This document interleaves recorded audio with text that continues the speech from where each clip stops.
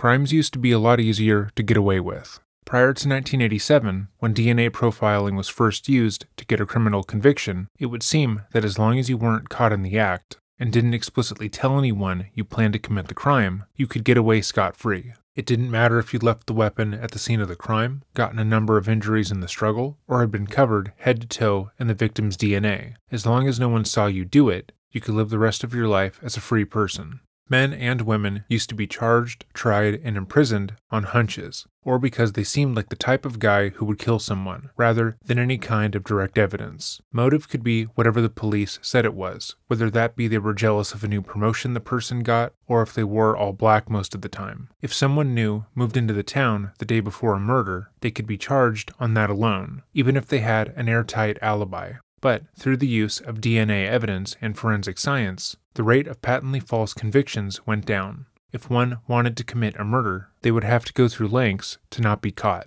Movies and television shows would depict a killer planning the perfect crime so as to not be caught, wearing gloves so they wouldn't leave any fingerprints, taking their victim by surprise so their DNA isn't found under the person's fingernails, and making sure that nothing left at the scene could be tied back to them. As long as they were careful and they kept their distance while committing their murder, they could potentially get away scot free. Today, thousands of cold cases are being solved through testing DNA evidence, and the case we will be covering today is one of those times. Welcome back to another episode of Dreading, or if this is your first time here, welcome. Today, we will be covering the recently solved cold case of Robin Cornell and Lisa Story. This case came to us via a Patreon request, and after watching some of the material we will be looking over today, I understand why. This case does involve the murder of a child, and researching this case was extremely mentally taxing. As such, I want to urge that anyone who is sensitive to cases involving children to click off the video. Cases like this can be traumatizing, and though I don't go into graphic detail, it's important you put your mental health and well being before anything else. As always, if there is a case you're interested in going over on this channel, feel free to let us know in the comments down below or email us at dreading.official at gmail.com. We are constantly adding new cases to our backlog and responding to emails and corresponding with those involved. So if there is a case you feel we should pay more attention to, let us know. This video is brought to you by Scentbird. Did you know that scent is the most powerful sense to trigger a memory? According to brain scans, different fragrances trigger strong memories because of the brain regions that process them. Going out into a freshly mowed field reminds me of working on the farm with my dad and grandfather. Certain perfumes remind me of my mom and sister, and if I smell certain scents, I'm immediately transported back to when I was younger. But in today's modern age, it's harder to find a signature scent that people can attach to you, or at least it was prior to Scentbird. Scentbird is a fragrance subscription that lets you choose a new designer fragrance to try every month for just $17, which is a steal, given that a lot of luxury fragrances start at at least $50 for a travel size. Every month, you get to pick what you want to receive so there are no surprises. They have over 600 perfumes and colognes, and a lot of unisex options. They carry brands like Gucci, Prada, and Versace, as well as indie labels like Skylar, Hectic, and Confessions of a Rebel.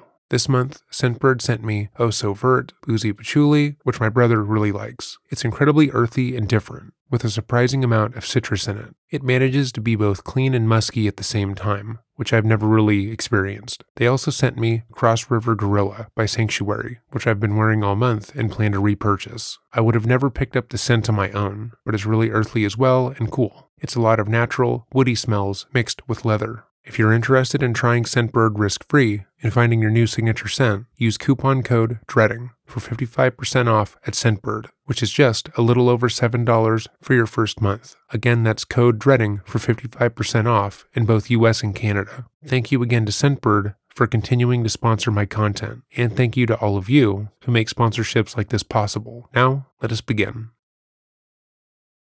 Robin Cornell was a typical 11 year old. She was excited about everything, and every day she had new dreams that she wanted to pursue. She would tell her mom, Jan, and her babysitter, Lisa Story, about her dreams, and how one day she was going to be a lawyer or a doctor or an actress. And every day they would tell her they knew she was going to do it all. Robin was extremely well loved in her community. According to the parents of Robin's classmates, she was the type of child who talked to everyone. It didn't matter if someone was considered weird or unpopular, she would make sure no one was left out. But unfortunately, on May 9, 1990, her young life and all of her dreams would come to a tragic end.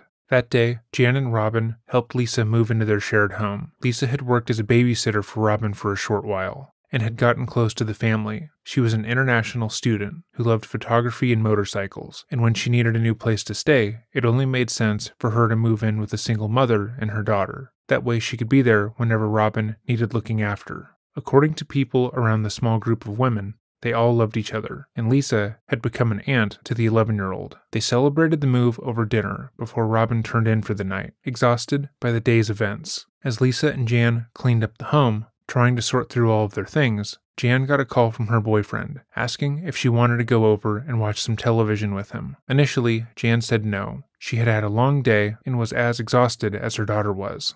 But Lisa encouraged her to go out and have some fun with her boyfriend. Lisa reminded her that the whole point of her moving into the home was to provide her with around the clock childcare, and she didn't mind taking care of Robin for the night. After a little bit of encouraging, Jan decided to go, telling Lisa she would be back within a few hours. She went into her daughter's room, kissed her on the head, and said, Good night, I'm going to Donnie's, I love you. And that, unfortunately, was the last thing she would ever say to her daughter. After Jan had left Robin and Lisa, a person had entered the town home through the sliding glass back door and quickly surveyed the home. First, they found Lisa Story in the room she had just moved into and quickly subdued her. Lisa fought back against the attacker, grabbing a fistful of his hair and clawing them the best she could. But after a short struggle, she was suffocated on her bed with one of her own pillows. The attack was loud and woke up the 11 year old. Not knowing what was happening, and not believing she was in danger in her own home, she got up to see what was happening. But once the intruder saw the young girl, he quickly assaulted her as well, hitting her multiple times in the face before she was knocked out. He then suffocated her as well. After killing both Lisa and Robin, he sexually violated them, leaving DNA in and on their bodies, as well as their bed sheets. He left their bodies in disturbing positions, with the desire to humiliate them in their death and traumatize whoever was to find the bodies. Following the murder and post mortem sexual assaults, the killer appeared to have taken a shower, seemingly unconcerned with the idea of being discovered. Shortly thereafter, they left the scene, unknowingly leaving their car keys in the kitchen of the home. The next morning, Jan woke up at 4 a.m., still at her boyfriend's house. She had accidentally fallen asleep on his couch and realized her mistake. She flew into a panic, both because she had not returned home like she said she would, and because she had to start work at 4:30 in the morning. Her boyfriend's home was only a few blocks away from her own, but she knew she was going to be late. She rushed home, but immediately knew something was wrong as she couldn't get into the door. The door had two locks a deadbolt, which worked, and another in the doorknob, which did not, but one key was supposed to open both. Everyone who had come to her home knew better than to lock the doorknob, and she knew Lisa would have never done so. Once more, she began to panic. She quickly rushed to the back of the home that she shared with her daughter and the babysitter, and found the sliding glass door completely open, with the blinds blowing in and out. She yelled out for Lisa and Robin, hoping they were playing a prank on her, or that Lisa might have gotten drunk and left the house in disarray, but no one answered. The home itself was freezing, as the back door had been open with the air conditioning put on full blast. Jan hurried through the house and was horrified to find Lisa and Robin dead on their beds. When Jan found her daughter deceased in her own bed, she quickly fought to save her life. She moved Robin to the ground and began to do CPR, hoping that she would be able to bring her back from the dead. But it was too late. Both Robin and Lisa were beyond saving. Multiple neighbors heard the commotion and called the police, and were traumatized by what they found. The details of the case were horrific, and the fact that such a brutality had been done to a girl who was only 11 years old, who asked her mom in the days leading up to her death if she was old enough to have her first kiss, made many officers sick. Many who looked at the case stated without a shadow of a doubt that it would be solved quickly. Whoever had taken Robin and Lisa's lives had left a plethora of evidence. They had left their DNA everywhere and had seemingly forgotten their car keys. But that was not the case. Police canvassed the area, obtained hundreds of DNA samples, and followed up on every lead that they could, but nothing came of it. Jan spoke to the police frequently, trying to keep her daughter and friend's case at the top of their minds, but it had stalled, and people had moved on. She reached out for help from different groups and former police officers, hoping that they could provide answers, but they too came up short. The story was featured on television shows like America's Most Wanted in the hopes that continued publicity would lead to a break in the case, but the case would remain cold until 26 years later Joseph Zieler was in Lee County Jail on a felony aggravated battery charge for shooting his son with a pellet gun in August of 2016 when his DNA was placed into the criminal database. Zieler had not been connected to the case and had never met Robin or Lisa prior to the murders. However, once his DNA was added to the criminal database, it showed that it was a match for the DNA that was found in and on both Lisa and Robin. He had conclusively been shown to have been the person to kill both Lisa and Robin. However, he denied any wrongdoing. He stated that he had never met Lisa or Robin, and that there was no way that it was his DNA at the crime scene. He claimed that the DNA that they found was likely his uncle, his brother, or his father, and that it had been them that committed the crime, as they lived less than five miles away from the murder, which would also put him close to the murder at the time. He would then change his story, stating that it was possible for the DNA found at the scene to have belonged to him, only because he had slept with someone at that location before, and that Jan, Robin, and Lisa had never cleaned their sheets. At times, he would state that he had sex with Jan while on vacation once,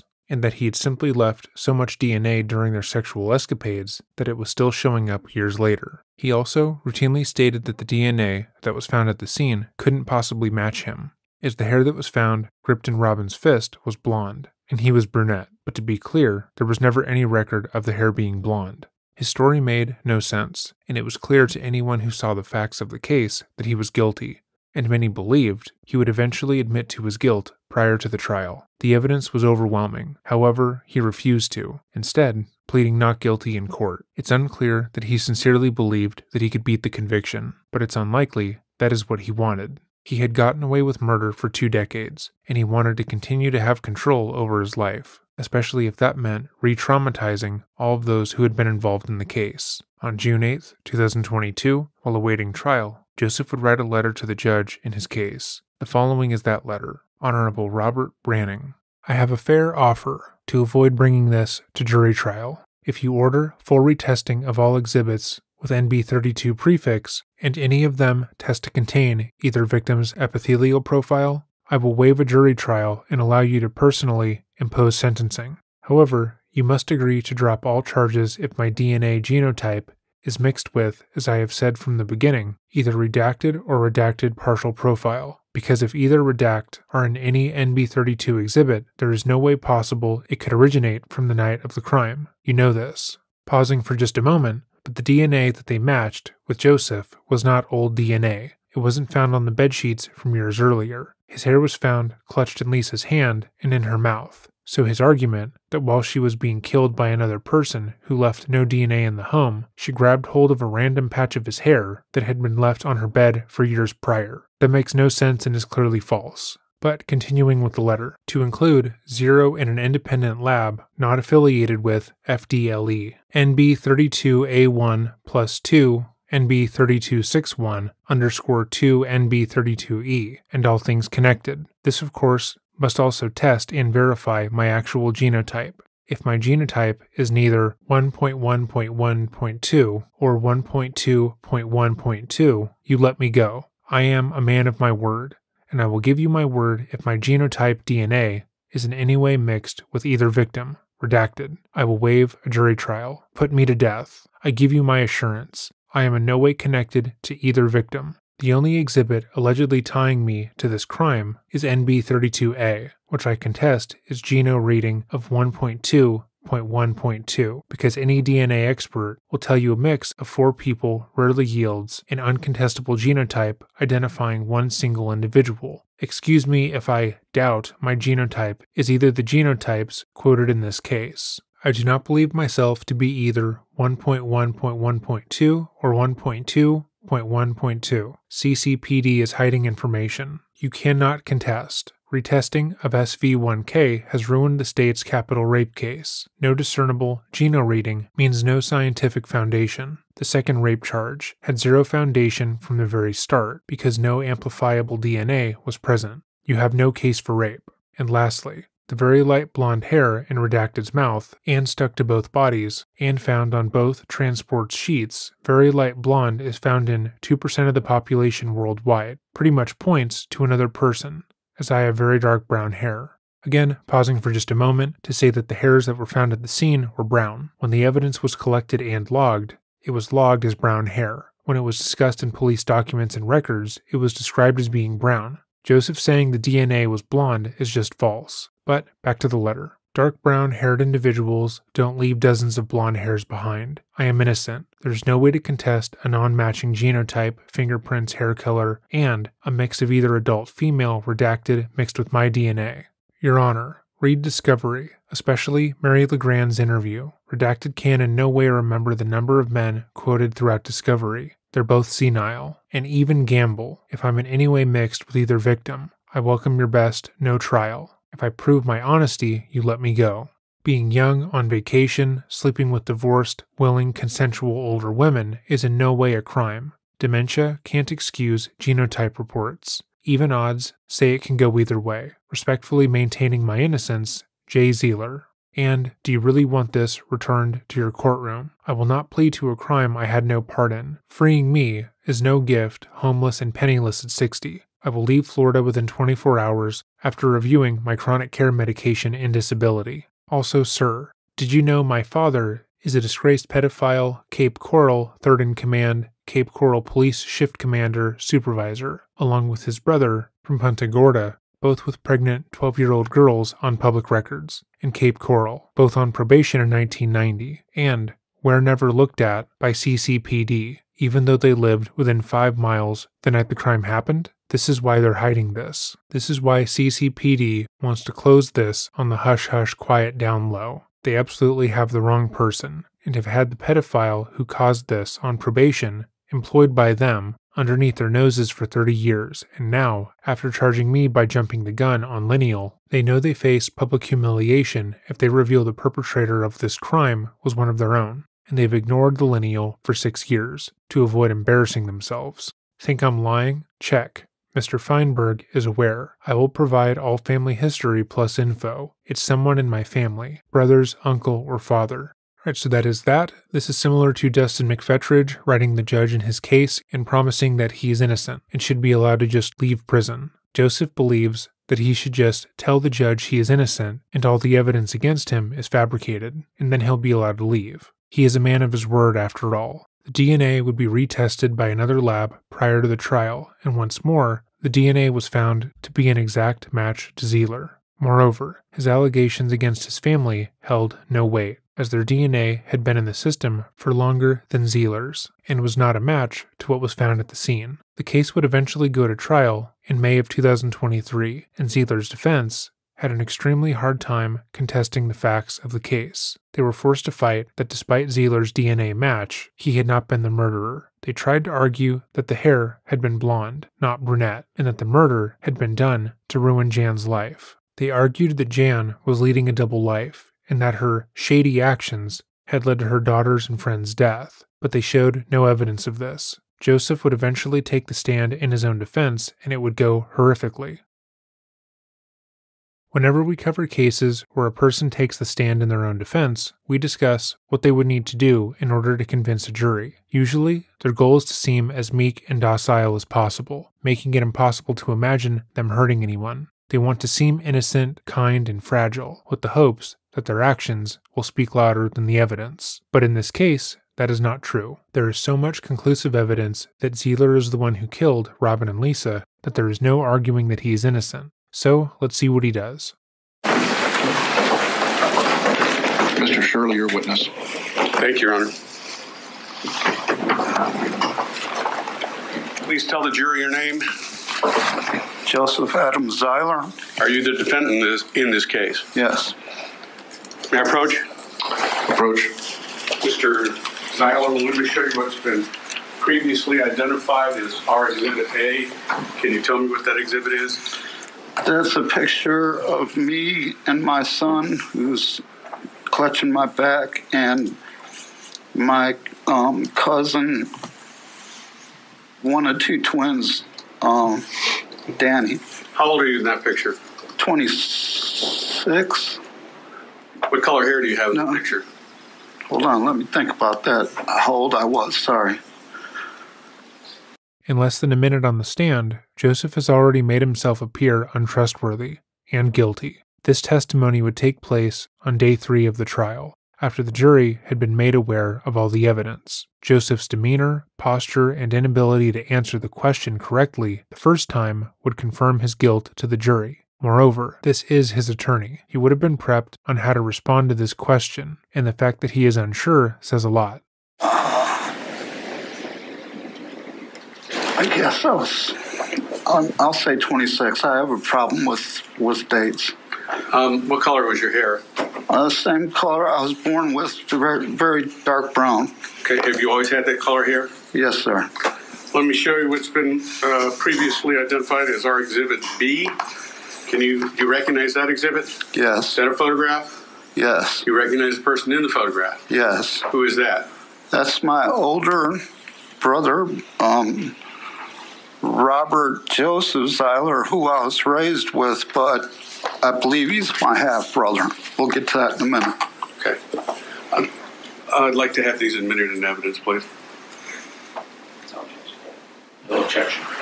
Defense, Publish it to the jury. hold on. Defense A and B are admitted. You may publish. Thank you. Rather than pass them off, just like to look at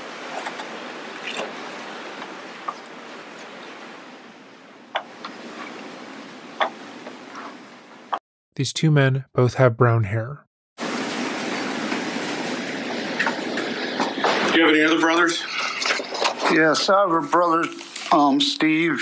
He was five years older than me, but he he died, I believe, about 2008.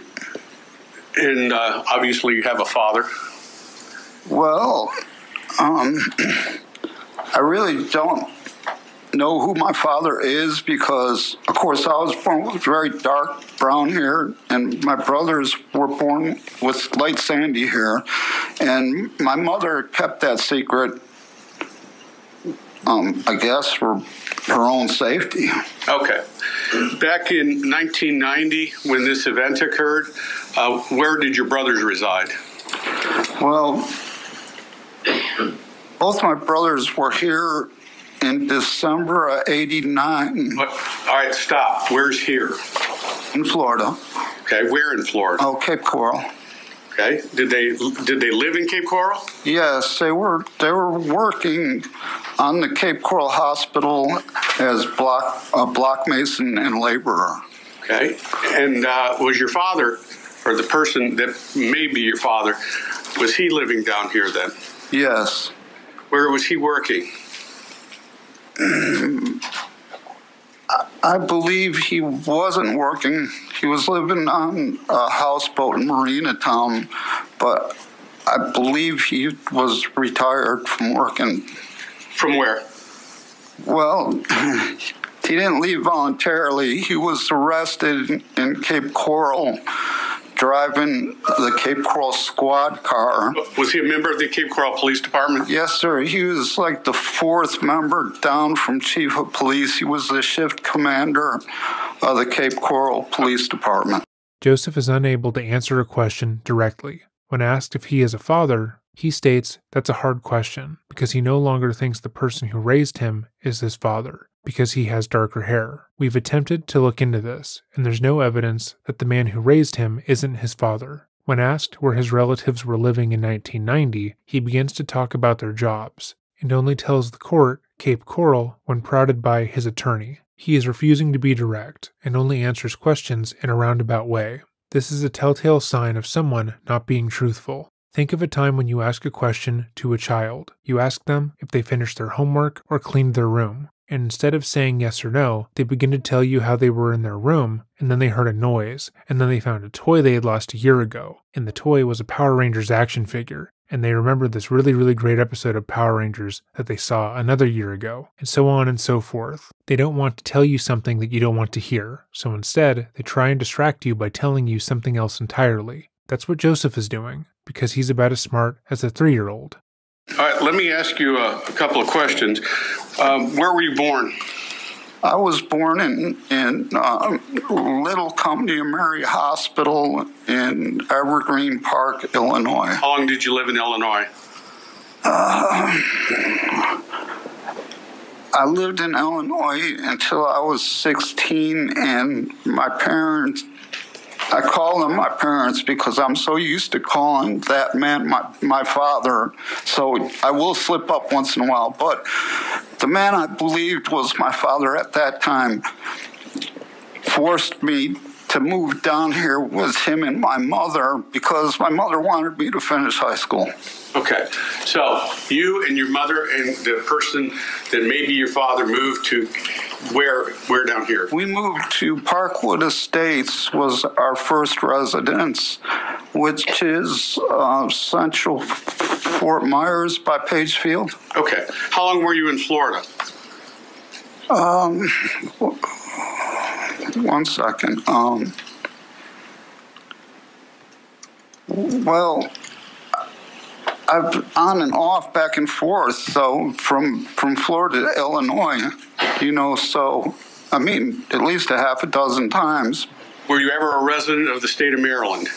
Yes, I was. All right, and, and back in 1990, were you uh, registered as a driver in the state of Maryland? Yes, I was.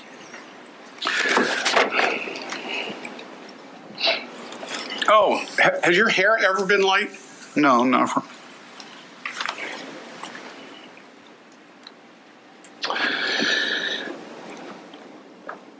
Do you know Jan Cornell? No, no, I, I don't know Jan Cornell. Do you know Lisa Story? No, Do you know Robin Cornell? no.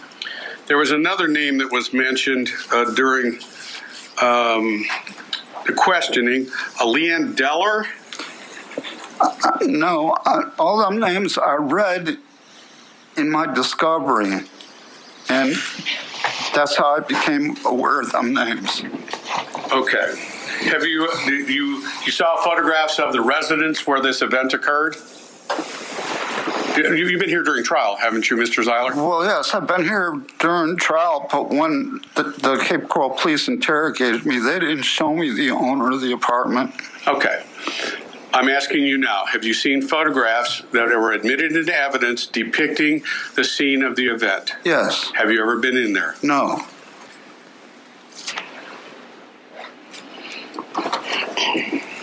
Now, you made phone calls after you were initially arrested for the event that occurred with Ms. Nisley's son. You made phone calls to her, did you not? yes, he's my son with her. Um, so, it, it- are you the are you the birth father of that child? Yes, um, when he was born, Bonnie was still married to her uh, first husband, so they put his name on the birth certificate, but I agreed to sign the paper to have it removed. Okay. So, do you, do you basically raise that child as your own? Yes, the uh, the letter that you wrote to Bonnie that was read in court, you were making reference to somebody who was living in the house and who needed to go on. Who are those references about? that's, that's our son together, Zachary. Okay. At any point in time in the letter, were you making any admissions to having committed this offense? Zachary's offense? No. No, The not, offense for which you're charged in this courtroom. no, not no, not at all. What were you referring to? Um, I was referring to my altercation with my 26 year old drunken son. The uh, you made reference to something that happened in 1990. What was that? I was arrested in July of 1990 um, because it was my son's birthday. That's how I remember my oldest, my oldest son, um, Joey's birthday. And I had I had a pistol on board my sailboat. He was visiting me, and when I went across the street to go do some laundry, I didn't feel comfortable leaving the pistol on the boat with him. I was trying to be responsible, and uh, I took the gun with me across the street to do some laundry. And while I was there, I stopped in a jewelry store to try to sell uh, or tr- sell uh, a couple items so I could buy him a birthday present. Okay. And were you ultimately held responsible for that? Well, yeah. Um, while I was there, Well, wi- with, without getting into all the events, is that part of your prior felony conviction? oh yes, yes. All right. Back in May of 1990, were there any warrants out for you?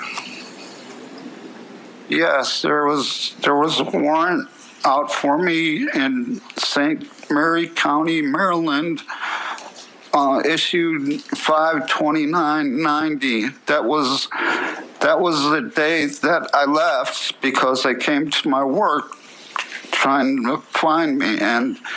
My boss covered for me. I jumped on my my motorcycle and I headed here. All right. Was there a warrant for you out of Chicago issued in 1987? Yes, yes.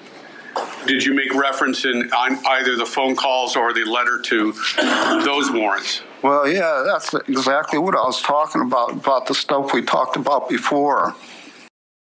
I previously mentioned how when you take the stand in your own defense, you want to come off as innocent. You want to appear forthright, honest, and completely incapable of doing what you're being charged with. And Joseph has managed to do the opposite. His attorney, going through all of his prior warrants and charges, we get the sense that Joseph is not entirely a trustworthy person who is not above breaking the law. In the brief glimpses we get of his prior crimes, from shooting his son with a pellet gun, we know he isn't above harming others, and he's completely alright with running from the law, like what occurred in this case, and he's doing nothing to make any of his actions seem justified. Uh, were, ever stopped in the state of Florida? Yes, yes, um, probably four or five times altogether, but only twice with Bonnie, with me. She recited that the uh, the time that you were stopped was much later on uh, in your relationship. Do you recall when the first time you were stopped for Oh, the yeah. Chicago warrant?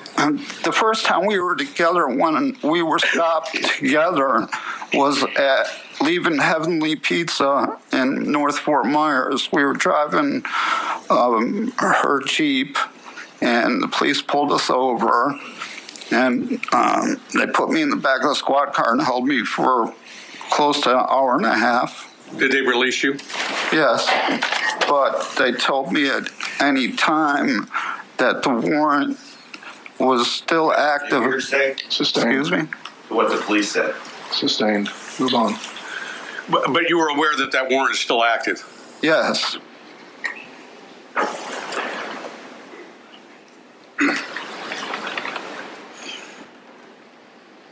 Where were you? Well, let me ask a different question.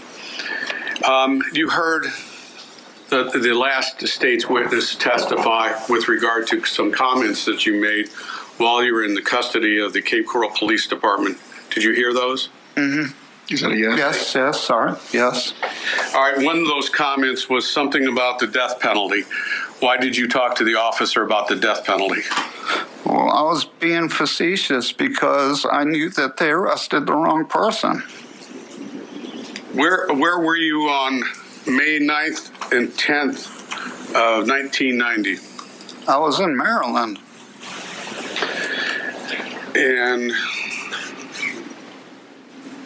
Mr. Zieler, um, you've heard experts testify in this case that uh, they are convinced that at least one, if not all three, of the sites of uh, uh, semen or of other bodily fluid that were placed on the bed sheet, the pillow, and or the exterior of the young lady's genitalia was your semen.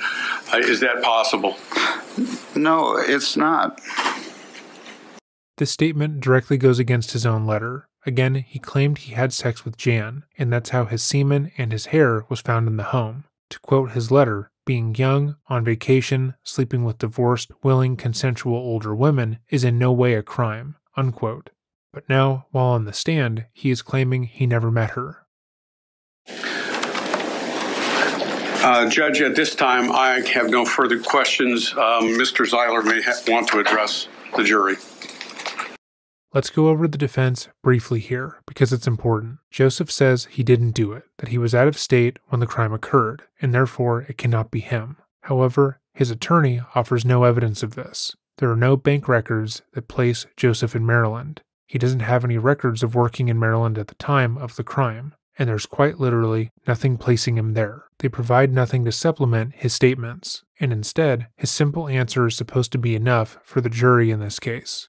According to Joseph's lawyer, Joseph wanted a moment to address the court himself and give his own perspective as to what happened, which is ridiculous. The lawyer knows this. He doesn't want to ask if it's okay for his client to go on a monologue about his thoughts on the case. But, as we will see, Joseph is incredibly aggressive and entirely unwilling to compromise. It was also theorized by court TV correspondents that Joseph was going to perjure himself while on the stand, and that he wanted his lawyer to ask him specific questions for him to do so, and he would be unable to do that. From whom the letter is coming says Joseph Adam Zieler at the top, and then it, there's more, but that's the first part. Yes. And what are the numbers 47492 slash 835775 That's my ID number followed by my booking number. at the Lee County Jail? Yes. And the address of 2115 MLK Boulevard, Main Jail, Fort Myers, 33901, that's the- where you're being housed. Yes. And that letter was addressed to who, sir? J.G. Batista and family. At what, well, um, who, do you, did you address this envelope? Yes. And who was J.G. Batista and family? Well, I thought it was Jenny Gal Batista. Oh, so you were trying to send this letter to Robin's sister then? Yes. Okay. No. Yes. Um, I- I was trying to send it to family, actually. So I guess I was trying to send it to everybody. The whole Batista family? Yes. And in that particular letter, uh, did you uh, profess your innocence by claiming that it was a relative of yours that did this murder? Yes, I was trying to defend myself because no one would listen to me. Or it calls for a yes or no. Did you, in the letter, profess your innocence or allege your innocence by saying that a relative of yours had done these murders? Yes. What he just admitted to is horrifying. His DNA was at the scene, not a family member's, not an unknown, blonde man, his. And he decided to send a letter to whom he believed was the victim's family, which is obviously disgusting. Did you suggest, in addition to that, no, did you tell the people who this letter's addressed to that you slept with Jan Cornell, Janice, and a friend of hers in 1989, and therefore that's why your DNA is in the Courtyards North condominium? Yes, I, I thought so because she didn't wash her sheets. You know whether or not Miss Cornell washes her sheets? Alls I, how I got that is by the information I was giving, given from you was discovery, and I thought that the only way my DNA could have gotten there was me sleeping with Jan Cornell and Leanne Deller. As a reminder, he said in direct examination that he had never slept with Jan Cornell or Lee Ann Deller. Did you sleep with Jan Cornell and Miss Deller? It's possible because I was here. Well, now you were here. I mean, I was here in December of 89. I testified to that earlier. And what I believe happened is I slept with Jan Cornell and Leanne Deller, and they were just too much of a pig not to wash their sheets. He just called the mother of the victim the woman who discovered the body of her 11 year old daughter and performed CPR on her a pig. Jan had no part in the crime and had fought for years to keep her daughter's name in the public eye. In her testimony, she broke down, discussing finding her daughter and her friend dead and how she is haunted by that night. She is a victim in this, and he just called her a pig, all while asking the jury to overlook the concrete evidence that he is the killer, and changing his story to state that he was in Florida at the time of the murder, and he somehow believed that he was going to be found innocent.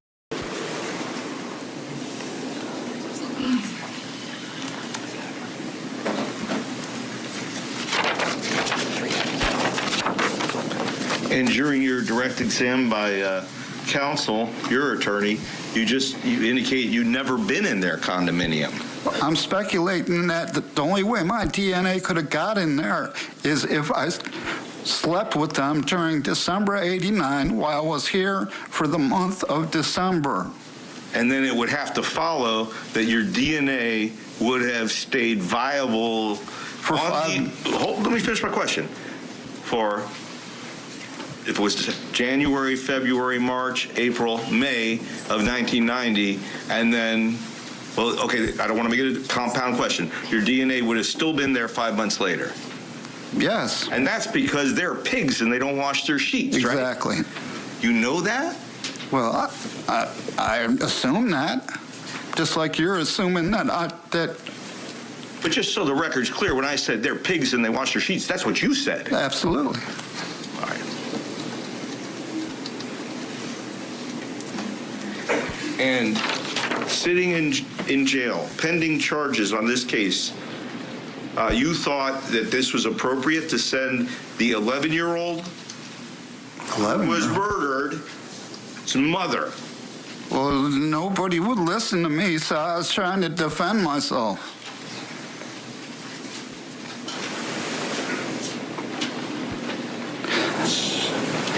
Can I speak? No, sir. Wait for a question, please. May I retrieve the exhibit? Go ahead.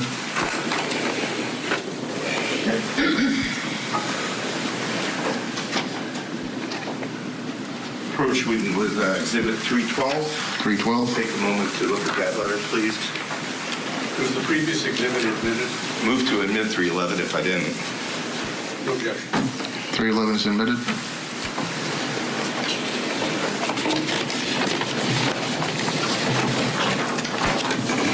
Sir, on the second page, uh, that which shows the envelope which was sent to, again, J.G. Batista and uh, addressed from Joseph Adam Zieler with the same numbers, is that also a letter you wrote? I concede I wrote all this. And in this second letter, you, uh, you you told Jan Corn, you directed this towards Jan Cornell, correct? And when you said this. I can't and say unless you show me the letter. I am. I want to direct you to the page right now, page three.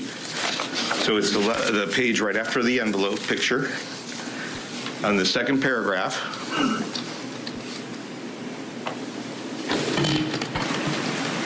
Did you address to Jan Cornell the following? The only way, underlined, is to admit you possibly could have slept with me as a night encounter and you can't remember, you won't be sure, you won't retest. Did you, Hold on a second. okay.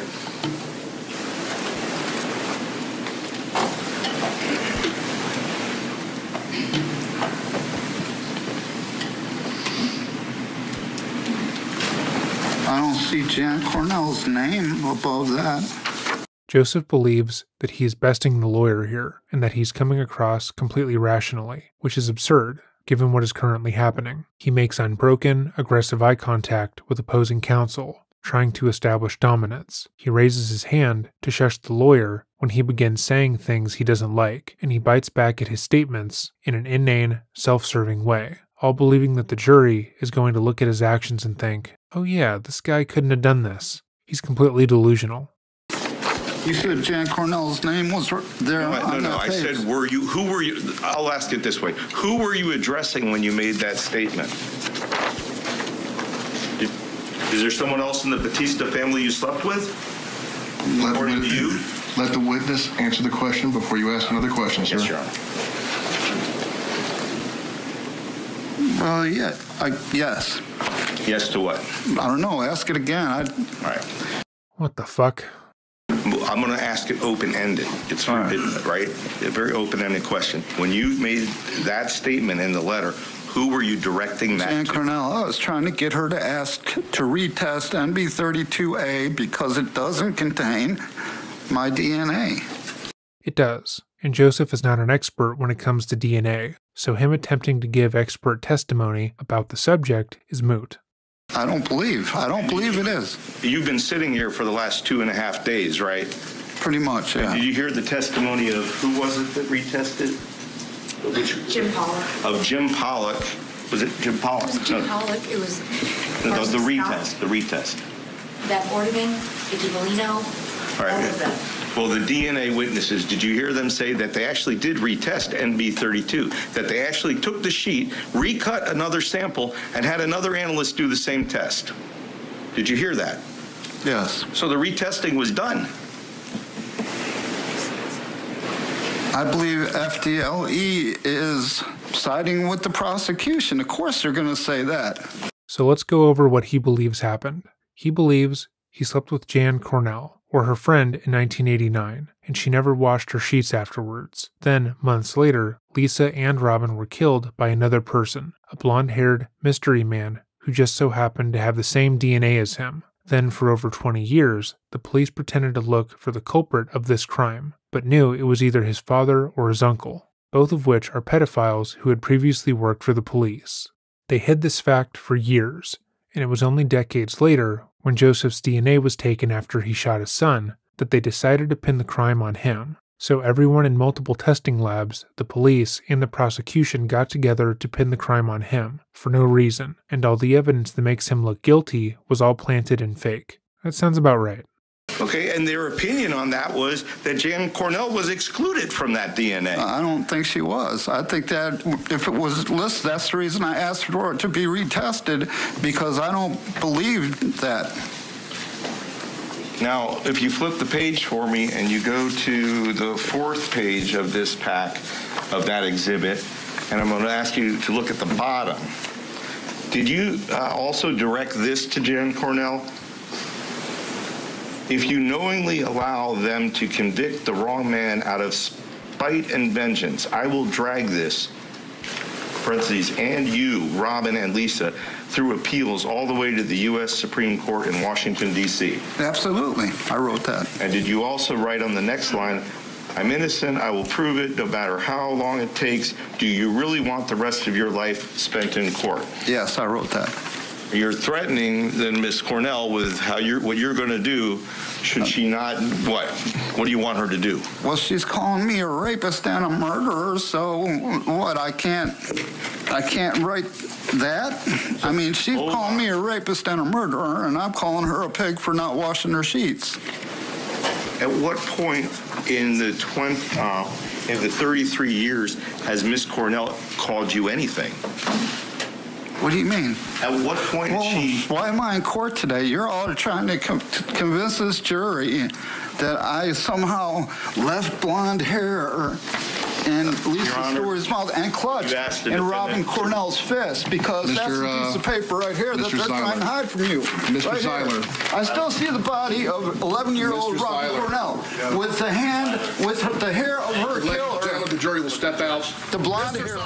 So we're going to stop this here, because that was horrible. Joseph would be admonished by the judge and threatened to be placed in contempt of court. If you are interested in watching the rest of the cross examination, I will leave a link to it in the description down below. Notably, he would end up flipping off the cameras in court while testifying, as if he couldn't get any worse. Joseph believed he was going to be able to walk away from this case with the jury on his side. He believed that simply by him saying that the evidence was fake and that all the experts in the case were lying, that he would be able to get away with murder. But that was far from the case. The evidence and his behavior on the stand resulted in an incredibly short deliberation, and Joseph was found guilty on all counts. The jury would recommend the death penalty for Joseph, citing his harassment of the victims' families and his lack of remorse. I don't know how bad you have to fuck this up to where a group of people all kind of sit down and think, you know what? Yeah, he needs to he needs to leave the planet. He's too much of a liability. While awaiting his sentencing, he would attack his own lawyer in the courtroom. According to his attorney, Kevin Shirley, he seemed like he didn't want our conversation to be picked up by the microphones. So he waved me down and I bent over and he struck me. He had also etched the word killer into his veneers, flashing them at the cameras as he waited to hear his sentence.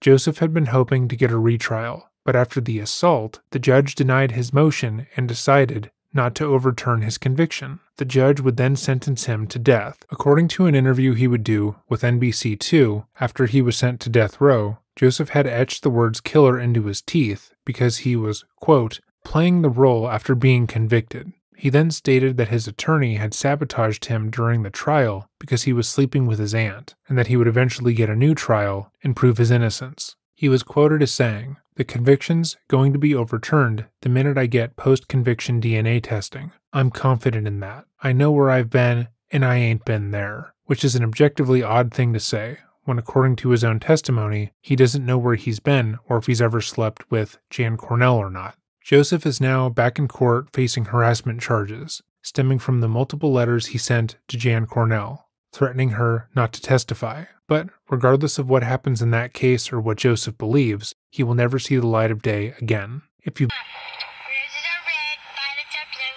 sugar is sweet, and I love you. For 33 years, Jan Cornell has kept this last recording of her daughter Robin's voice. I don't even know where to to begin. And now, for the first time in 33 years, Cornell says she's at peace. Knowing that Robin and Lisa are going to have justice on the books forever. Because that's all I could ever make sure happen for them after this. Thank you again to Scentbird for continuing to sponsor my content. Confidence can get you anywhere. The idiom is simple enough and simply means that those who project themselves as being confident are able to do so more than those who don't appear so. Let's say you were trying to sneak into a festival. All of your friends are going, but you weren't able to get tickets. So you and your friends devise a plan. They will all go inside first and get their wristbands for the event. But once inside, one of your friends will take off their wristband, and another friend, still wearing theirs, will walk out and give you the spare one. The plan should work, should you both appear confident and not draw attention to yourself. The beginning stages of the plan go perfectly. They walk in, no issue. But you, sitting outside of the gates, begin to get nervous. You have the feeling that people are staring at you, like they know what you're about to do, and out of fear, you begin to stare at security. You anxiously keep looking at them, trying to see if they've noticed you, and because of your suspicious gaze, they have. This makes you even more frazzled. You begin to wring your hands and try to look comfortable, but you can't help yourself. You feel like now everyone around you knows what you're up to, and everything you do is making you look worse. Finally, your friend comes out of the venue with the spare wristband in their pocket. They greet you with a smile and seem calm and collected, but immediately they sense that something is off about you. They notice the security already looking at you, and they see how pale you've gotten. There's no way for you to put the wristband on here, so they try to get you to calm down, to go on a short walk with them, so you can relax and go through the gate with no issue. But it's already too late. You've attracted the security's attention, and now they know what you two are up to. But had you appeared self assured and confident, chances are you wouldn't have attracted all of that negative attention. You could have just walked into the event with the wristband and your friends with no issue. There are countless ways that this kind of unseen confidence can help people in their daily lives. But in today's case, we will watch as a person lets their confidence destroy them and their life. Welcome back to another episode of Dreading, or if this is your first time here, welcome. Today we are going to be covering the case of Richard Merritt and how this disgraced lawyer thought he would get away with his crimes by taking the stand. This case was recommended to us by someone who purported to be close to Richard in his youth, and after my brother and I researched this case, it's easy to see why they thought this would make for an interesting video. As always, if there is a case you're interested in us covering, feel free to let us know in the comments down below, or email us at dreading.official at gmail.com. We're constantly adding new cases to our backlog, responding to emails, and corresponding with those involved. So if there's a case you feel that we need to pay more attention to, let us know. If you're interested in seeing these videos as soon as they're finished, our Patreon is linked down below. We're constantly adding new videos over there, and currently, the next month's worth of videos are available to be watched at your leisure. Our Patreon is how we're able to make this content consistently, as YouTube regularly demonetizes our channel, but to be clear, even if our channel was fully demonetized, we would still post the majority of our videos here for public consumption. But with all of that said, let us begin. According to those who knew him, Richard Merritt was an egotistical man. Upon first introduction, most people would state he was charming. He could make you feel like the most important person in the room, simply because he, a self identified, incredibly successful lawyer, was paying attention to you. But that charm quickly wore off. He seemed to be in a constant competition with himself and others, always looking to one up anyone he believed was doing better than him. On multiple occasions, When someone he knew was talking about a promotion they received or some accolade that they had just gotten, Richard would get noticeably frustrated, seething at the idea that someone was doing better than he was. Usually, this would result in him lying to the other person, claiming that he too got a huge salary bump, one that was always slightly larger than the other person's. But his ego also led him to getting violent. His ex wife would describe how Richard, upon not getting his way, would fly off the handle. His behavior was akin to a three year old throwing a tantrum in a supermarket after being told they couldn't get what they wanted. The hysterics, the aggression, and the willingness to cause damage to those around him all matched a child's bad behavior. But they were amplified by the fact that he was an adult man. Richard boasted about his career as a lawyer and how he was set to be one of the most successful in his area. And from public appearances, he wasn't lying. He took on multiple civil lawsuits, usually around elder abuse and medical malpractice, which made him incredibly wealthy. With the money his work brought in, he was able to buy himself a Porsche and go on multiple lavish vacations with his family, usually purchased to try and make up for a violent outburst he had around them. But public appearances weren't everything. Richard's success came at a great cost to his clients, as he would often settle their cases without informing them and take the money from the settlement for himself. He would then pretend that he was still working on their cases, claiming that civil lawsuits take a long time, and hoping that his elderly clients would perish before getting suspicious. In multiple instances, he continued to charge a client well after their case had been settled, which cost the client thousands of dollars that they didn't have. Richard kept his theft a secret from everyone in his life, choosing to state he was just that good at being a lawyer.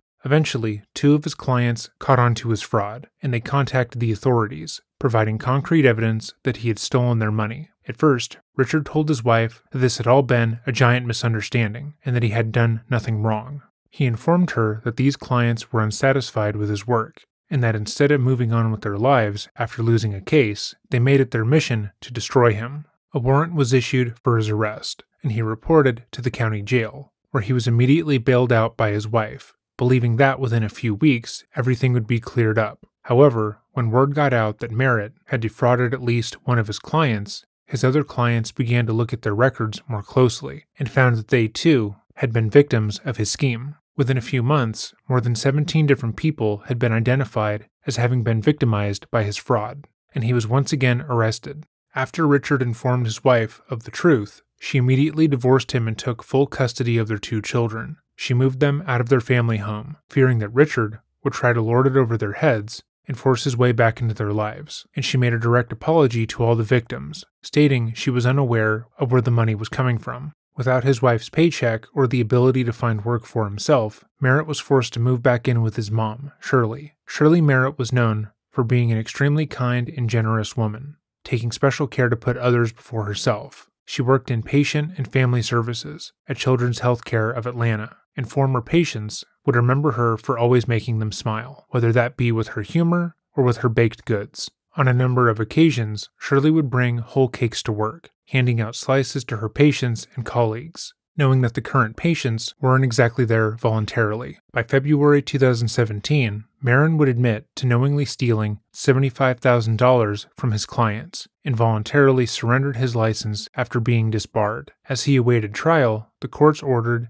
that he wear an ankle monitor at all times, which he happily accepted. He hoped his compliance would lead to him being offered a deal, but the investigation into his fraud continued, and eventually it was found he stole nearly $500,000 from 17 different clients. Merritt would also forge the signatures of many of his clients on checks and then cash them for himself. Merritt's guilty plea would result in him being sentenced to serve 15 years in prison, followed by 15 more on probation, which Merritt himself seemed to take on his chin. He told his lawyer as well as the judge that he accepted his sentence as he had made a grave error in conduct and planned on being a model prisoner. He was told to report to prison on February 1, 2019, and in the days leading up to it, he was allegedly in good spirits. His lawyer would state that, quote, days before he was to turn himself in and begin serving his sentence, Mr. Merritt sounded upbeat and optimistic about his chances of parole after serving just five years, unquote. However, he would never report to prison. Instead, on January 31st, Richard would violently attack his mother in their shared home after she made food for him. What prompted this attack is unknown, but according to the autopsy, Shirley was stabbed repeatedly with a kitchen knife in her face, neck, and torso. The frenzied stabbing also ended after the knife blade was lodged into her head, and the handle was discarded on the kitchen floor.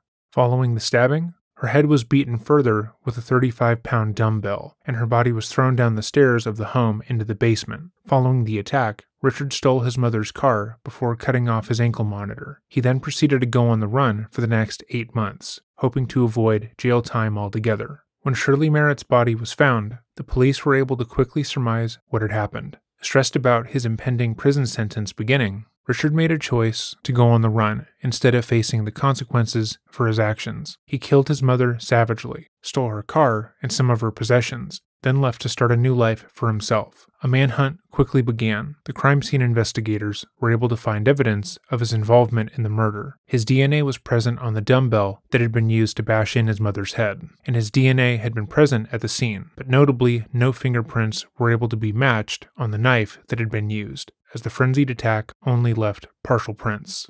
Merritt would eventually be caught eight months later, living in Tennessee, where he went by the alias Mick Malveaux. He immediately joined multiple dating sites and came up with different backstories for himself, including stating that his mother had recently passed away from leukemia. He had begun a semi serious relationship with a woman when he would be arrested and brought in, this time for the murder of his mother. In court, Richard refused to back down, stating he was innocent of any wrongdoing and that he was the real victim in all of this. He would claim that he didn't murder his mother, but he witnessed her murder. According to his story, two armed men came into the home and attacked his mother in front of him. He claimed that these men were motivated by his crimes and wanted to get revenge on him, so instead of harming him or shooting them both, they violently killed his mother in front of him. Merritt then claimed the two gunmen, who never used their guns, if he ever uttered a word about what had happened, they would kill his ex wife and two children. He says that is why he fled to Nashville to start a new life. So let's see how that obviously fictional story goes over.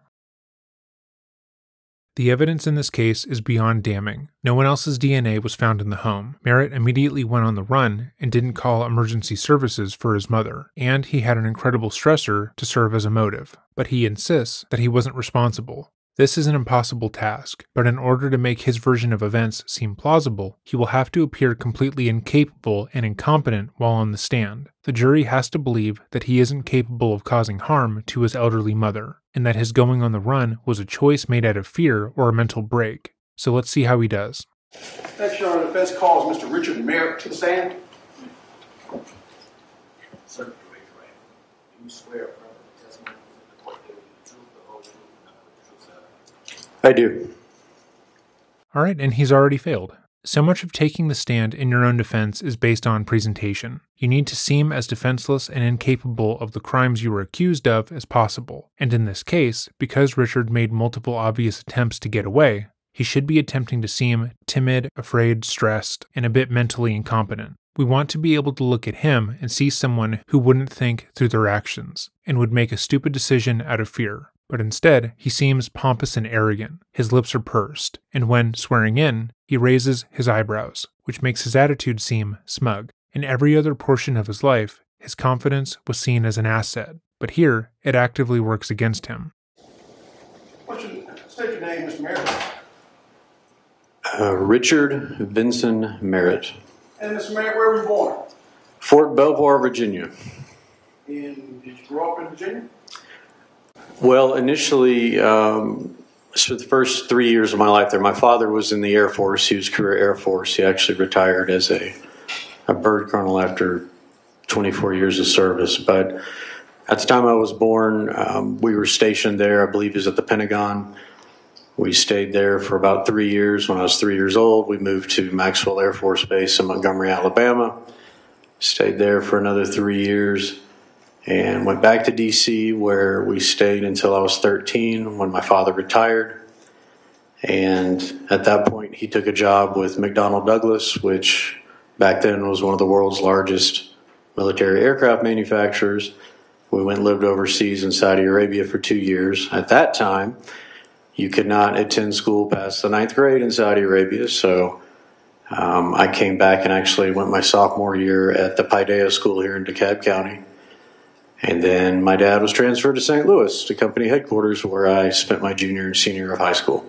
So I moved around a lot. Firstly, the majority of the information he just gave is absolutely useless in regards to his testimony. However, his response is interesting, as it shows how Richard will take a simple question like, Did you grow up in this area? and manipulate the question to brag about himself in some way. Secondly, his answer still works against him in what he is attempting to do here. The type of person who becomes so flustered at a crime scene that they go on the run for eight months to begin leading a new life out of fear is not the kind of person to sit calmly on the stand and recount their life story like this. His voice is steady. His mannerisms indicate that he believes that his life story makes him better than those listening, and when placed next to what he's accused of doing, it makes him appear callous and heartless.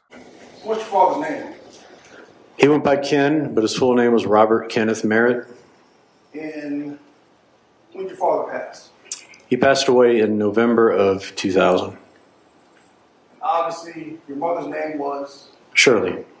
Richard has just spoken the name of the woman that he claims was killed in his presence. This was the woman who worked with sick families and children for years, was known to be a delight in the community, and took him in despite his crimes, and he remains emotionally unaffected. Even if he were to try and force an emotional response or act one out horribly, that would be better than this. Again, his lack of reaction when standing trial for her murder is alarming. Do you have a brother? I do. And what's your brother's name? Robert Kenneth Merritt II. And is there an age gap between the two of you? About nine years. Who's older, who's younger? Uh, my brother would be the older one. Now, growing up, or what was the dynamics of the family? Was it just the four of you? It was just the four of us. Um, as I just mentioned, we moved around a lot. That was primarily when my brother had already gone up to college. Um, he was in college by the time I was third or fourth grade. So, um, but the dynamic when when he was still around or came to visit was, you know, we had a very traditional, conservative Southern military household. My father was, as I said, career military. He went on to be a successful businessman. My mother sold real estate, was very good at it with her personality and natural intelligence. She was a, a star at it. And, um, you know, my brother and I, you know, we, we got along. Um, my father definitely ruled the roost. He was, he was the boss, but uh, my mother certainly um, had her say too. It was definitely a partnership. Now, when did you guys move to 1590 Planters Road? My parents bought that house in the summer of 1993. That would have been the end of my freshman year at the University of Georgia. Now, is that where you went for undergrad? Yes, I went to UGA. And did you graduate from UGA? I did. What was, what was your major? I was a double major in English and political science, basically pre law. And did you go to law school? I did. And where'd you go to law school? I went to law school at Mississippi College School of Law in Jackson, Mississippi. Now, while you were in undergrad, did you meet a certain lady? I met a certain lady. Her name was uh, Janine Minicozzi. I met Janine when she was a freshman and I was a junior. I'm about a year and a half, maybe a little bit more than a year and a half older than her. But we met through a, excuse me, we met through a mutual friend. And how long did you date before you got married? Well, early on, we, we dated off and on as, as kids do at Georgia, just enjoying the, the scene there in Athens. But as I proceeded into my senior year, it was, I guess, spring quarter of my senior year, getting ready to graduate, uh, we became more serious and decided we wanted to stay in a committed relationship. Now, by the time, what year did you get married? We got married in 1999, about a week after I graduated law school. And during that time, was she a veterinarian yet? No, she, I believe she started her first year of vet school either my second or third year of law school because she was still had a couple years to go when I graduated law school. Now, by this time, when you got married, was your, was your father still around? Yes, he was. What year did he pass? 2000, about a year after we got married. So during this time, did your mom help you out? Yeah, they both did. Um, at the time, I, you know, I, I took me three attempts past the bar. I passed it the third time. I failed the first two times. I did thankfully have a job as a project manager with a local internet company, so I didn't have the pressure of needing the license, although it certainly would have been nice to, to get that under my belt right away. But yeah, there were times when, when my parents helped us here and there while she was still in school, sure. After your father passed, what was the relationship between you and your mother? Well, after my dad died, it was, as you can imagine, just my my brother and I and our immediate family. We are close to a lot of extended family, had a lot of close friends. But in terms of our family, it was obviously just my brother, mom, and I, and uh, we were close. So far, there's been no emotion of any kind in his testimony, which does not align with his story. Imagine the person who helped you throughout the years, who took you in, even when your wife left you. Imagine that person was killed violently in front of you. Now try to recount even one memory where they are present. The amount of grief you would likely feel just talking about them would be immense. But not for Richard. He's direct and forthright with all of his information, only pausing to emphasize how even though it took him three chances to pass the bar, he didn't necessarily need to pass immediately because he already had a job. I'll be skipping the next three minutes of the testimony as Richard talks about his children, but it should be noted that when talking about his son and daughter, he relays how good of a father he is through his own accomplishments instead of theirs. He also actively states that his son was the kind of kid any parent would want, and that he went to all of his activities, while he didn't do so with his daughter, who has cerebral palsy.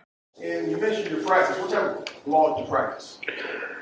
Well, in 2010, um, I opened up my own law firm, and before that, I had been at a large law firm in Buckhead. But I've always been a litigator, primarily civil litigation, mainly personal injury, uh, wrongful death, medical malpractice, and business litigation.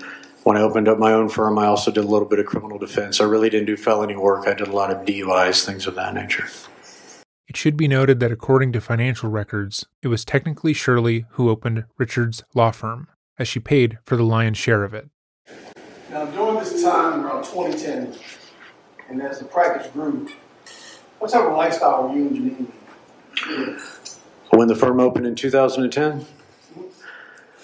Well, we were a very sociable couple. We lived in a very uh, diverse neighborhood in Smyrna within walking distance to downtown Smyrna, where a lot of the restaurants and, and whatnot were at.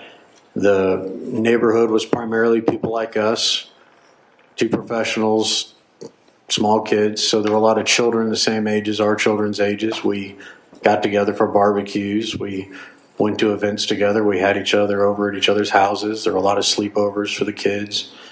Kids played baseball together uh, in the local Smyrna Little League. So there was always something going on, whether it was a neighborhood event or going to some sort of lawyer event or an event, an event associated with her veterinary practice. We were we were out and about. Now, by this time, your father's passing, did anyone else live at 1590 Planters Road besides your mother? No, And up until her death, did anyone else live there besides you? no, no. Now, during this time, 2010, 2015, what, were your, what was your relationship with your kids and your wife? Uh, in 2010, 2010 to 2015. How was the family dynamic? the only way to describe my family dynamic and my marriage was it was it was a dream. We were happy, we were fun loving, we laughed a lot. You know, Janine and I did a fair amount of traveling. Um, we were always doing things with the children. We didn't like to sit around and watch TV. We weren't that type of couple. We weren't sedentary by any means. Um, I was always trying to promote her career, and she was promoting mine. A lot of times we'd find out that we had clients in common and didn't even know it. And um, it was just a very idyllic way to live, to be married and to, and to raise kids, to be in a place that you enjoyed, around people you enjoyed, and to, to be building something, to be building a future. Now, during this time around 2010, and as the practice grew, what type of lifestyle were you and Janine? When the firm opened in 2010, Well, we were a very sociable couple. We lived in a very uh, diverse neighborhood in Smyrna within walking distance to downtown Smyrna, where a lot of the restaurants and, and whatnot were at. The neighborhood was primarily people like us, two professionals, small kids. So there were a lot of children the same age as our children's ages. We got together for barbecues. We went to events together. We had each other over at each other's houses. There were a lot of sleepovers for the kids. Kids played baseball together uh, in the local Smyrna Little League. So there was always something going on, whether it was a neighborhood event or going to some sort of lawyer event or an event, an event associated with her veterinary practice. We were we were out and about. Now, by this time, father's passing, did anyone else live at 1590 Planters Road besides your mother? No, And up until her death, did anyone else live there besides you? no, no. Now, during this time, 2010, 2015, what, were your, what was your relationship with your kids and your wife? Uh, in 2010, 2010 to 2015. How was the family dynamic? the only way to describe my family dynamic and my marriage was it was it was a dream. We were happy. We were fun loving. We laughed a lot. You know, Janine and I did a fair amount of traveling. Um, we were always doing things with the children. We didn't like to sit around and watch TV. We weren't that type of couple. We weren't sedentary by any means. Um, I was always trying to promote her career, and she was promoting mine. A lot of times we'd find out that we had clients in common and didn't even know it. And um, it was just a very idyllic way to live, to be married and to, and to raise kids, to be in a place that you enjoyed, around people you enjoyed, and to, to be building something, to be building a future. His ex wife would disagree with this statement, claiming that Richard was incredibly volatile, especially when he drank. On multiple occasions, she would barricade herself and the children in rooms away from Richard, believing that he would try to hurt them, but felt uncomfortable talking to law enforcement about it because he worked in law. Now, in 2018, what happened? In 2018, I was arrested in Cobb County for multiple counts of theft, forgery, and uh, there were some counts also of elder exploitation because I did steal money from some elderly folks. Now, your arrest, was that a big deal in Cobb County? Yes, it was a big deal in Cobb County. Um, just a little bit of background. I was one of the few lawyers in Smyrna, and Smyrna has grown a lot since I started my practice in 2010, but it was right on the little village square across from the courthouse. Uh, I was the only firm there. That was part of why I picked that area because I saw a need. I wanted to be the local lawyer that people went to first for help. And it was a very successful vision. And um, so the practice grew. And when things went south quickly and I got arrested several years later in 2018, uh, it was a shock to our neighbors, the local community, and to, to the Cobb County Bar. Even when talking about his financial crimes, he cannot make himself seem repentant or remorseful. He was asked plainly if his arrest was shocking to the community, which is a simple yes. All he had to do was say, Yes, I had a great reputation, and, in an act of selfishness that I truly regret, I squandered that reputation and stole my client's money. But instead of doing anything close to that, he gives himself some kudos for picking the location of his practice that he stole people's money from. Talks about how successful it was, and talks about how pristine his reputation was in the area because he was just that good. Now, you got arrested, how many times you get arrested? Actually, the first time I got arrested in connection with the Cobb County fraud was in April of 2017. It was shortly after spring break that year. We had just gotten back, and I had a letter from the Cobb County Magistrate Court telling me that I needed to appear at a warrant application hearing.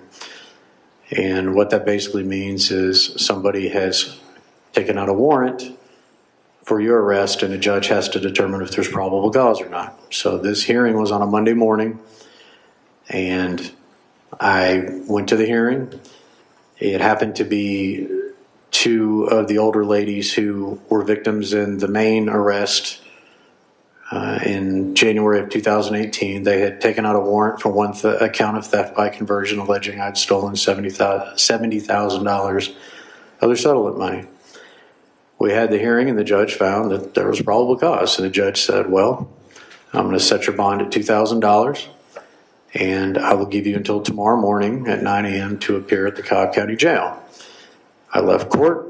When I saw Janine that night, I told her as soon as I saw her after the kids were in bed, I said, I need to tell you something. She said, What? I said, I have a warrant for my arrest. And I explained to her what it was. I said, I don't know the extent of it. I know they're claiming I stole $70,000. Need to figure out more about it. But in the meantime, I need to appear at the Cobb County Jail tomorrow morning at 9 a.m. And so the next morning, she went with me early to James Bond Bonding Company, one of the bonding companies up there off of County Services Road. And we filled out the bond paperwork.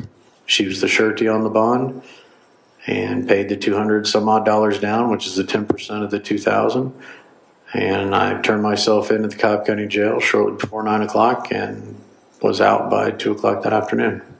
He doesn't realize it, but his statement here fully corroborated his ex's story that he had denied, that being that he lied to her about his charges when the investigation started. As stated previously, he told his ex wife that the charges were false and that they were being brought by two vindictive ex clients. And here he outright states that he told his wife about what the women were claiming, not that he had actually stolen their money and the money of 15 more of his clients. So the first time she bonded you up. Correct. Um, Janine knew that I had been accused of a felony theft she knew that I had booked in and out of the Cobb County Jail, and that was the last we ever discussed it until I was arrested along with everybody else, all the other victims, I should say, in uh, January of 2018. So the second time, did she provide any assistance to get you out of jail?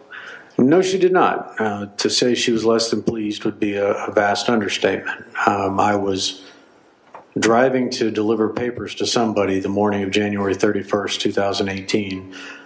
Uh, several months earlier, I had voluntarily surrendered my bar license. Um, the bar had been investigating this. I knew what was coming. And it was just odd to me that I had never received an invitation from a detective to talk about it or anything like that. They just built their case and then wham, there it was. So that's how they chose to proceed.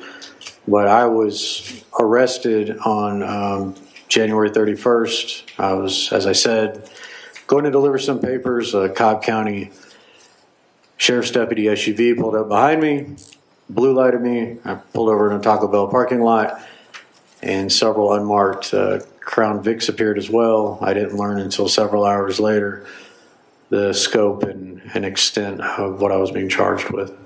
I reached out to her from the jail.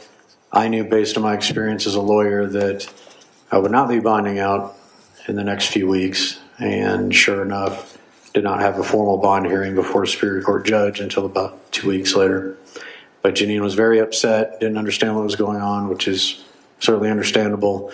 I frankly didn't know the extent of what was going on, although I had a pretty good idea.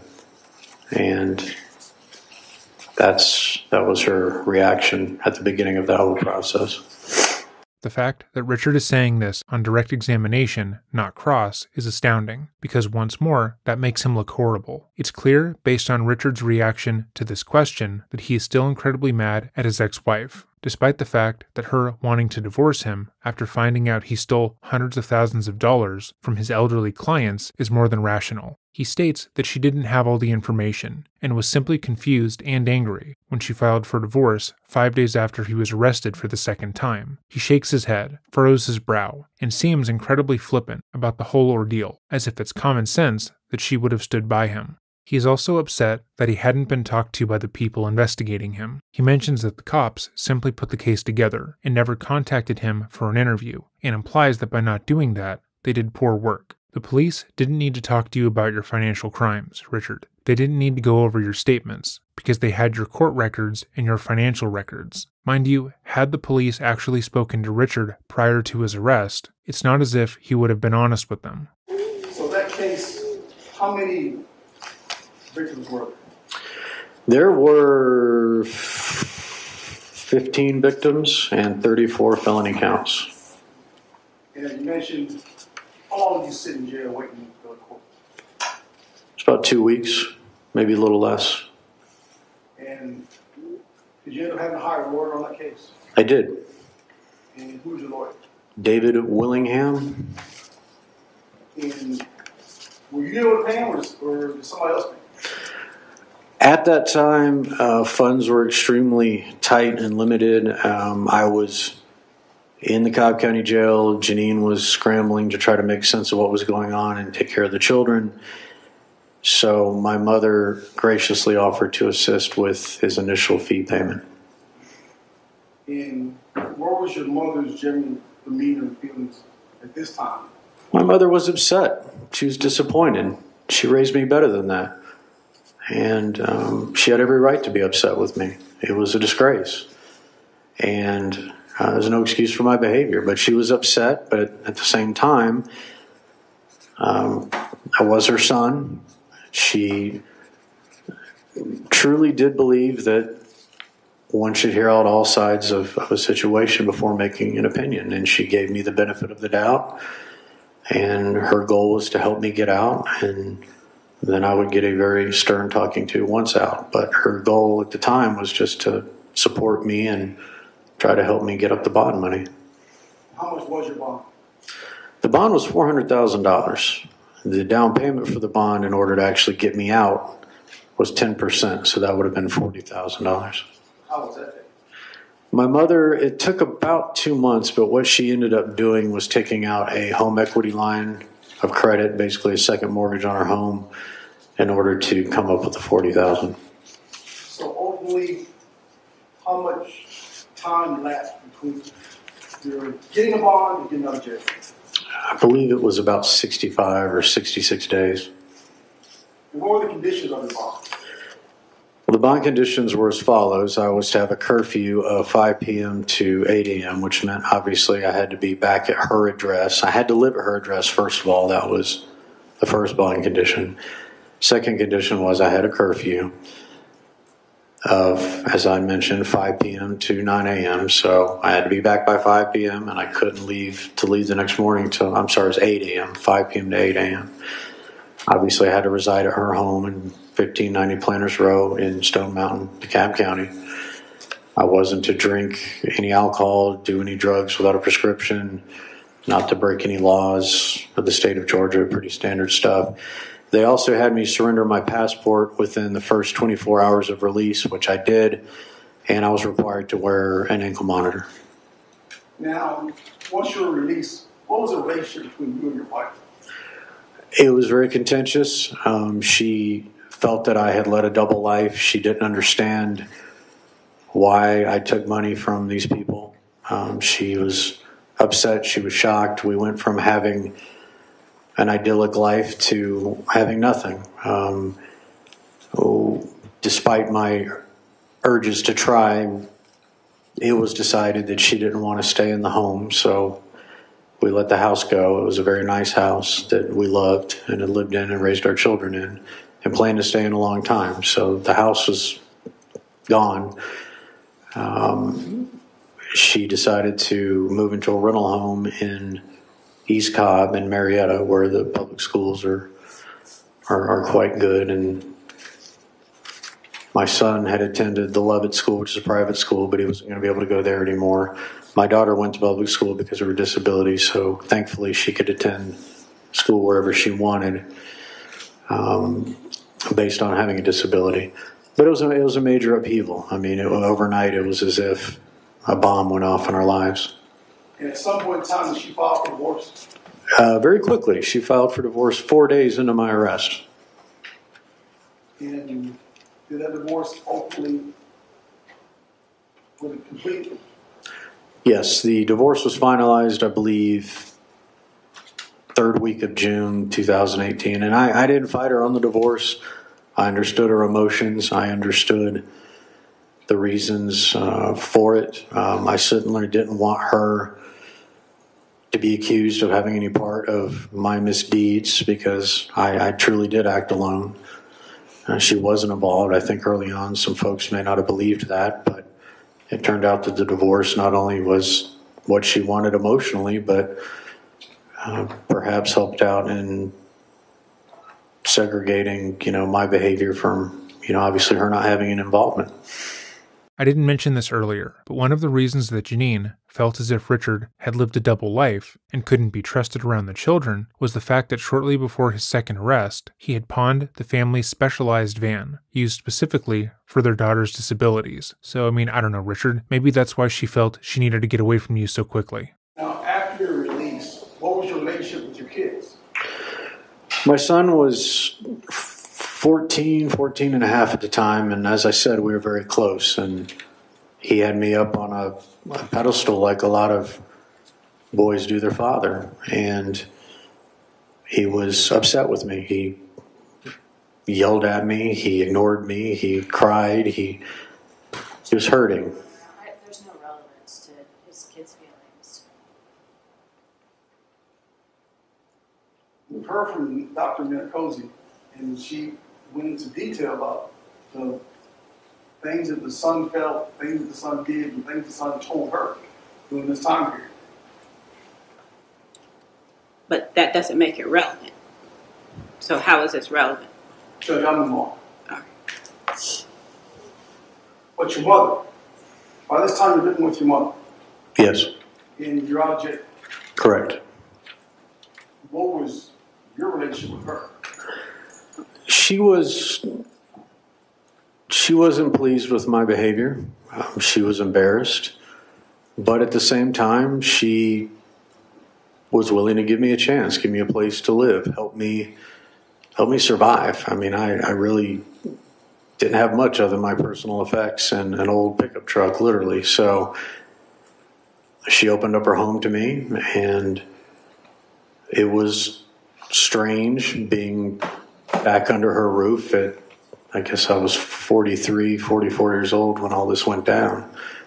Um, but, you know, it, it, it, after the first several days and weeks, you know, we got into a routine and it, it was fairly normal under the circumstances.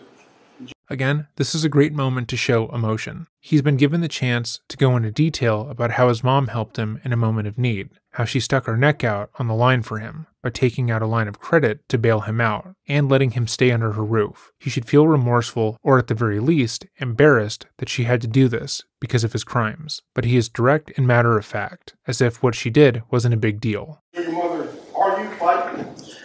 My mother's a very strong willed person. I believe the term firecracker was used, and that is a very good term. I would throw another one out there. She's a steel magnolia. My mother is a strong Southern woman, and she had no problem telling me what I thought, uh, what she thought, rather, down to what I wore, to my opinions on certain things.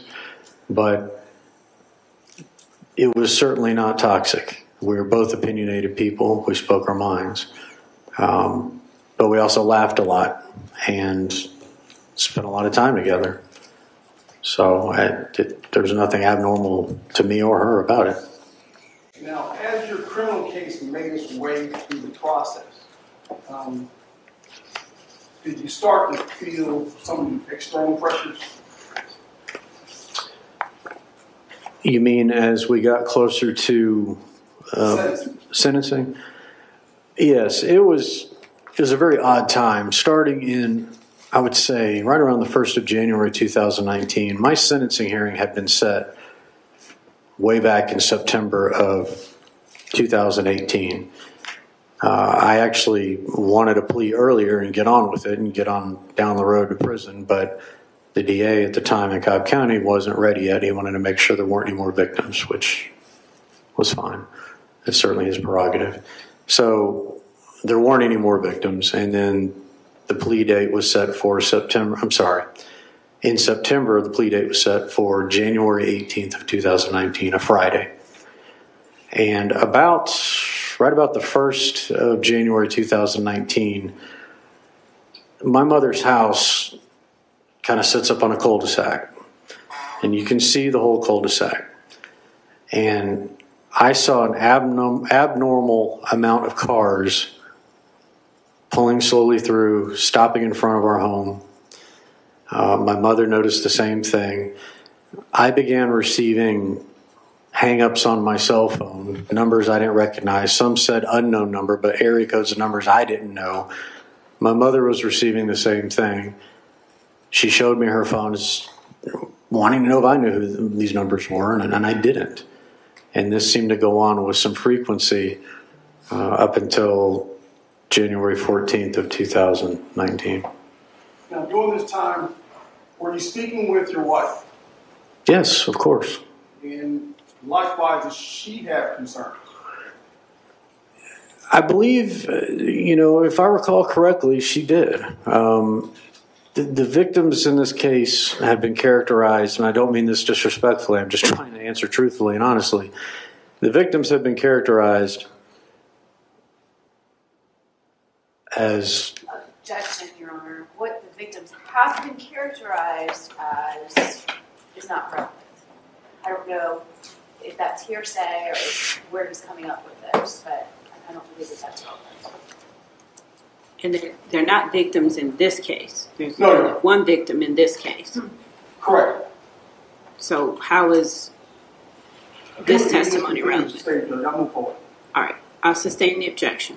So, while we don't know exactly what Richard was going to say, it was clear that he was trying to set up a narrative that the men and women he stole nearly half a million dollars from were stalking him and his family. He was trying to insinuate that the elderly clients he had taken on were going out of their way to harass him, as well as his mother and his ex wife, although his ex wife denies this happening. This is clearly done to give an alternative version of events, where it would make sense that his mom would be attacked and killed. Of course, that does not make any sense, because let's say that his victims are stalking him and his family. Let's say they weren't satisfied that he had been sentenced to 15 years in prison and felt like he was getting off easy. Why wouldn't they attack him? According to his own story, they had guns. They could have shot him in the legs, stabbed him, and beaten him with the weight, but they didn't. Instead, according to him, they brutalized his mother, then allowed him to go and start a new life without so much as laying a hand on him, which doesn't make any sense. Had his victims been willing to kill anyone in their case, they would have obviously killed him, but they didn't do that, mostly because they were elderly men and women who wouldn't be able to. Now, were you ever, well, so you were followed, yes. and did you ever feel that maybe somebody was out to get you? Absolutely. No doubt about it. Now let's talk about, at some point in time, as we've seen, President Obama, a cartoon arrived. Yes. And where, what day was that? That was January 14th, 2019. And who received that cartoon? That cartoon was received at my mother's home at Planters Road in DeKalb County. It was personally delivered in her mailbox and discovered by her.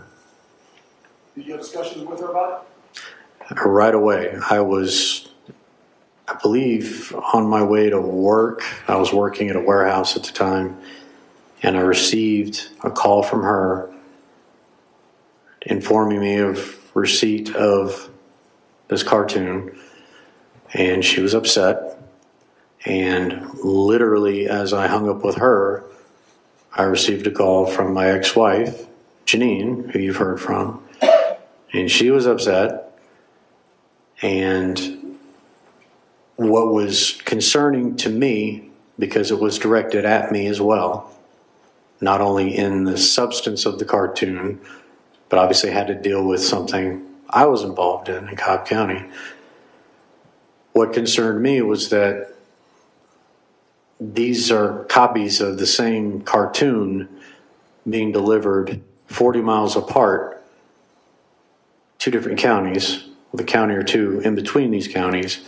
And it was a concerted effort, whoever delivered them.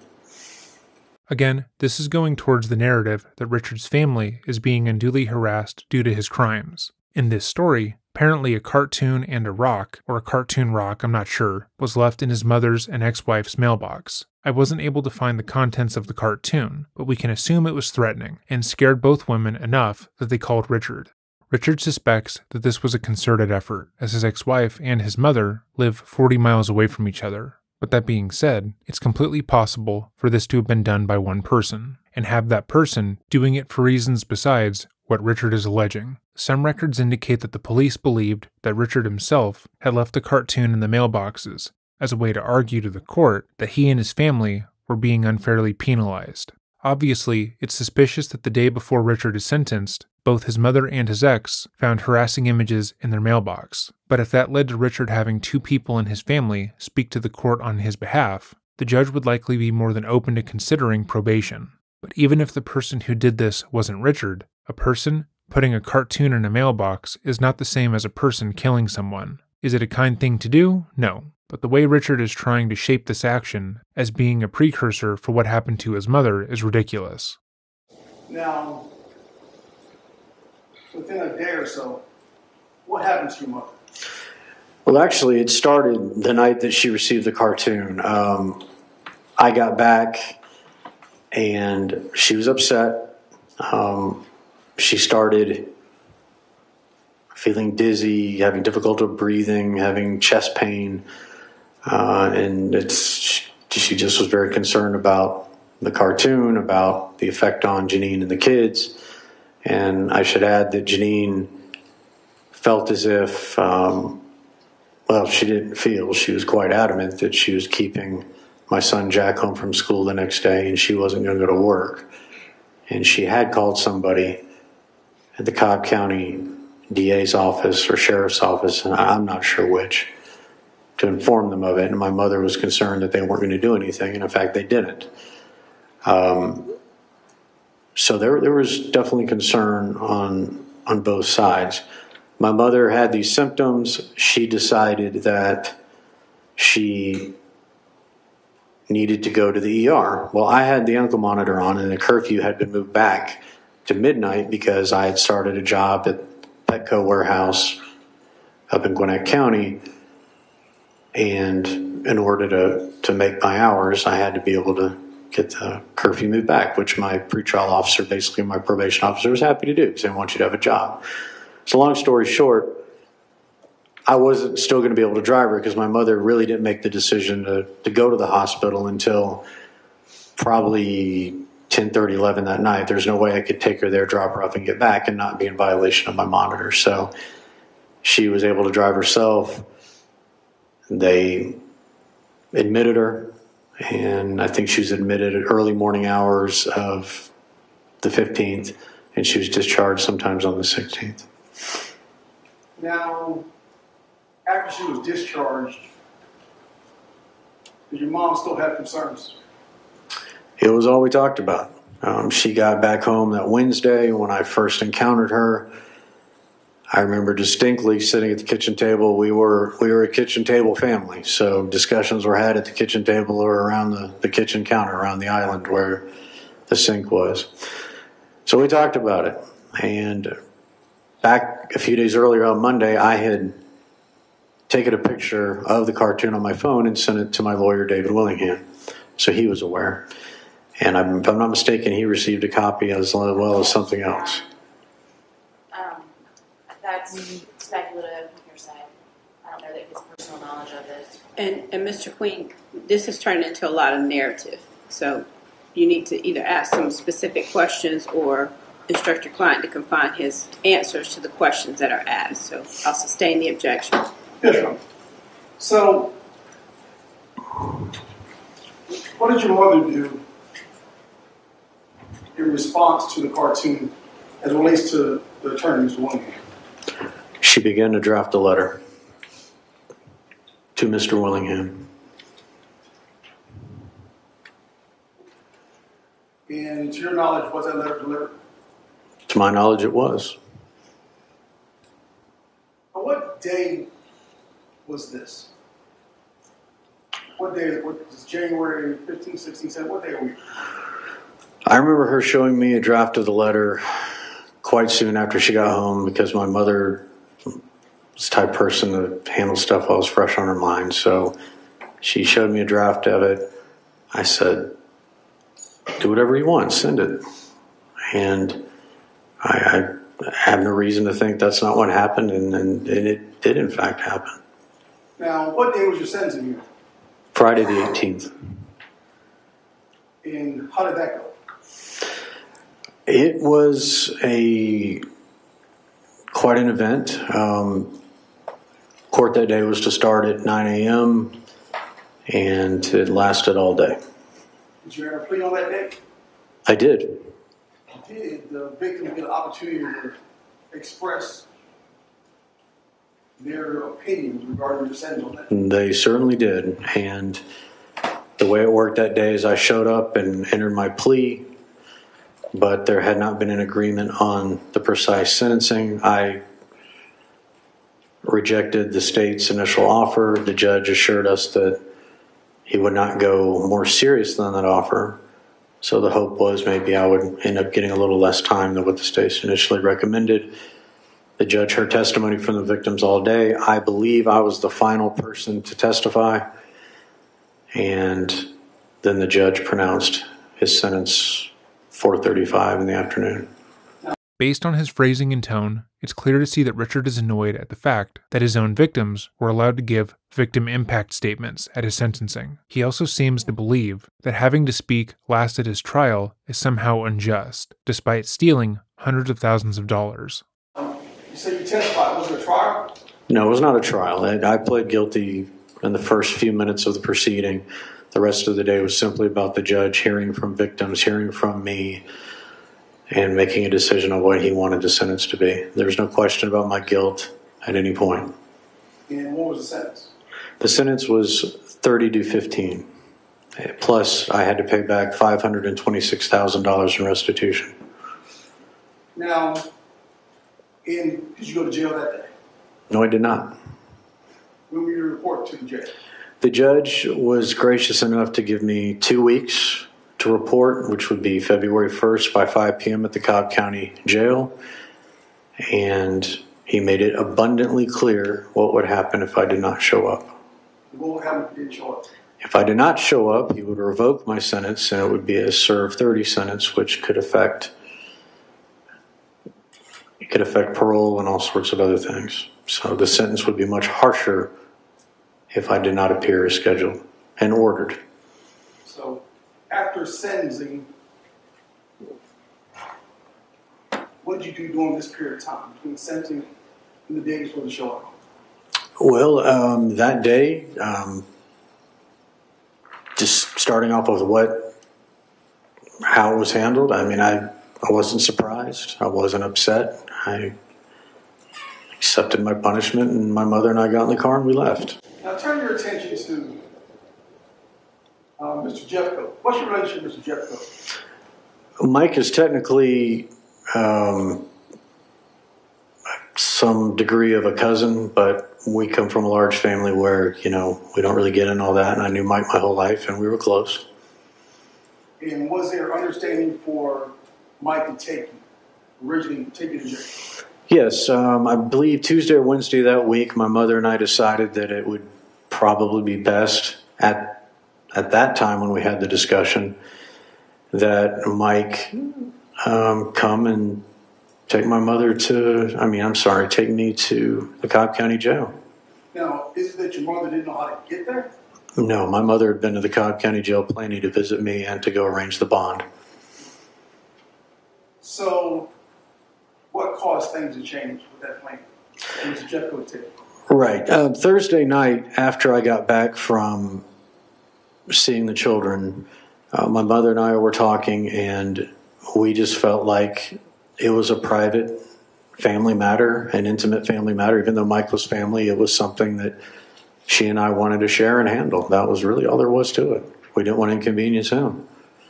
So, did you ask your mother to call Mike off? We both decided that it wasn't necessary for him to be there.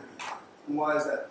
because we didn't want to inconvenience Mike, because um, we actually had a few things we wanted to talk about, and we, we just frankly didn't need anybody else's help. So here, Richard's lawyer is trying to give an alternate reason for events. Originally, Richard was going to be driven to the prison by his cousin, and this had been set up weeks in advance. This was allegedly done because Shirley didn't want to witness her son walking into prison and felt that that would be too hard on her. However, directly before the murder, and completely coincidentally, Richard and Shirley would reverse their decision and tell Mike that he no longer had to come over to pick Richard up. Now, this could have been completely innocent. Maybe Shirley wanted to see her son off, and she did feel like it was her responsibility. But it's also incredibly convenient, as Richard had been the one to kill his own mother. It would mean that no one would discover her body for days, and he would get a head start on the police. So the morning of the first, what time did you get back to the house? Oh, around 8.30, I think, somewhere in there, 8.30, 8.45. And tell us what happened that day. So when I left the doctor's appointment and was driving back, I, it was the last time that I saw Mia uh, before I knew I had to turn myself in later in the day. Mia was my baby girl. She's my princess. So naturally, I was sad. Um, it was a sad ride home, just like the night before after saying goodbye to Jack. When I walked into the way that you got back into my mother's house is that I would park my car in the driveway, her car was in the garage. If the garage door wasn't open, I'd open it and walk through the garage door into the kitchen. So I walked into the kitchen. I'm sorry? How was open the garage? door?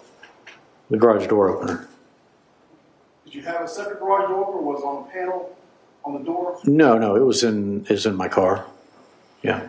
So once you opened the garage door, I, I went inside and it had been obvious that I, I was upset. I had tears in my eyes and she just came over and hugged me. She knew why I was sad about saying goodbye to my children. Richard discussing how upset he was is almost comical, as he is talking about his last interaction with his children and he has no emotion. And he's been talking about his mother being brutally murdered in front of him, and again, he has no emotion. He's shown absolutely no emotion besides annoyance this entire time. and then what happened later that day? Well, shortly thereafter, um, we both, she sent Mike the text saying that things aren't so good here. And that's exactly what it was about. We were, it was just, just not a happy day. I mean, I was about to go away to prison for possibly 15 years. So it was a private time. I, there was no yelling or screaming. I just, and, and I sent him a similar text, and that was that. So after those texts were sent, I started to go through some of my stuff and sort through some of my personal effects. And my mother and I, oddly enough, I had been so busy spending time with the kids and, and doing other things. She and I hadn't had a discussion about how to organize my clothes or, or what maybe to sell or, or any of that kind of basic housekeeping type of stuff. It, those were things we needed to talk about. That's what we mentioned in the text when we said we need to discuss things. That's it. Now, was there a plan for y'all to have lunch together? Yes, my mother um, was a great cook, fantastic cook, and she was going to make spaghetti. So did she start preparations for lunch? Yes, she did. And then what happened? It was, you know, the plan was we were going to eat around one o'clock so that we could be on the road by two, no later than two thirty. It was, I believe, Super Bowl weekend, Friday afternoon traffic, a bunch of stuff going on in Atlanta, and you know, obviously, we don't want to be late to the jail, given the importance of me being on time. I was walking from the kitchen. I had just left the kitchen from keeping her company while she was making the spaghetti when I heard a very loud knock at the front door. We weren't expecting any visitors. So I went to the front door and I opened it. And there were two individuals there, two men, and they both were pointing pistols at me. And they told me to let them in. So what'd you do? I let them in. This would be traumatic. Recounting an event as terrifying as the one he has just begun to recount would be daunting, but again, he still has no emotion. His tone is almost comical, as if this is funny to him. When you testify in a jury trial, you want to get them on your side. You want them to see you in this hyper specific way and make your version of events so real that they can't help but agree with you. But everything that Richard has done is completely contrary to what he is saying. He doesn't seem to care about anything that he's talking about. even though his life hangs in the balance, as if he believes that he can win them over just by being there and explaining this nonsensical story to them.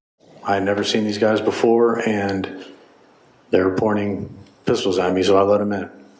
I let them in, they shut the door. Uh, about this time, my mother came to the foyer where I was standing with these two individuals, and they said, Head to the basement and don't say an effing word.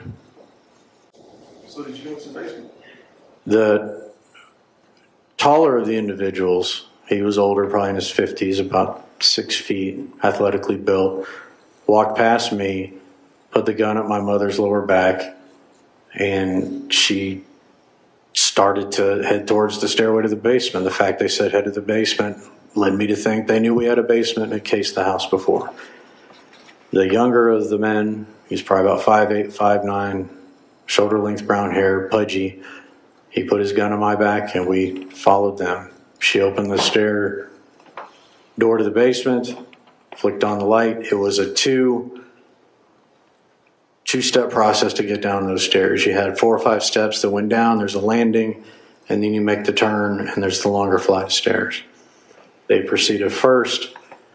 My mother was crying. She was making sounds like she might be wanting to scream or shout. And as they made the turn on the landing and took those first few steps, by this point, I and the guy behind me who had the gun on my back made it to the landing. He told her to shut the F up and pushed her down the stairs. And look at his face after saying that. This is not the face of someone who is recounting a traumatic event. This is not the face of someone who is telling the truth. This is the face of someone who believes that they are getting one over on everybody because they're just so clever. And then what happened to your mother? It was the worst sound I've ever heard in my life. Um, she plunged headlong into the wall. It, it's a sound I can hear to this day as I'm sitting here. And I could tell that there was a dent or a hole in the wall. She was trying to get up and move around, but from my vantage point, she appeared like she couldn't get her balance. Was your mother injured at that time? And she certainly appeared to be. And as I moved like I was going to try to go down the stairs, the guy dug the pistol into my back and grabbed my shoulder. The gentleman who pushed her down the stairs put his pistol behind his back into the, the back part of his jeans. He ran down the stairs, turned the corner, and came back with the 35 pound weight that has been seen during the course of this trial. And where did the knife come from? Well, the knife came later. Um, He just laughed. He laughed while recounting how his mother was viciously killed, but he seems entirely unaware that he's doing a bad job. Richard is very, very confident in all of his bullshit. this monster took this dumbbell and proceeded to bludgeon my mother right in front of me. And she was, she stopped moving at this point. He then told the man who had his pistol in my back to bring me down to the bottom of the stairs. They shoved me over to the tile where the dumbbell rested. And then the older guy took off up the stairs. He came back a few minutes later with the kitchen knife and proceeded to stab my mother repeatedly in front of me. I, I cannot believe what I was seeing. I didn't understand what would be the purpose because she wasn't moving. Why is any of this happening? It was a complete and utter nightmare. So what did you do during this time? There's nothing I could do. I had a, a pistol to my back. I couldn't believe this was happening. I had no clue who these people were or why they were doing this to us. So he stabbed her with such force that the handle broke off the knife. I didn't realize at the time that the knife was still stuck in my poor mother's face. He put the handle down on the tile across from the dumbbell. He then turned and looked at me and he pulled out his cell phone. And he proceeded to show me a picture of my ex wife dropping Mia off at her school, a picture of Jack being dropped off or picked up at Lovett, a picture of them all getting out of her van at their rental home in Marietta, and a picture of her either coming or going from her clinic in Vinings. And he said, and I'll never forget this as long as I live if you say a single word, they're next. I had no doubt who they were or what next meant. And then they left. Let's go over this stupid story. So, in the weeks leading up to his sentencing for stealing hundreds of thousands of dollars, Richard and his family start receiving anonymous harassment from his victims. The harassment gets so bad that direct threats in the form of a cartoon are left at his mother's and ex wife's mailboxes. However, the very next day, he's sentenced to 15 years in prison and to pay restitution to his victims. Then, two weeks later, the very day he is supposed to report to prison and begin serving his sentence, the two men who are not his victims come to his house, brutally murder his mother in front of him, seemingly because of his crimes, and then tell him if he doesn't keep his mouth shut, they will kill his entire family. Which is ridiculous. If someone wanted to enact revenge on Richard, why would they go through the effort of not killing him? He had seen their faces, they had their guns drawn on him, and they had come there with the express purpose of killing him. But when push came to shove, they decided to kill his mother, threaten him a little bit, then leave him there completely unharmed. That doesn't make any sense, but we've seen defenses like this before, most notably in the case of Diane Downs. And then, how much longer did you stay there? I stood there numb and incapable of moving for what seemed like minutes. These guys had left. I went upstairs. All I could think about was Janine and the kids and what these monsters could do. And I went and got a small backpack out of my room. I put a few few clothes. I didn't pack much. Some basic toiletries. And I left. He was smiling during the first half of that statement. I don't want to definitively state that that was a duping delight smile, but he is extremely pleased with himself. The majority of the testimony has been laying the groundwork for his defense, and he seems to believe now he is bringing everything home and really convincing everyone of his stupid ass story. Um, why did you take your mother's car? I took my mother's car because it had more gas in it than my car. It had a bigger tank, and I had no idea where I was going or where I was going to end up. And it seemed to me in that state of mind that at least her car would be easier to sleep in. And that's why I took her car. This statement alone is damning. He didn't state that he was in a mental crisis. He didn't claim to be going through a psychological break as a result of seeing his mother being brutally killed. Instead, he says he chose to take her car because it had more gas in the tank, as well as better gas mileage, and it was easier to sleep in. His thinking was incredibly logical, and the fact that it was after witnessing his mother's death would make him look even worse in the eyes of the jury. So where'd you go? When I left her house, um, I went out of the neighborhood. I don't even know what time of day it was when I left, but I went out of the neighborhood. I made a right and went up. I believe it's called Rock Bridge, but it becomes Five Forks We're right at the DeKalb County, Gwinnett County line. And I made a left. I'm not sure if it was Arcado or Killian Hill, but up by the Kroger there and just started heading towards 85. Now, how much time did it take you to get to Nashville? Is that where you go? You go straight to Nashville? No, no, I didn't go all the way to Nashville in one one shot. Um, no, I I ended up going to the QT station at Indian Trail in '85 I stopped to get a couple bottles of water, some snacks. Um, I only had $18 cash on me. Um, I topped off the tank, I believe, put some gas in it, and then I proceeded towards towards Cobb County, towards 285, and then ultimately to 75. Why cut your monitor off? Well, the reason I cut my monitor off is I was concerned by the time I got north of Cobb County, you know, I was within, I believe, an hour or so of when I was supposed to report. I had no idea if just by routine the monitoring people were watching me or not. So that's why I headed towards Cobb County. I didn't want to do anything that would get me involved with the police because I didn't want it to come back to hurt my family if these guys found out and thought I had said something. Now, why'd you take both phones? For that very reason.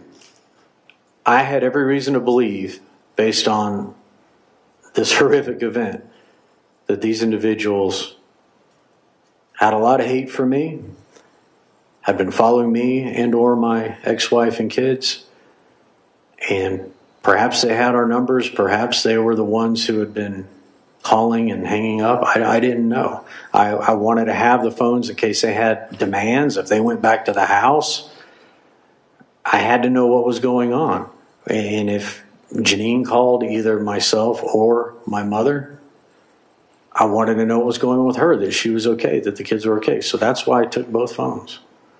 He's now directly claiming his mother's murder had to do with his crime, but that doesn't make sense. Again, if most people wanted to take revenge on a person, they wouldn't attack someone tangentially related to the person. They would simply attack the person they want revenge on. Moreover, most murderers would not go through the effort to kill a stranger as violently as Shirley was murdered. According to Richard's own story, they had guns. They had the means to kill her without hurting themselves or exerting that much energy. And yet, for seemingly no other reason than they wanted to get their steps in, they repeatedly walked up and down the basement stairs in order to retrieve new weapons to use on her and left Richard completely unharmed, which again makes no sense.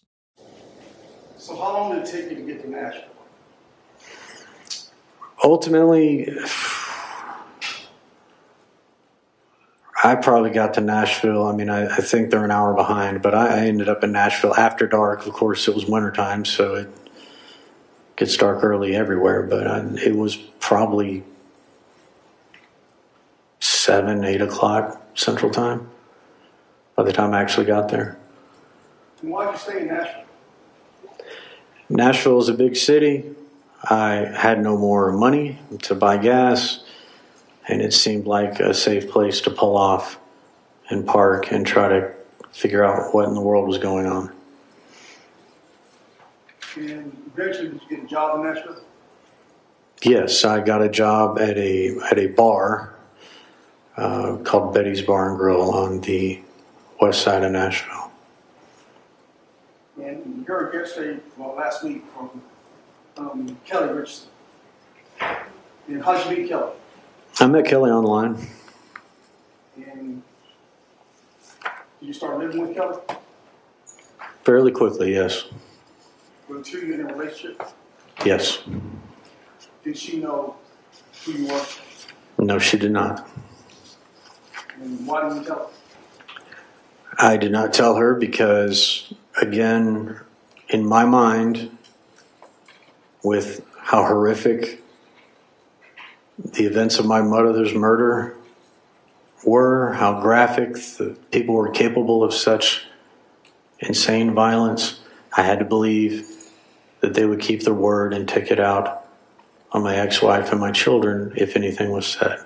So I adopted a new identity and I made a vow to myself that I would never reveal who I was. And there were many, many times I wanted to to Kelly, but I wanted to tell her that I was accused of a murder I did not commit. But I didn't because I didn't want to endanger her and I didn't want to endanger Janine and the kids.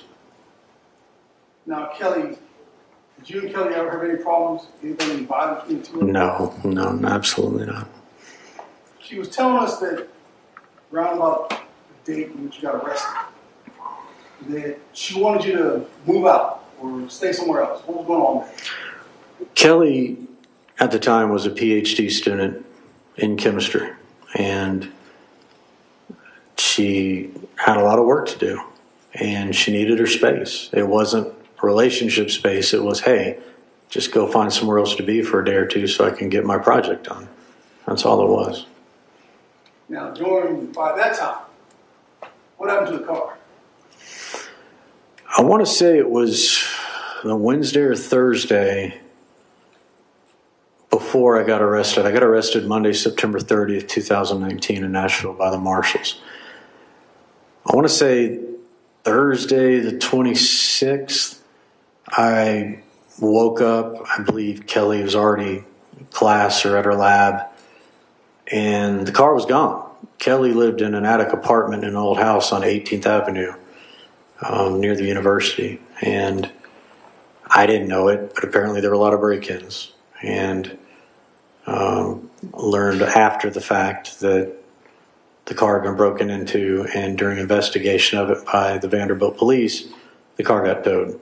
And that's what ultimately led to my capture. So I woke up, walked out, the car was gone. So did you have anywhere to stay with the car being gone? Not right off the bat, no. Tell us how you ended up getting arrested. Yeah, on that Monday, I was, um, the weather was starting to change in Nashville. It was getting cool at night. Um, I was walking in West Nashville in an area called Sylvan Park where Betty's was and a few other places that I knew. And there was the old Southern thrift shop, which I had bought good cheap clothes before. And I was just looking for a light jacket because I didn't have one.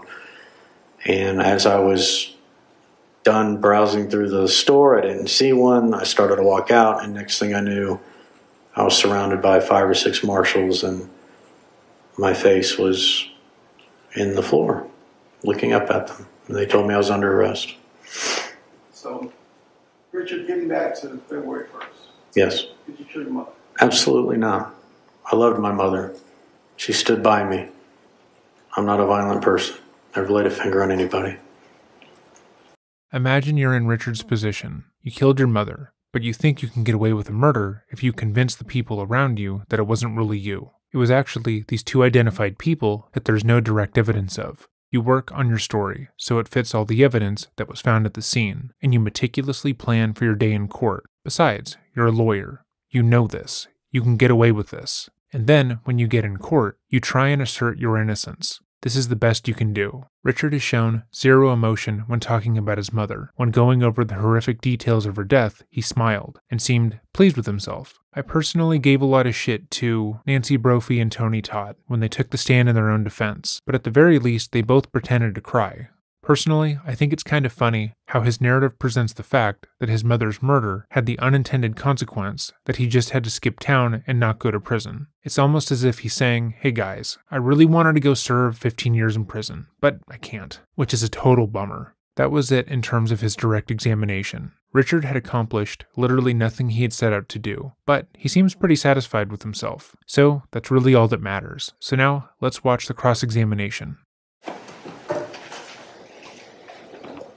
Mr. Merritt, what you said happened in front of your eyes on February 1st, 2019 must have been horrifying for you. It was. You said that it shook you up. Absolutely. You were afraid for your own life? I was so traumatized by what happened to my mother, I really wasn't worried about myself at that point. Okay, but you were concerned for your wife and your daughter and your son. Yes. And you were so scared that you got out of there as fast as you could. Right? I did. Okay. Made the decision not to turn yourself into the Cobb County Jail, right? Correct. And um, instead, you cut your ankle monitor off. Yes. But before you even did that, you made some stops along the way. You stopped at a Kroger on. You, you stopped at a Kroger per, first, correct? No, I didn't actually stop there. Okay, but you stopped in the parking lot and you drove around the parking lot in the Kroger, right? Correct, I did. Okay, because you didn't need gas at that point because your mom's car was full enough to get you out of there. That's what you testified to, correct? To get me Most of the way there, yes. Okay. And then you stopped at a QT in Norcross, and we saw the video of that. Do you recall? I did. Okay. And you were there for how long? Do you remember? I honestly don't remember. Okay. Did you feel that you were being chased at that point? At that point, no, I did not. Okay. Did you feel like your life was in danger at that point? I didn't know, honestly. Okay. So you bought waters and a candy bar. Yes. Okay. And then you drove around 285 West and you took the 75 North exit, right? Correct. Now, tell me if I'm wrong, but your wife's uh, practice is over in Vinings, uh, kind of uh, on West Paces Ferry and Paces Mill. Is that correct? Yes. Okay. And so you passed that exit when you got onto 75 North, Correct.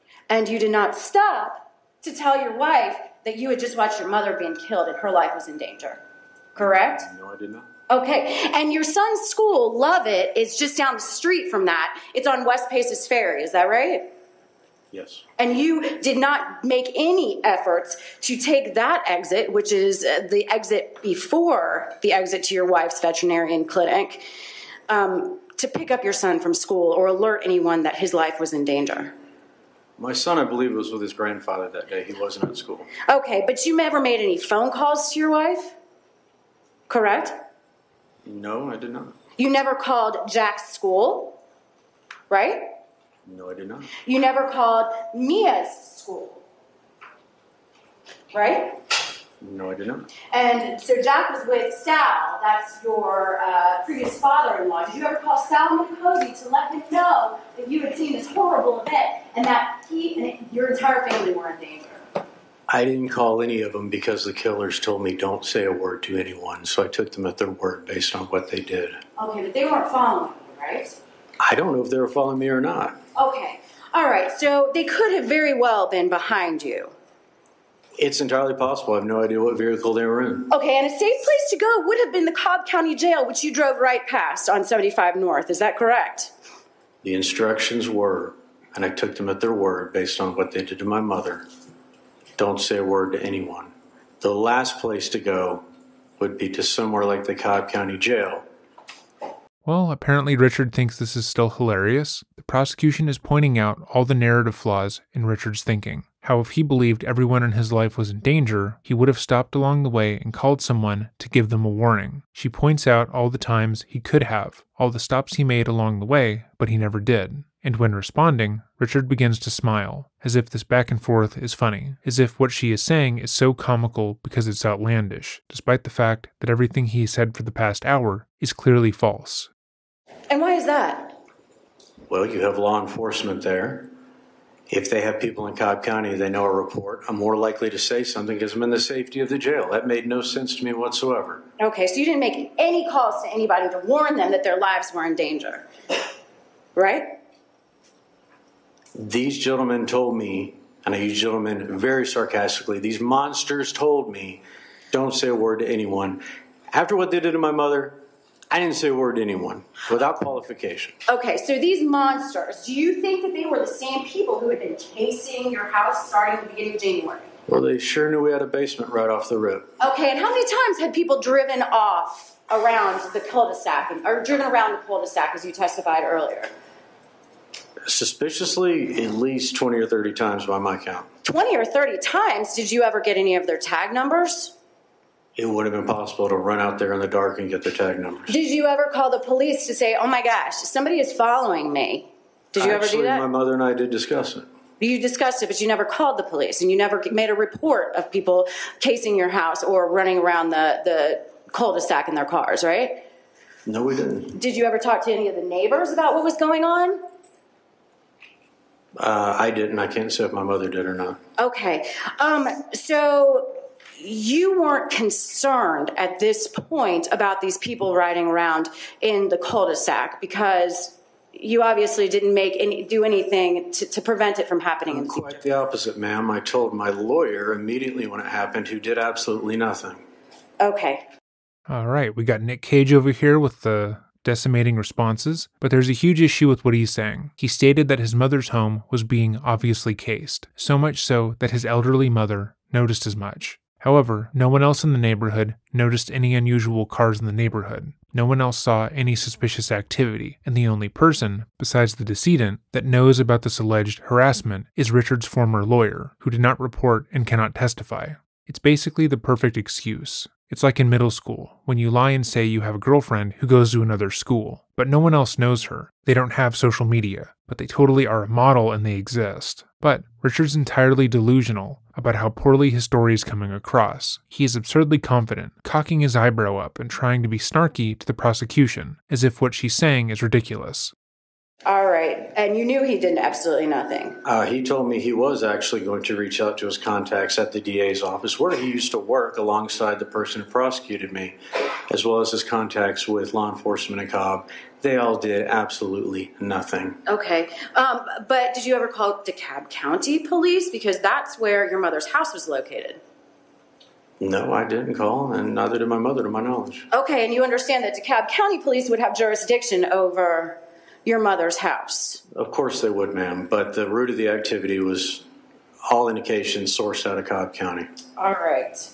Um, so these two, you called them monsters, right? Yes. You've never seen these guys in your life. Never. And they were both kind of big. You said one was pudgy. What about the other one? He was athletic and thin. Okay. And could you describe what they were wearing? Yes, I can. What was that? The athletic thin one was wearing sort of a black thermal long sleeve top and what looked like dicky khaki pants. Okay. And what kind of gun was he holding? Could you see? I'm not a gun guy, but it was a semi automatic, sort of like the police have. It was right. not a revolver. What color was it? It was black. All right. And what about the other guy? What what did he look like? You said he was pudgy, but how else did he look?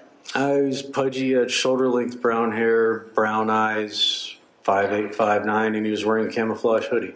Okay. Well, um, did he have the hoodie up? No. Okay. So you got a knock on the door after being followed or having people suspiciously drive around your neighborhood for several weeks, right? Yes. And this was the day that you were supposed to turn yourself into the jail. Yes, it was. And you looked out the window, right? I did. And you saw that there was a guy all in black, right? I didn't say it was all in black. A black shirt and dicky pants, He was wearing a black top. That was it. and a guy wearing a camouflage hoodie, right? And blue jeans. Yeah. And you had never seen these guys before, but you decided to answer the door. I opened the door. I had we don't we did not have a peephole in the door. It was not uncommon to just open the door. Could have been a neighbor. Could have been anybody. I certainly didn't expect that in the middle of the day. Okay. And um, they held you up at gunpoint. Yes, they said, "Let us in now." They didn't shoot you. No, they didn't shoot. They didn't shoot your mom. No, they did not. In fact, um, is it fair to say that they killed her with the kitchen knife from her own knife block?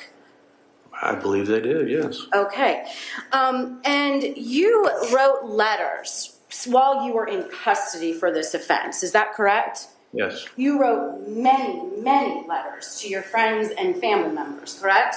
Uh, mainly family members. Yes. Okay, specifically, you wrote letters to Jean, Yes. and you wrote letters to your brother Rob. Yes. Okay, and you told them that it wouldn't be unlikely that your fingerprints would be on that knife, correct? From the standpoint that we all use the knives in the kitchen, I lived in the house. It, it very well could be on there. I, All I don't know. Did Did you uh, tell him um, any fingerprints that may exist are easily explained, um, as the dumbbells were mine? Did you tell him that? Yes, I did. And I regularly use the knife in question to prepare food, correct? Yes, I did. Um, and you said you worked out three to four times per month, and you were living there for 10 months, so it would not be hard to explain that evidence away if it were to appear. Correct, because I knew what the murder weapons were because I saw the gentleman who used them. Absolutely. Okay, but you never told him anything about the two guys who came into the house with guns and bludgeoned your mother to death. See this? This is important. You would think that while in police custody for his mother's murder, a murder he claims he didn't commit because two strangers just so happened to kill her the day he was supposed to report to prison, you would think that he would tell his friends and family what actually happened. He would want to unburden himself of their distrust and show that he didn't actually do the crime he's being accused of. You would also think he would now want to warn them of the danger they are supposedly in, but instead of doing that, he tried to justify why his DNA would be present at the scene of the crime and why his fingerprints would be on the weapons. You really don't that, have that kind of capacity to write from being incarcerated. I told him the key facts. Oh, okay. You told him the key facts that two guys broke into your mother's house?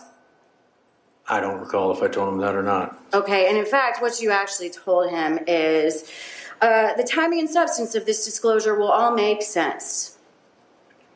Yes, because I knew that I didn't do it, and I would have to sit here in my defense one day. Absolutely. But you never said anything to Janine about um, these two guys who were supposedly out and knew her whereabouts in any of these letters, right? Janine wasn't reading anything I sent her. Okay, and what about your brother? You never said, listen, um, these two guys are out. Um, they've got photographs of our family on the phone, and you need to look into this. You need to do something and keep everyone safe. I had absolutely no confidence that law enforcement would do anything at that point because they took out the warrant for the murder of my mother the same day they found the body and investigated nobody else. But there was no need to investigate anyone else based on the crime scene and the circumstances. All the DNA that was found at the scene of the crime belonged to Richard and his mother. No neighbors stated they saw anyone suspicious or out of place when the murders took place, and no one person besides Richard had ever claimed that two men dressed suspiciously had been anywhere near the home at the time of the murder. Not only that, but he failed to call law enforcement and went on the run, spending eight months living under a different identity. He's trying to state that the suspicion being placed on him by law enforcement is unjustified, when in reality it would be ridiculous to ignore him as a suspect. He had means, motive, and opportunity, but he wants us to ignore all of that because he, the criminal who stole half a million dollars from the elderly, swears he wouldn't have done this. Okay, and um, you never, you, you did take, so you said you took your mother's car, right? Yes. And you took your mother's phone as well, right? Yes, I did. And um, that, that doesn't make really a lot of sense. Can you explain why you took your mother's phone? I took my phone, of course, and I took her phone because of all the calls we had been getting on both my phone and her phone. I assumed that these were the same folks who had been calling us that had killed her. They might have some sort of demands. Janine might call my phone or my mother's phone if these guys made a move on her or the kids, and I wanted to know exactly what was going on. That's why I took both phones. You've seen the phone records that the state admitted into evidence, didn't you? Of course. Okay, both you um, and, and you've had the opportunity to review those phone records, right? Yes. And there were phone calls made to both your phone and your mother's phone while you were on the run, right? Uh, if I don't recall anybody calling me while I was on my phone anyway. She may have received some text. A lot of those were SMS, not necessarily phone calls. You never picked up any phone calls to your mother's phone on February 1st, 2019, did you? No, but if I recall correctly, the calls that came in were people in her contacts, so I had no worries that they were the ones who killed her. Okay. And you got rid of those phones. Yes. You got rid of them before you even cut the ankle monitor off, or around the time that you cut the ankle monitor Yes, off. I, I don't dispute the data or your expert. So there was never any intent to turn them over to the police so that they could see whether anyone was after your mom or asking for demands, as you, as you mentioned before. No, because I took them at their word. Say nothing or this will happen to your family. Okay. Um, Richard is pretty wild. Again, to be responding to the prosecution like this, as if what she's saying is ridiculous, is lunacy, especially when he's blatantly telling the jury, in this case, that he had evidence that everything he was saying is true. But he destroyed all the evidence while on the run. Sure, there's no proof that anything I'm saying happened, and no one can corroborate my story, but trust me, would I, a man who's going to prison for fraud and elder abuse, really do this? so whose idea was it to turn turn Jeffcoat, Mike Jeffcoat, down that morning? It was actually my mother's suggestion. She says, I don't really need Mike to come today. And I said, okay, as long as you're able to drive and get yourself back. All right. That was the and- extent of the conversation. all right. And um, but you, both you and she texted Mike. Are you aware of that? Of course. Okay. Um, you went to Nashville. Is that the first place you went, or did you stop anywhere else along the way? I believe I stopped in Chattanooga to use the bathroom at a Walmart. Okay. Um, and you spent those entire eight months in Nashville, right? Yes. All right. Um, you, uh, and let, let's be clear, the name you used was Mick Malvo. Where did that name come from? The alias that I used was from New Orleans. It was a Cajun sounding name. That's why I picked it. All right. And you made this driver's license, States Exhibit 82, yourself, right? Uh, yeah, I got the template online, yes. Okay. And you actually had the sleeves that you put driver's licenses in, or at least the kind that you put this in, in your car when it was collected, right? I printed it off and believe the business card, plastic laminates, that's that's what I got. All right. And even the birth date on this is incorrect. Yes. All right. Because it says here that you were born on February 25th of 1980, right? Correct. When actually your birthday is February 23rd, 1974. That's right. Okay. So you subtracted six years on your age because you didn't want to get caught.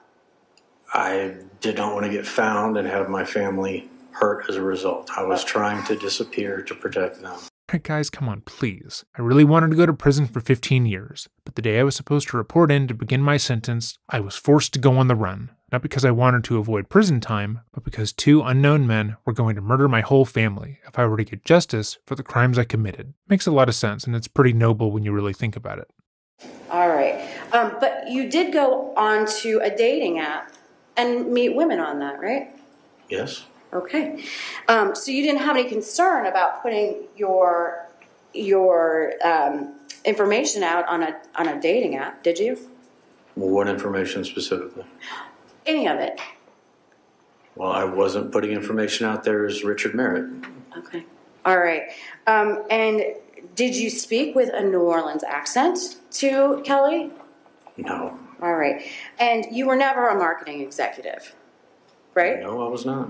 That was just something you made up to create this new persona of Mick Malvo. Yes, that's correct. All right. And you did not go to LSU. No. You were a Georgia fan. I went to Georgia, yes. And Georgia you weren't an LSU fan. No. And you were not a Saints fan. Actually, I have been a Saints fan my whole life. Okay. Um, but you put those stickers on your mother's car as part of this persona of Mick Malvo. Yes, I did. Okay. Um, so that was part of the deception. Is that right? I would call it protection. All right. And you also put a stolen license plate on your mom's car. This is true, I did. All right. So that was part of the lie as well because you didn't want to be found by these monsters Absolutely right. or the cops. That would lead to the monsters. Absolutely right. Okay. And you said that you were staying with cousins in Nashville, correct? I believe that is something I said, yes. But that's not true either. Is it? No, it wasn't true. You you didn't have any cousins or family in Nashville. Not to my knowledge, no. Okay. And so you didn't really have a place to stay in Nashville. Not at first, no. Okay, until you met Callie. Correct. So you were using her for a place to live. Is that right? I wouldn't go that far, no. Okay. Um, you told Kelly that you did not have any kids, correct? That's true. And you said you had a niece, though, with cerebral palsy. I did. And you never said anything about um, any kind of nephew, right? No, I did not. You said that your mom had died of leukemia. Is that a lie that you told?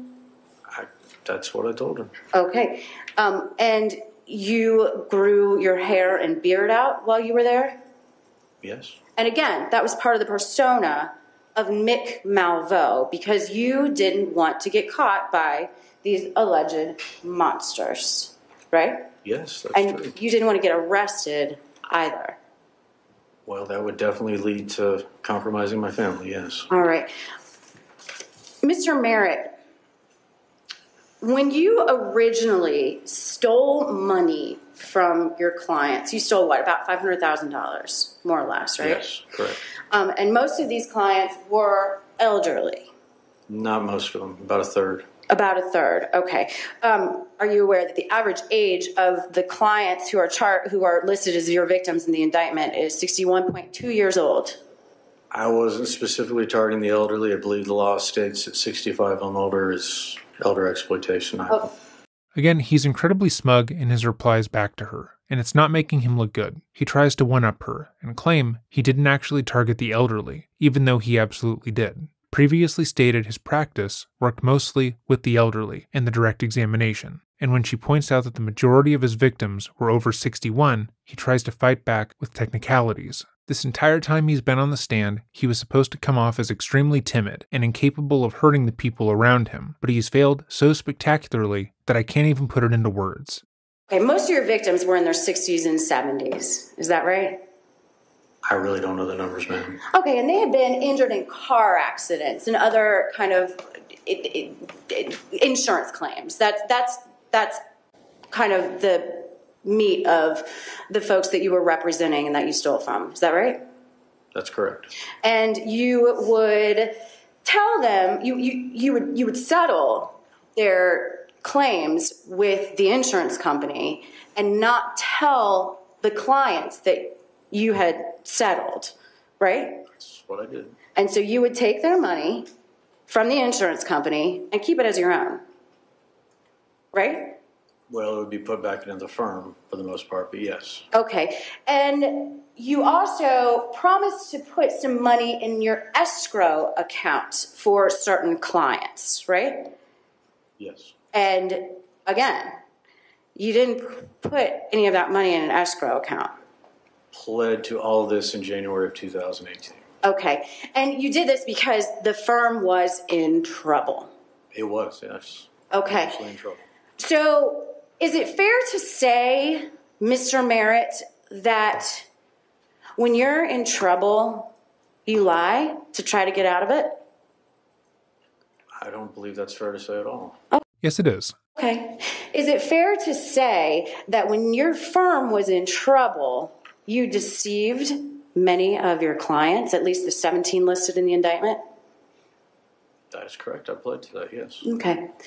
And is it fair to say that you deceived the people who you worked with and worked for at Betty's Grill as to your name and where you were from and who you were?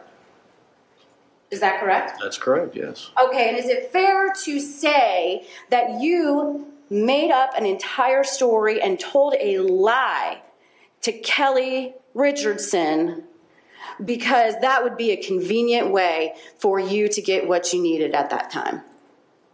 I genuinely cared for Kelly. I didn't need her for a place to stay. Okay, and yet your entire relationship with her was a lie. Parts of it, yes. Okay. So is it fair to say that you have lied and deceived to get out of trouble in the past? I don't think that's fair to say.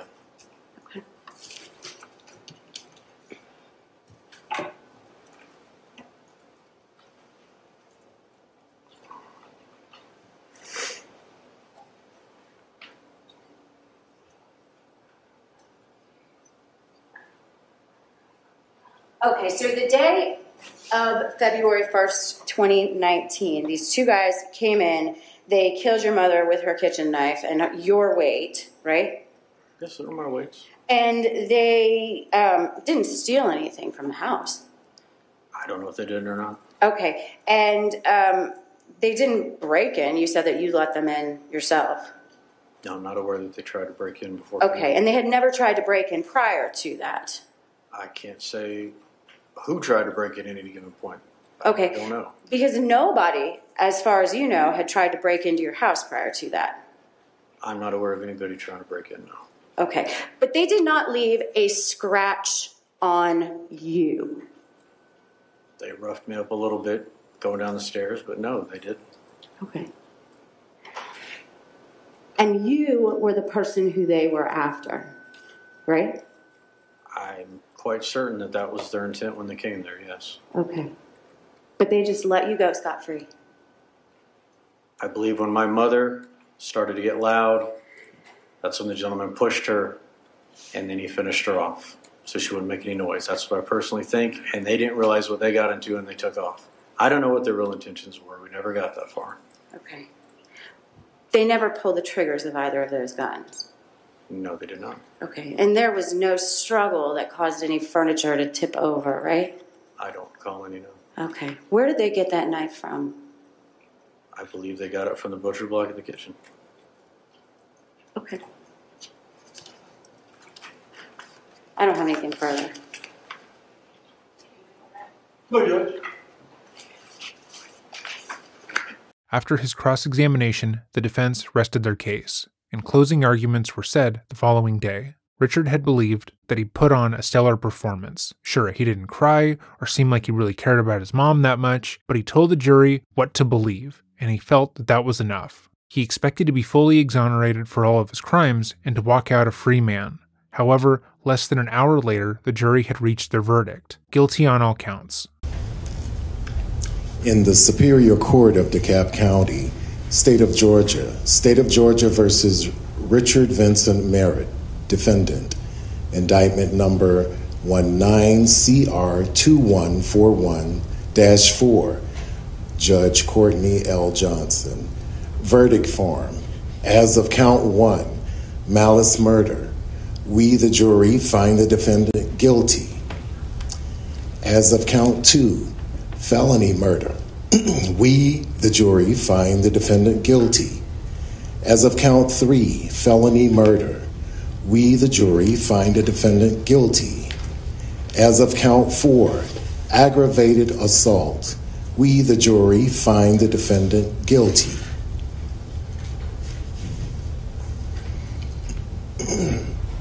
As of count five, aggravated assault. We, the jury, find the defendant guilty. As of count six, possession of knife during commission of a felony. We, the jury, find the defendant guilty. Before receiving his sentence, Richard addressed the court. That you shall give in the case now pending before this court shall be the truth, the whole truth, and nothing but the truth, so help you God. Yes, ma'am, I do. Okay. Mr. Merritt, before you say anything, I want to make sure that you understand that you do have the right to appeal your conviction in this uh, case. I am going to give you some more instructions about your appeal rights once we've concluded with the sentencing hearing. Um, but I'm sure that Mr. Queen has discussed this with you. But I do want to make sure that I reiterate that to you for the record. Yes, Your Honor. May I proceed? Yes. Your Honor, I realize that words aren't going to adequately convey what has occurred throughout the past week and the previous several years. I was raised right by two very good people, beautiful people, my mother and father. I had a beautiful family that I've lost. I've long since lost them. I lost them in the Cobb County case. Things were never the same after the arrest. I had, as I said, a beautiful family, beautiful children, a beautiful wife, inside and out, all of them. The world was was truly our oyster, and I blew it. I just fell victim to the ultimate drug there is, and that's the green drug money, and it led to just bad behavior and bad choices. And my life spiraled out of control, and I couldn't get it back. I am immensely sorry for the pain that this entire process has caused. I realize it's been very uncomfortable for my family, those who used to be my friends, extended family, everybody who ever cared about me. And I was blessed to have a lot of people that did. And most of them are gone now. Maybe they'll come back in my life one day. I don't know. I have to earn that back somehow. I accept the court's sentence, whatever it may be. I respect, despite how poorly I treated the profession I was so lucky to be a part of. I, I respect the system. I respect justice and the jury's verdict. I certainly understand my rights of appeal and will pursue that accordingly, but that's not really what I wanted to talk about. We all wish things could be different, but I can't go back and change anything. Um, as I said, I, I just it's it's a very surreal experience to be sitting here, and um, words aren't going to do any good. And I just want my family to know, as as I sit here now,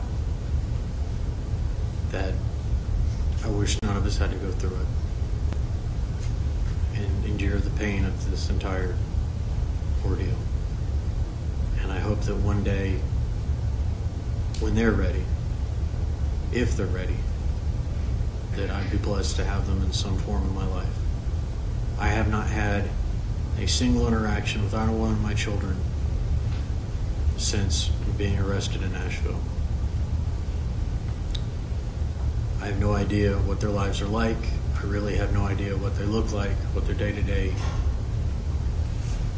life is like. And I know it's hard for a lot of people to believe this, but I, I do love them more than anything and I miss them terribly. I'm not trying to interfere in their lives, and certainly that being a part of it, it's a little bit difficult in prison. I've been in prison now two and a half years. Before that, I was stuck in DeKalb County 14 months in COVID, so I've been incarcerated in almost four years. I know how hard it is, and I know how it changes people. But nevertheless, I'm going to try to be a better person and realize that life is a blessing, whatever form it may take, even a, a very difficult situation such as what I'm facing right now. I appreciate the court's time. delude themselves into believing their own idiotic ideas. Imagine for a moment that you were the sole breadwinner of your family. Whatever the case may be, you are the only person in your household who has an income coming in. You have a child of your own and are able to easily make ends meet. Now, let's say one of your family members falls ill and is unable to take care of their own children. Out of nowhere, you suddenly have to take care of three children under the age of 10 and are doing so on your own. Your house becomes overrun with their things, and the paycheck that used to easily sustain your small family is now stretched thin. Since it's just you taking care of the kids, you are in charge of waking them up, getting them ready for school, driving them there, and also getting yourself ready for work. By the time you make it in, you are already exhausted, and after less than a month, your boss takes you aside and tells you that they have begun to notice your work is suffering. You explain to them the situation, and while they are sympathetic, they also relay to you that if things don't turn around, they might need to demote you. This is upsetting, not only because you need this job, but because they are making it seem as if you are choosing to be in this situation. You didn't choose to stay up all night putting together one of the kids' science projects that they didn't tell you about until 9 p.m. You didn't choose to be woken up after one hour of sleep to hear about how one of the other kids accidentally wet themselves. And you certainly didn't want to have to take out a new line of credit to be able to afford new clothes for the oldest child when they went through a growth spurt. If you could come into work with more energy, you would, but you were well and truly exhausted. Directly after that, you get a call from the children's school and you find that one of your nieces had thrown up during class and needs to go home. Frustrated, you are forced to take the rest of the day off to take care of them, even though you just had a conversation with your boss about this.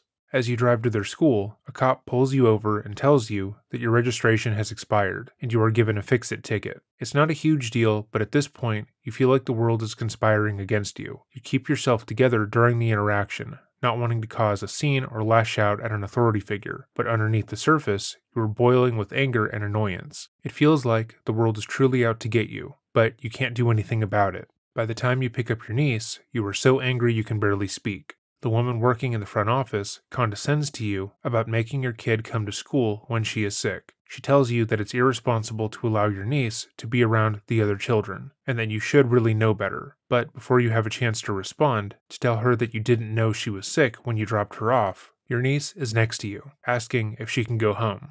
You quickly sign them out of school, but on the way home, they throw open the car. Usually, you would tell them that it's okay, or comfort them and try to get them home as quickly as possible and worry about cleaning the car after they are taken care of. But you've had it. You pull the car over and yell at them, unleashing the past month's worth of stress onto them fully. Logically, you know they don't deserve to be made to feel bad because they got sick. They can't control that. But something about yelling at a person who cannot yell back feels better than keeping it inside. You had wanted to unleash your anger on your boss after they implied that your poor showing at work was something that you had control over. To the officer who gave you a ticket for something as small as your recently expired registration, or the school secretary. But you knew that if you had, there would have been some kind of equivalent response. You could have been fired, given a larger, more expensive ticket, or you could have been banned from the school. But now, as you sit pulled over on the side of the road, you know that you can now unleash your anger and stress upon this little girl without any sort of repercussion. You tell them to get out of the car and clean their vomit, wanting to punish them further for negatively impacting you. They are sick and crying,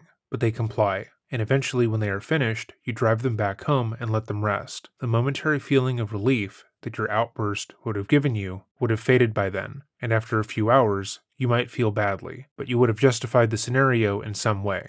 Maybe you would apologize to your niece. Maybe you would get them a small apology gift or let them eat ice cream after dinner. Or maybe you wouldn't feel bad at all, deciding that you were just teaching them a lesson about how the world works. Many people have gone through this kind of scenario in some way, with their parents taking their stress and anger out on them throughout their childhood, and then repeating the cycle with their own kids. Doubtless, there will be comments down below citing this fact, and even implying that it's so normal that we should be ashamed of ourselves for talking about it the way that we are. But today's case shows how deeply insidious taking out one's stress on their child can be, and how two people who were so blinded by their own rage that they would eventually kill their own family member after months of torture. Welcome back to another episode of Dreading, or if this is your first time here, welcome. Today we are going to be covering the case of Shanda Vander Ark and the despicable things she did to her autistic son, Timothy Ferguson. Before we begin, I do want to state that this video contains extremely graphic and hard to listen to details of the case, and might be upsetting to some viewers.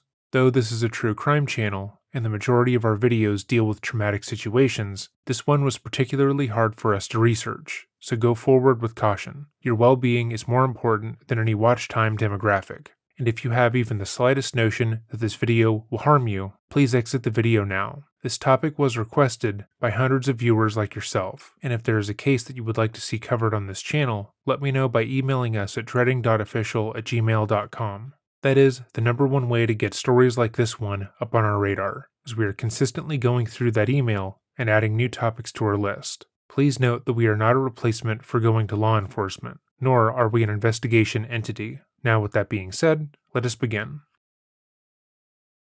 Today's video is brought to you by Beam. I've mentioned plenty of times that I have struggles sleeping. Partially due to stress, I am very rarely able to get a full night's sleep. However, since I've been using Beam's Dream Powder, I've been able to get a more restful night's sleep than I've ever been able to achieve. Beam is a delicious nighttime drink that's unique blend of sleeping promoting ingredients help you get a functional night's rest. That means going to sleep faster, staying asleep longer, and waking up feeling as if you were actually able to relax. Since I've been using Dream, I can genuinely say my sleep has improved. And I am not alone. A clinical study found that 93% of people who used Dream reported a better night's sleep. I'm partial to the chocolate peanut butter flavor, but having tried most of them, I can say there isn't a bad choice in the bunch. Beam has become part of my rest routine. And if you're looking for a better night's sleep, click the link in the description box down below and use code DREADING to get up to 35% off. I could not recommend Beam more. And frankly, if you struggle with sleep, you should definitely consider them. Again, click the link in the description box down below and use code DREADING to get up to 35% off. Thank you for Beam for partnering with us, and with all that said, let's get into the video.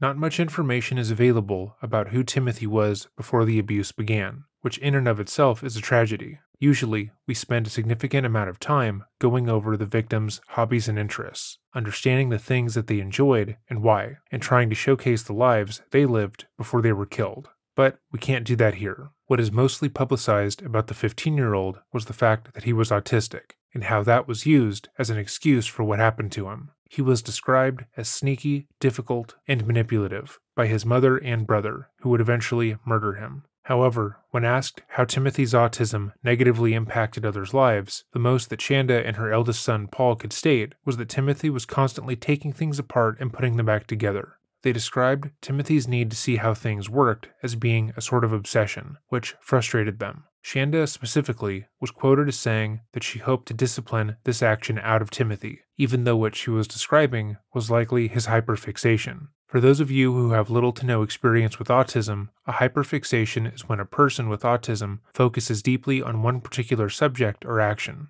Autism, as we understand it today, is considered a spectrum disorder, meaning that there is no one particular way it presents itself. There is a popular saying that if you meet one person with autism, you've met one person with autism, because the spectrum is so vast. The majority of people with autism deal with similar struggles. However, how these struggles impact their lives varies from person to person. Many autistic individuals can come across to others as uncaring, unable to keep focus when another person is talking, but when their own individual interests are piqued, they would be able to focus on that topic for hours at a time. For example, an autistic individual might have an affinity for music and music composition. This could manifest in them spending the majority of their time researching how certain sounds are made, working nonstop for days on end to create a similar vintage synth sound that they heard in a Roxy music album or something, thus, working extremely hard in one field of study. Meanwhile, they seemingly are unable to pay attention or care about any other classes or their social lives. Timothy was incredibly intrigued by learning how things worked. He constantly wanted to pull things apart and put them back together.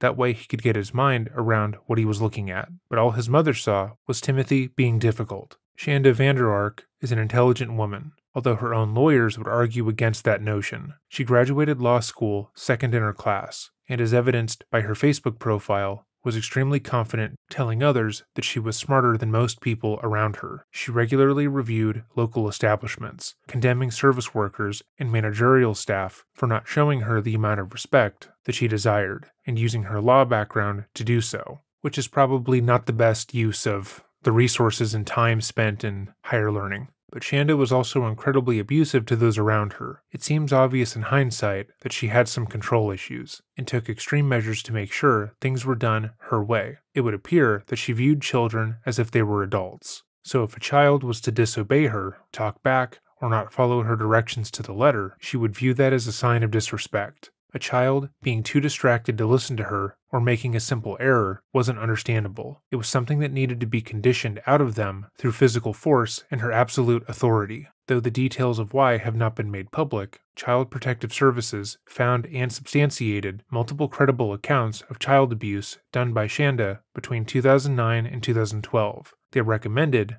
that her parental rights be terminated and that she should not be allowed to see her children unsupervised. Instead, Shanda chose to move out of Oklahoma to Michigan and agreed to no longer see her three children. However, that didn't last. It's unclear as to how Shanda got custody of her children back, but the consequences of that singular action were dire.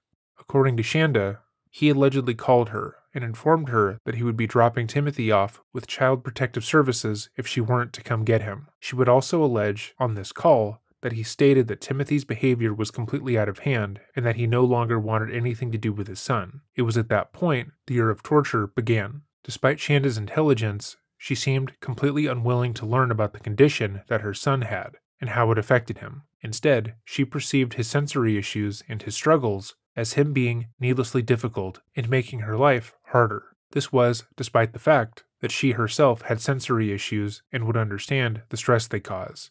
Shanda would characterize Timothy as a burden, getting in the way of the things that she wanted to do. And as the Vander Ark family continued to deal with the other struggles, like her husband's stroke, she began to take out her frustration on her autistic son. The following is Paul's testimony, detailing what he and his mother did to Timothy. I edited this down to its most relevant points, and we are not going to be going over his testimony in this video.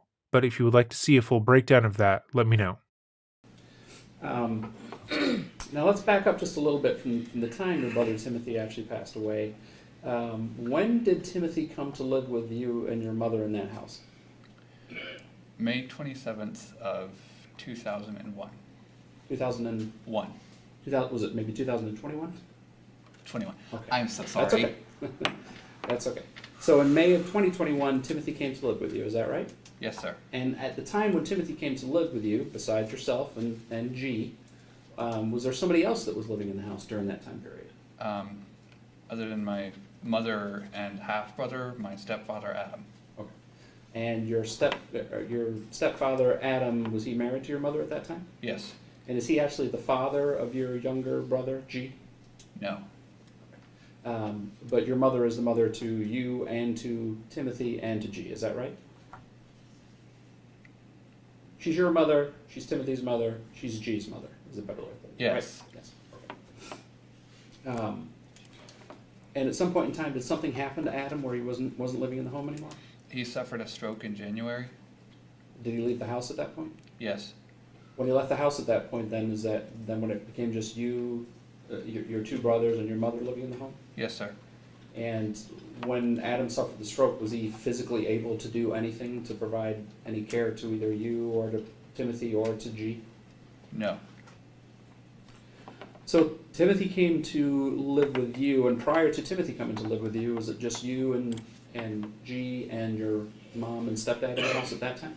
Yes. So you went from four people in the house to five people in the house in May of 2021. Yes. And then back down to four people when Adam unfortunately had his stroke in January of 2022. Yes. Now, around the uh, shortly after the time of the stroke, um,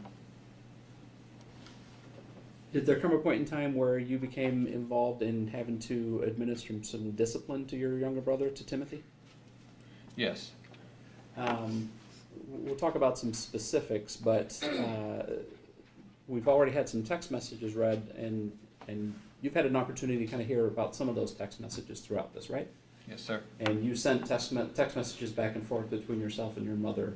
Um, and we have those text messages from January through the time of your brother's death in July of 2022. Is that your understanding? Yes, sir. The at, at at some point in time in February, there's a discussion fairly early in those text messages about um, blocking Timothy's access to food. Can you describe what was happening at that time and how he was restricted from getting access to food? Um, he was sneaking food that was not necessary at that time. And it was solved by placing locks on the fridge, freezer, and pantry. And when you say he was sneaking food that wasn't necessary, who would make that determination that it wasn't necessary? Shanda, The uh, and what, what type of food are we talking about that he would sneak that wasn't necessary? sweets or anything he could really get his hands on. So as early as February, there was restriction. The, the locks were going on the freezer and the refrigerator, and you said there was also some type of lock on the pantry. Is that right? Yes, sir. Um, and we've heard a text exchange, but at some point a little bit later, as, as things are progressing into April, was there a time where Timothy was doing something to get the locks off of the pantry door? He was pulling them off by hand. And what were you instructed to do as a result of him pulling the pantry door locks off? Um,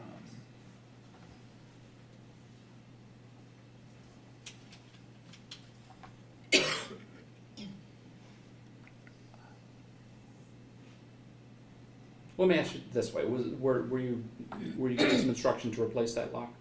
Yes, And who gave you that instruction? Shanda. And the and what was your understanding of why you were locking the pantry back up? because he was sneaking food. Let's talk about your brother Timothy for just a little bit. Did Timothy have some special needs? Yes, What were what was your understanding of what his special needs were? he was attention deficit hyperactive disorder, as well as autistic. He had speech and motor impairments. Speech and what type of impairments? Motor impairments, movement impairments. Movement impairments. Yes, And is at the time that he came to live with you, was he supposed to be taking some medication? yes, And did that did he stop taking his medication? yes. Why did he stop taking his medication? Um, um, could you please reiterate? Yeah, who? I I guess the better way of saying it is who made the decision for him to stop taking his medication? Shanda, As far as you know, from the time that Timothy came to live with you in May of 2021 in Norton Shores to the time of his death, did you ever see Timothy go to, to a doctor? no, Did Timothy go to school? not public, no. How was he schooled? Home. And when we say homeschool, what would that entail? Um, at first, it was assignments on a tablet, and then My mother restricted it to where she would print out the assignments and he would sit downstairs and do them.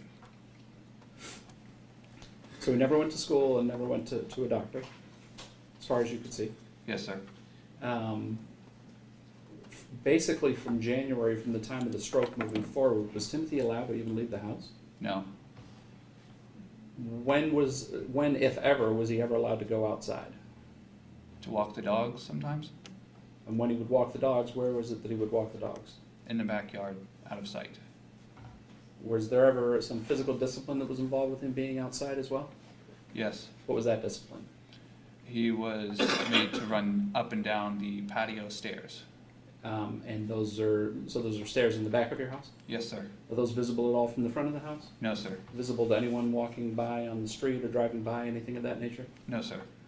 Um, there are some text messages referenced in there where, um, where, where there's a discussion about doing the stairs chasing style. What is, what is that, if you remember?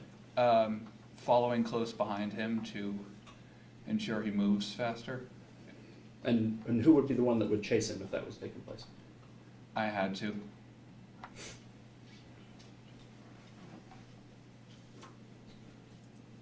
What was, uh, beside, you've talked about some of the, the special needs that Timothy had when he came to live with you. What was his overall physical appearance, though, when he first came to live with you? Um, he wasn't skinny, but he wasn't extremely overweight. He had a good amount of chubbiness to him. So he was a little chubby? Yes. Um, obviously, as we all know, and now the jury's already seen some of the photographs, that, that went away at some point in time. Um, did the food, when did the food restriction on Timothy start with the locks going on the refrigerator and the freezer and the pantry and things of that nature? When, when did that actually begin? Sometime in February.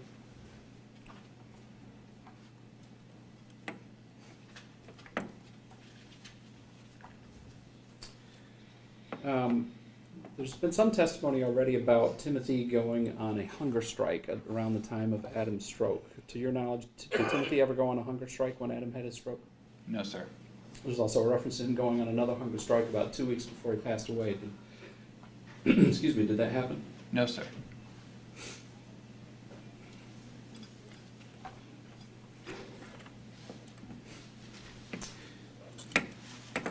The police have indicated that at the time they searched your residence, there were a number of cameras seized, uh, as well as some other items. So let's talk about the cameras first. What was the purpose of the cameras being inside the residence? To watch Timothy. And who would be watching Timothy on those cameras? My mother, or when she couldn't, she had me do so. And how is it that you would, kind of explain for the jury if you can, how is it that you watched the, the cameras so you could watch what Timothy was doing? I would log into the app on my phone and it would alert me if there was a motion movement. So you had some type of, you had your phone and you had some type of app on there that was connected to those cameras? Several, yes. And, and you said that you were also alerted to movement. Were there motion sensors in the home? Uh, they, yes, and the cameras also had that feature as well. They activated on motion. And what, what was the restriction on Timothy's movement that would cause those cameras to go off? Where was he limited to? Could you please reiterate? Yeah. Where is it that, where could Timothy go, basically? Um, mainly he was restricted to the downstairs area, to a closet downstairs. Um, the downstairs area actually contained two bedrooms. One was yours and one was G's bedroom. Is that correct? Yes, sir. And there was also a bunk bed that was out in that area um, that that we that I believe that, that the defendant indicated was Timothy's bunk bed. Is that correct? Yes, sir. Where did he actually sleep most nights? In the closet. This and how what what did you call the closet? Was there a name you used to refer to the, the closet? The small room. And what was in the small room if if Timothy was in the small room? There was a camera monitoring him, even when he slept. Was there an alarm on the door as well? Yes, sir. Some type of motion sensor or alarm? Motion, vibration, yes. So the, the, we had that on the door and then a camera actually inside the room as well, is that correct? Yes, sir. And were there times where you were required to watch that camera? Yes, sir. And to your knowledge, were there times when your mother was watching that camera as well? Yes, sir. Was there a restriction on how much Timothy could move while he was inside that closet? Could you please reiterate, sir? Were, were there any restrictions on his movement inside the closet, or was it he could move around however he wanted inside the closet? There were restrictions. What were the restrictions on his movement? Um, hands on his head, normally? Hands on his head, is that what you indicated? Yes. Was that was some form of discipline for him? Yes. On his knees and against a corner or wall of the room. Um, and when you say hands on head, I'm going to demonstrate just putting my hands just over my head like this. Is that what he was required to do? Yes. He was required to be on his knees as well? Say yes? Yes, sir. You have to say yes or no because this is Uh, I being recorded. apologize. You're fine. No, that's fine. Everybody makes that mistake. It's not a problem. um, and was he monitored to make sure that he was doing those things? Yes, sir. And for how long would he have to do these things? Several hours. And that was and that was inside his closet, for lack of a better way of putting it. What you referred to as the small room, correct? Yes, sir. Um, were there also times when he was required to stand against the wall? Yes, sir. And would, would that be in the closet or would that be in other places in the house? Um, at times it would be upstairs by the back door or on the wall between me and G's room. And when he would stand against the, the, the wall, how long were we talking about that he would be required to do that? Hours, sometimes overnight. At some point, were did you utilize some type of alarm or alarms on his body to alert you if he was moving? A vibration detector, yes. Was there was there more than one that he was required to wear at times? At times, yes. Where were those devices located on his body? Um, they were normally tied to the back loop of his belt, or the back loop of his pants, I apologize. And were there was there something placed on his wrist as well at any point? Handcuffs, and before that, zip ties, zip cuffs, When you say zip cuffs, are those put together with zip ties? yes. And what and those were designed to restrict what? Movement, Of what part of his body? his hands. Uh, I think there's a text exchange that the jury's heard a couple of times where it's referencing him tightening those zip cuffs uh, on his wrist. Do you recall that? Yes, sir. And so those, what was happening that caused you to send that text message and had that exchange with with your mother about those zip cuffs? He was complaining about them being too tight. And what was your mother's response when he was complaining about those being too tight? um, to leave them and she'd deal with it after she got home.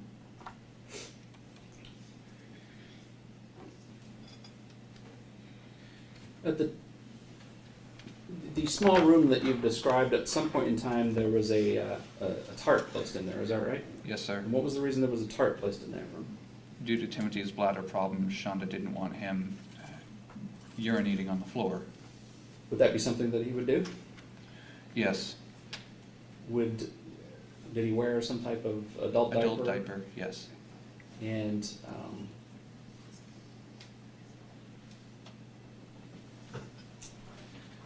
let me ask it this way: If Timothy had to go to the bathroom, what was how, how would he go to the bathroom? Um, he would have to ask and he would be timed. And who would do the timing? Um, whichever one of us was there.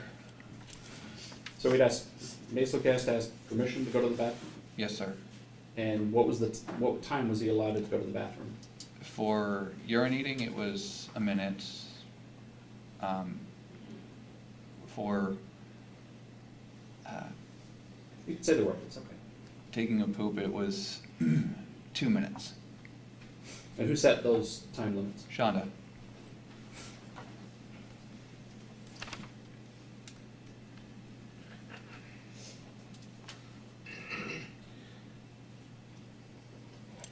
We've seen a lot of text messages and references to hot sauce and hot sauce re- retrieved from the home. Um, at some point in time, did you have were you, were you asked to start feeding him bread with hot sauce on it? Yes. And who asked you to do that? Shanda.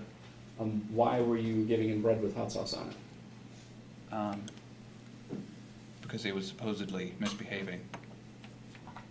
And how would you I mean, describe to the jury what you would do to do that and to make him eat the bread with hot sauce. Um, I would put it on bread, have him stand in the kitchen area near the back door and watch him eat until he finished. And was he required to eat it until it was all gone? Yes, sir. Did it ever look like he wanted to eat the bread with hot sauce? No. Were there times where you were told that he could have something besides bread with hot sauce on it if he ate the bread with hot sauce first? Regular bread, yes.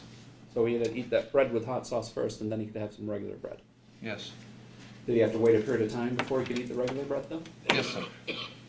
What do you remember about what that was? About how long? 30 minutes?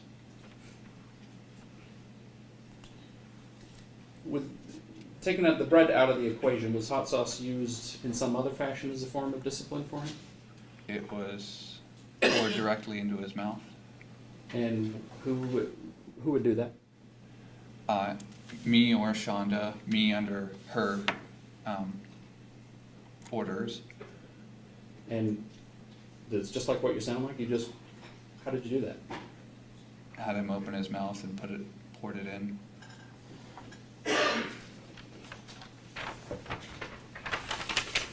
The there's some text messages. Do you recall a text message you exchanged with your mother in I believe it's around April or so, where you've alerted her to the fact that he's eaten some uh, uh, some part of a burger?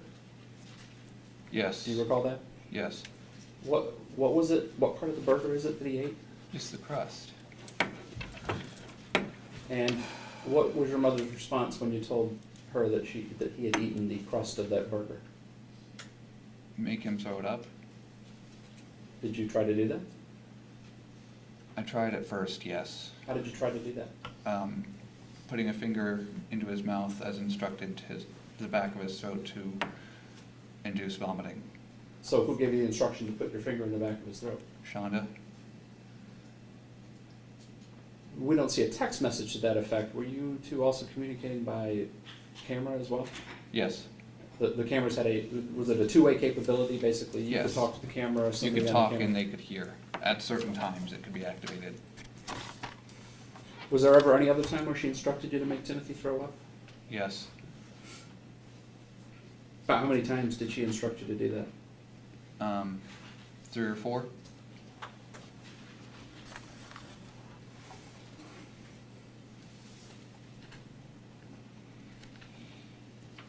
At some point in time, did, was there a form of discipline introduced that involved you placing Timothy in a cold tub?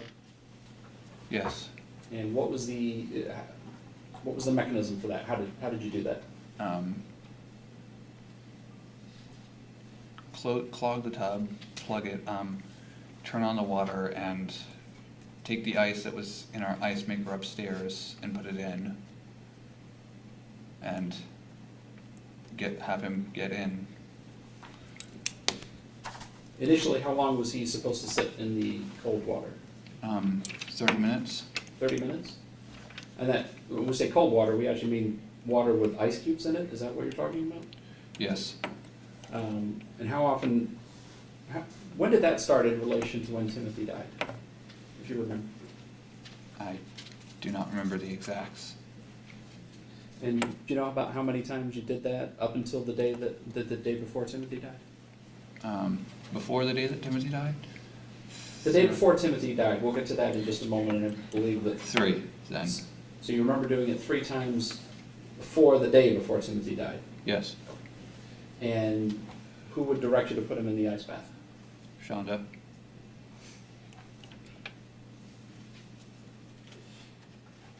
Was there some type of camera in the bathroom as well? Yes, on the counter. Was that camera monitored by somebody if, if you were in the bathtub, or if you were in the bathroom with Timothy? Shanda. Were you instructed to stay in the bathroom with Timothy when he was in the tub? Yes. Why? To ensure that he couldn't get comfortable or try to turn the water hot.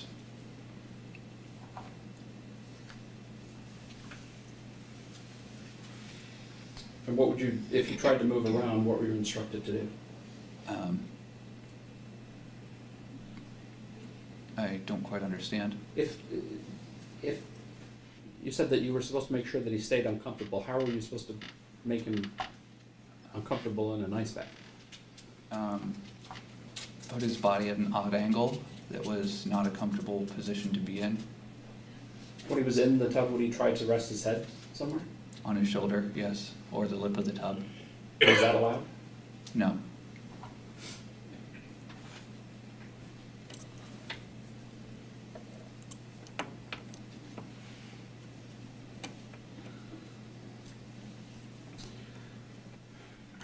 I know this is difficult for you, Paul, and you and I have had a number of conversations about this matter. Um, but I need you to look at a text message that you sent to your mother. It's got a photo that you took of your brother. You remember sending that text message? Yes, sir. For the record, this is People's 36A. This has been previously shown to the jury. Um, who took that photo of your brother? Me? And you sent it to your mother? Yes, sir. Why did you send it to your mother? Because I was concerned with how thin he was.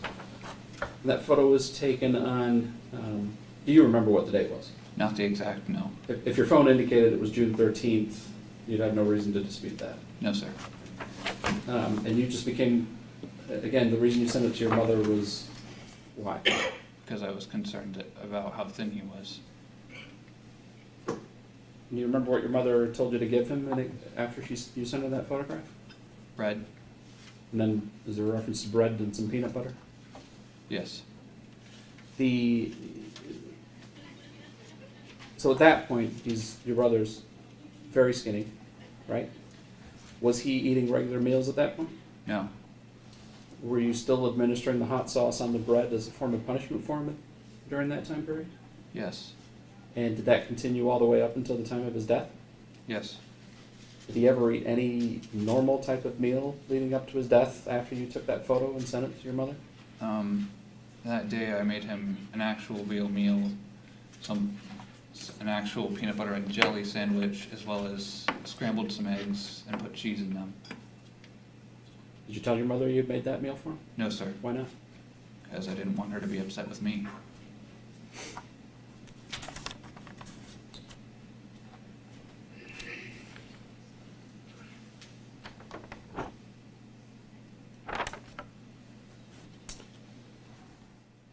Let's move up to the day before your brother passed away. Do you remember the day before your brother died?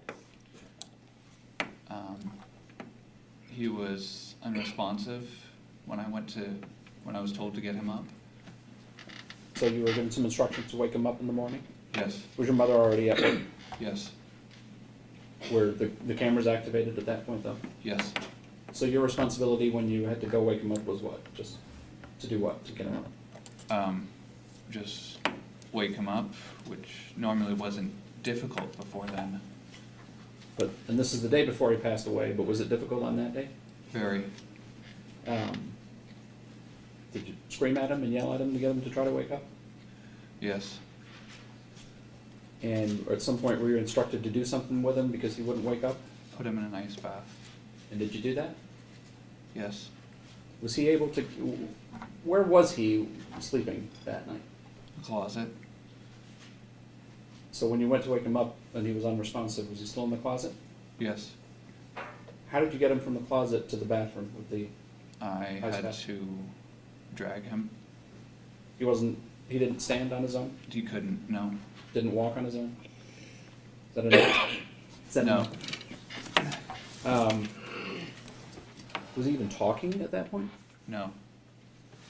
You remember about what time it was that you put him in the ice bath? Um, not exactly. No. Um, if the text message indicated it was around two o'clock, does that sound about right? Yes. What time did you have to leave for work that particular day? Um, I was supposed to be at work at four, but unfortunately, due to a flat tire on my e-bike, I had to wait till six for my mother to get home and drive me to work. So from two to six until your mother got home, you were home with Timothy, is that right? Yes. And where was Timothy that entire time that you were home with him? In the bath. In the ice bath? Was your Yes. mother giving you instructions on what to do with him while he was in that tub then, at that point in time? Yes, sir. What was she telling you to do? Um, make him uncomfortable and at one point she had me heat up a pizza roll to see if he would be responsive to enticement. Did you actually do that? Yes. And what did you, so describe for the jury exactly what you did with that pizza roll with Timothy in the tub.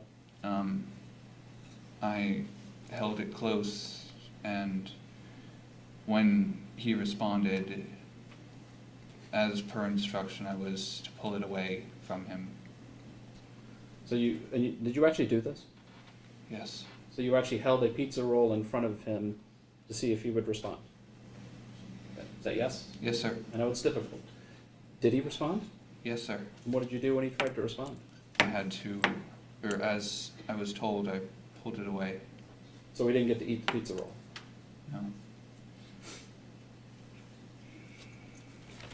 Do you recall um, while Timothy was in the tub, an exchange where your mother inquired about pouring hot sauce on his private parts? I do, yes. Did you do that? No. That was beyond as everything else was.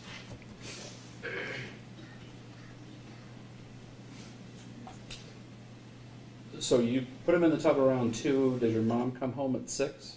Yes. And when your mom gets home at six, did you go to work at that point in time? She drove me to work, yes. And was Timothy still in the tub at that point in time? Yes. So you and your mom drove to Grand Haven to drop you off at work, and Timothy's just in the tub? Yes, sir. Was he even physically able to move around at that point in time? No.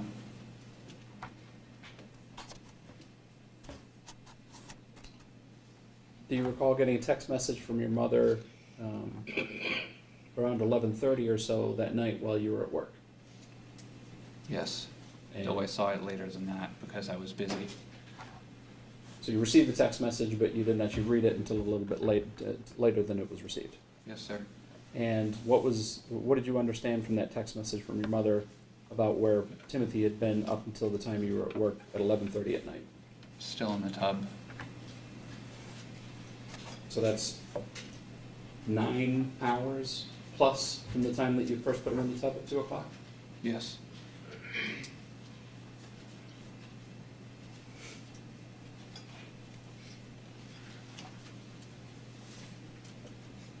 When you got home, do you remember about what time you got home that night? One o'clock?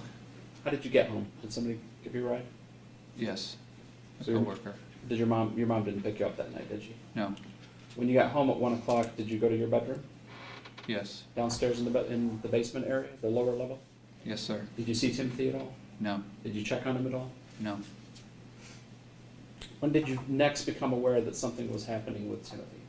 The next morning, And what happened? Um, I had had to get up early so that Shanda could drive me to the premises area of work.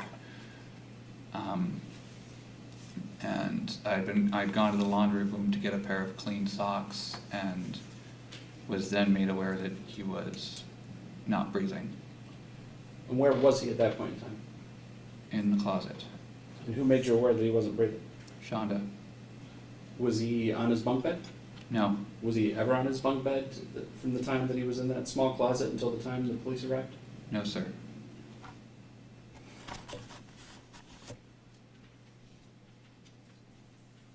If you know, you know how much time passed from the time that you first became aware he wasn't breathing until 911 was called?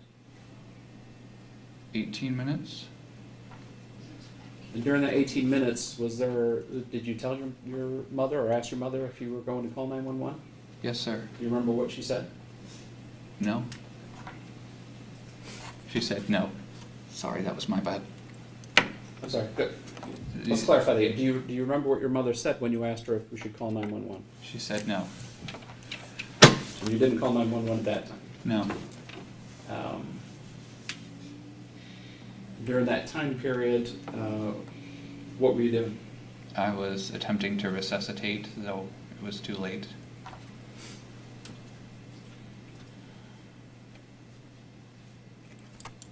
At the time when he came out of the, the small room, how did he get out of the small room at that point? How did his body actually come out of the small room? He was removed. By who? Uh, Sh- Shanda, and I believe I helped a bit. What was he wearing when he came out of the room? Nothing but an adult diaper.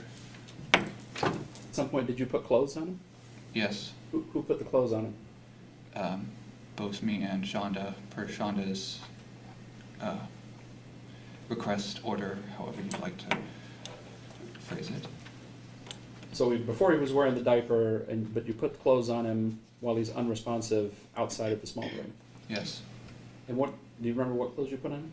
Um, a hoodie, a pair of my jeans, and Shanda had me remove my belt and put it on him Did she tell you why she wanted you to take the belt off and put it on? because the pants were too big.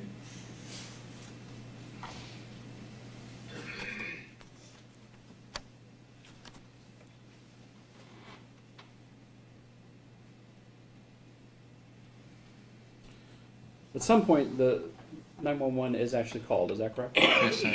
Now, before 911 was called, and I guess let me ask you this: Who actually called 911? Me. Um, but did Shanda actually talk to the, the 911 folks, if you remember? Not that I remember of, no. Um, before 911 is called, was there some discussion about a hunger strike? Yes. What was the discussion about the hunger strike at that point? Shanda said to say that he'd gone on a hunger strike. When And said that we he, found she- him on the bed. Seems dead. obvious, but who is she referring to? Timothy. And said that he was found on the bed? Yes, the bed. So 911 comes at that point, and then the police are also involved. Is that right? Yes, sir. At some point in time, did the police leave you guys alone in the home Yes. later that night? Yes. And when that happened, uh, did Shanda do anything with any of the items in the house? She disposed of evidence. What did she dispose of? Vibration detectors, a camera upstairs that was not confiscated. She broke the memory chip that was inside into four pieces and threw them out the window as we were driving to Grandma and Grandpa Vander Ark's. So you went down to Grandma Grandma Van Arks that night, Yes. And she disposed of evidence on the way down to. Yes, and the vibration alarms were thrown into a trash can, were in, stuffed in a plastic bag and thrown into a trash can at the Chick-fil-A near our house. Um, when you say the, vi- the vibration alarms, are you talking about the sensors that were on the doors? Yes. Was that this? Was one of those the sensor that was? From Paul's accounting of events, it's clear that Timothy was thoroughly tortured and abused. Despite his impairments and sensory issues, he was forced to do manual labor, sit in freezing cold bathtubs for over nine hours, kept away from food, and meant to sleep on the floor of a closet, while constantly being monitored by his mother and older brother. Even when he was sleeping, he wasn't given respite from the abuse, as they had shackled him to the walls and attached sensors on him, so if he moved while sleeping, they would be alerted and be able to punish him.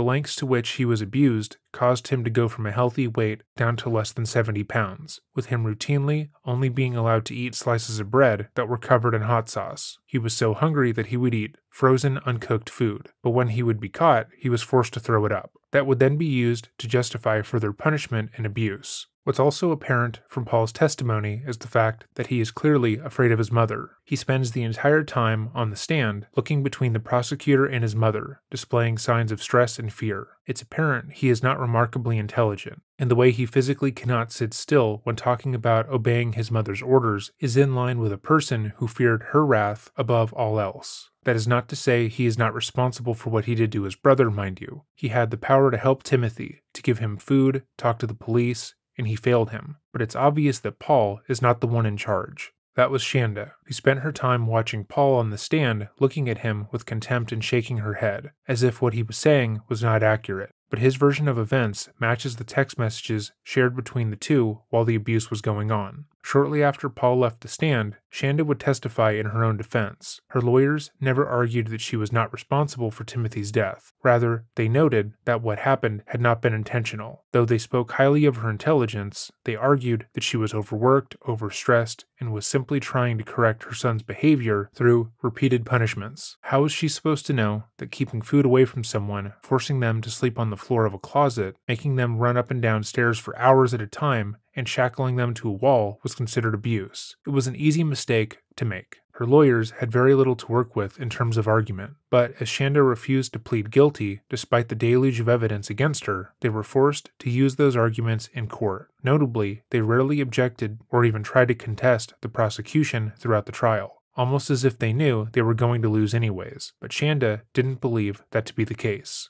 Again, she went to law school. She graduated second in her class, and she worked at the very courthouse her case was being heard at. Even though all the evidence points directly towards her torturing her autistic son to death, she believes that she can outmaneuver all the evidence. She can validate the way she shackled him to a wall the way she texted her son to pour hot sauce on Timothy's genitals when he was in the bath, and why they locked up the food even though he was starving. Her lawyer would have told her not to take the stand and to take a plea deal and to serve her time, but she believes she's going to get away with this. As we go over her testimony in court, pay special attention to how Shanda discusses her own stresses in life, how much attention and emphasis she places on what she was going through when she was torturing her 15 year old son to death. The introduction of this video will make more sense the more she speaks. Now, let's begin.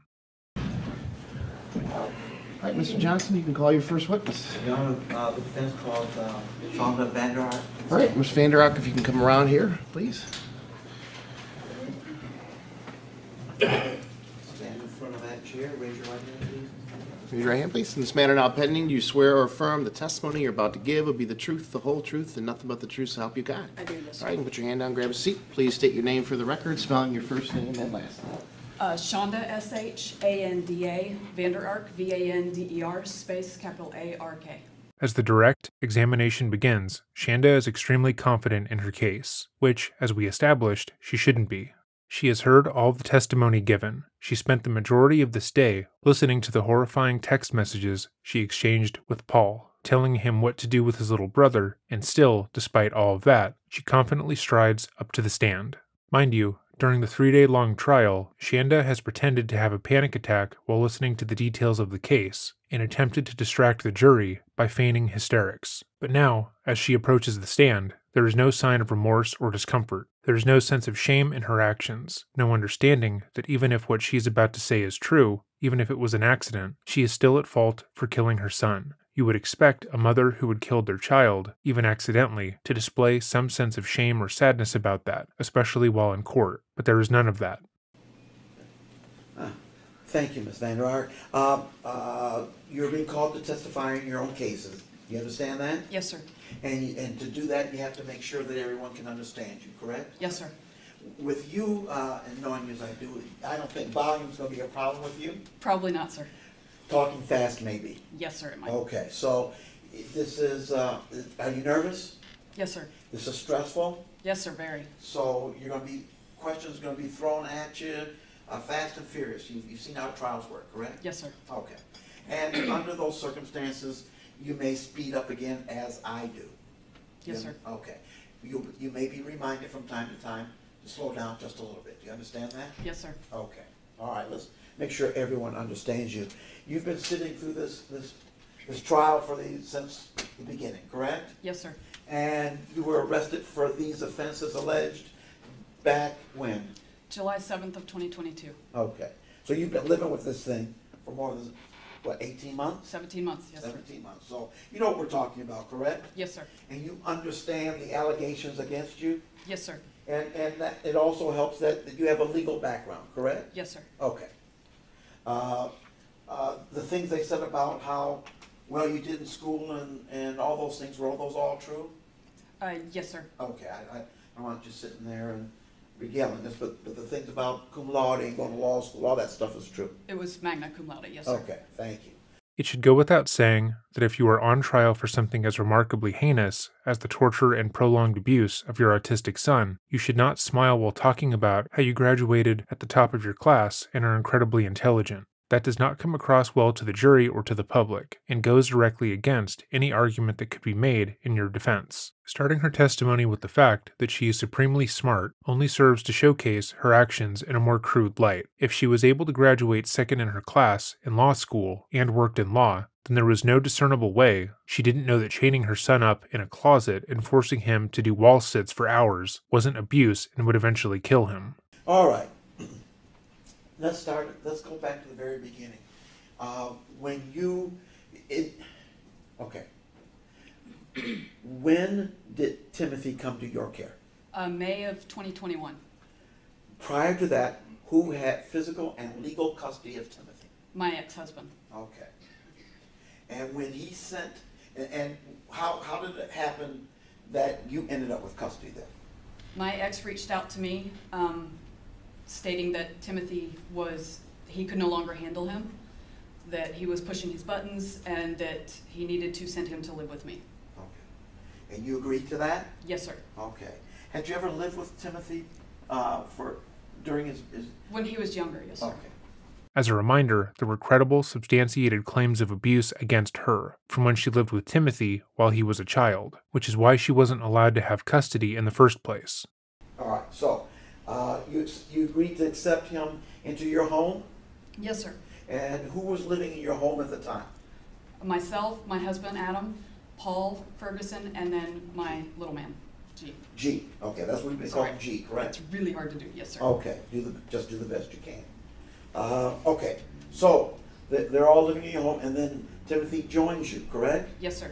When Timothy's joining you, did your ex-husband ever make any ex, any effort to transfer legal custody to you? Um, we discussed it, but he never did actually sign anything, no, sir. Okay. And without legal custody, how do you get Timothy into school? You can't.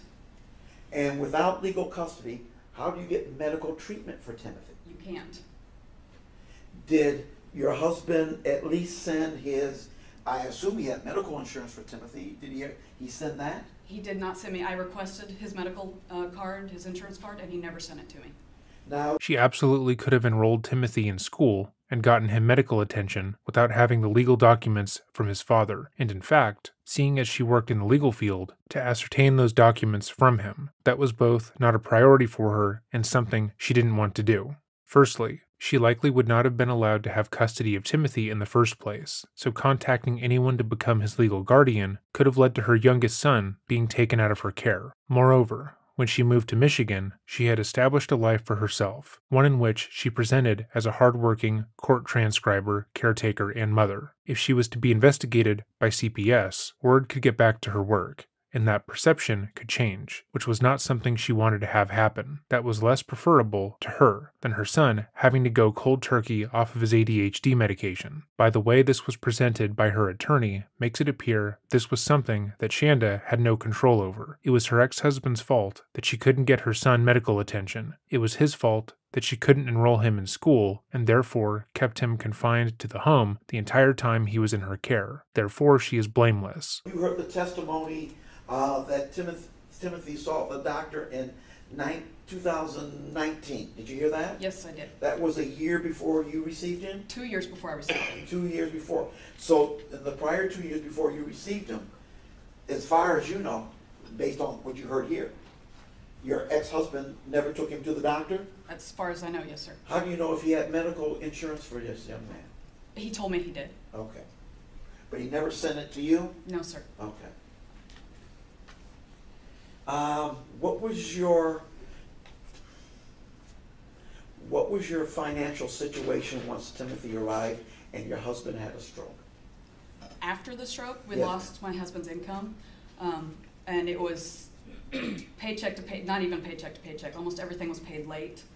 Um, I was struggling. I I asked Paul for help with groceries sometimes because we were struggling. Okay. And Paul was working full time? He was working part time. He's working at, at Applebee's? at Yes, sir. Okay. So he's working part time and so what were you receiving any child support? No, So the entire financial burden was on you? correct. could you have perf- could you have um, uh, afforded um, daycare for any of your children? Absolutely not. No. And could you have uh, um, afforded any extra expenses other than the ones that you were providing for? No. What type of expenses were you able to provide for this family? Just basic living expenses. Rent, Yes, sir. uh, utilities, Yes, sir. um, uh, food? Yes, sir. Shanda and her attorney are about to argue that because of the lack of finances coming into the household, that she was forced to put locks on the food in the home because Timothy would eat it all. This, of course, is false, as Timothy only began to sneak extra food when they began to purposely starve him. But we can also assess that it's false based on the fact that their abuse of Timothy became an extremely costly endeavor. By the time Timothy died, he was forced to wear a motion sensor on his person that would let out an alarm every time he moved. The closet that they forced him to sleep in was monitored with a motion activated camera, which Shanda could and would watch while it worked to make sure he didn't move too much. His bathroom also had a camera, and she would flip between them regularly. They also had purchased multiple locks for the kitchen pantry and the refrigerator, and they also bought leg shackles to keep Timothy attached to the wall. His abuse wasn't inexpensive, and her trying to justify it now as being necessary is depraved. You heard the testimony uh, that Timothy, Timothy saw the doctor in nine, 2019. Did you hear that? Yes, I did. That was a year before you received him? Two years before I received him. Two years before. So in the prior two years before you received him, as far as you know, based on what you heard here, your ex-husband never took him to the doctor? As far as I know, yes, sir. How do you know if he had medical insurance for this young man? He told me he did. Okay. But he never sent it to you? No, sir. Okay. Um, what was your what was your financial situation once Timothy arrived and your husband had a stroke? After the stroke, we Yes. lost my husband's income, um, and it was paycheck to pay, not even paycheck to paycheck. Almost everything was paid late. Um, I was struggling. I I asked Paul for help with groceries sometimes because we were struggling. Okay. And Paul was working full time? He was working part time. He's working at, at Applebee's? is Yes, that- sir. Okay. So he's working part time and so what were you receiving any child support? No, So the entire financial burden was on you? correct. Could you have, perf- could you have um, uh, afforded um, daycare for any of your children? Absolutely not. No. And could you have uh, um, afforded any extra expenses other than the ones that you were providing for? No. What type of expenses were you able to provide for this family? Just basic living expenses. Rent, Yes, sir. uh, utilities, Yes, sir. um, uh, food? Yes, sir. Okay, that leads to the next question I have for you. You, you had monitors and, and cameras in your home, is that correct? Yes, sir. And the impression from the, from the testimony I heard is that it was for the purpose, the sole purpose of ensuring that Timothy could not get the food. Was that, is that accurate? No. Why did you have all those monitors and cameras in your home? When Timothy came to live with us, his stepmother informed me that um, they had had motion sensors. Um, they weren't as tech savvy as I was. I worked in tech before law school. I worked in tech support for several years, um, but they had motion sensors because, sh and she told me that she didn't sleep at night. She only slept when he was at school because he was into everything. And so, because my, my younger child, he used to, when he was about two, he would take all his clothes off. So we started putting a camera in his room. And then once we moved to the Marshall Road uh, location, it was bi-level. My husband was born with a disability. Uh, my husband was wheelchair bound. So he would, we had an extra wheelchair that we kept on the upper level. That's where the master bedroom was. Um, but that way, if, the, if little man, if G was down in his bedroom, my husband could talk to him through the camera and have him come up. It was much easier. My husband could crawl down the steps before the stroke, but he didn't, we didn't want him to have to crawl up and down those steps. Okay.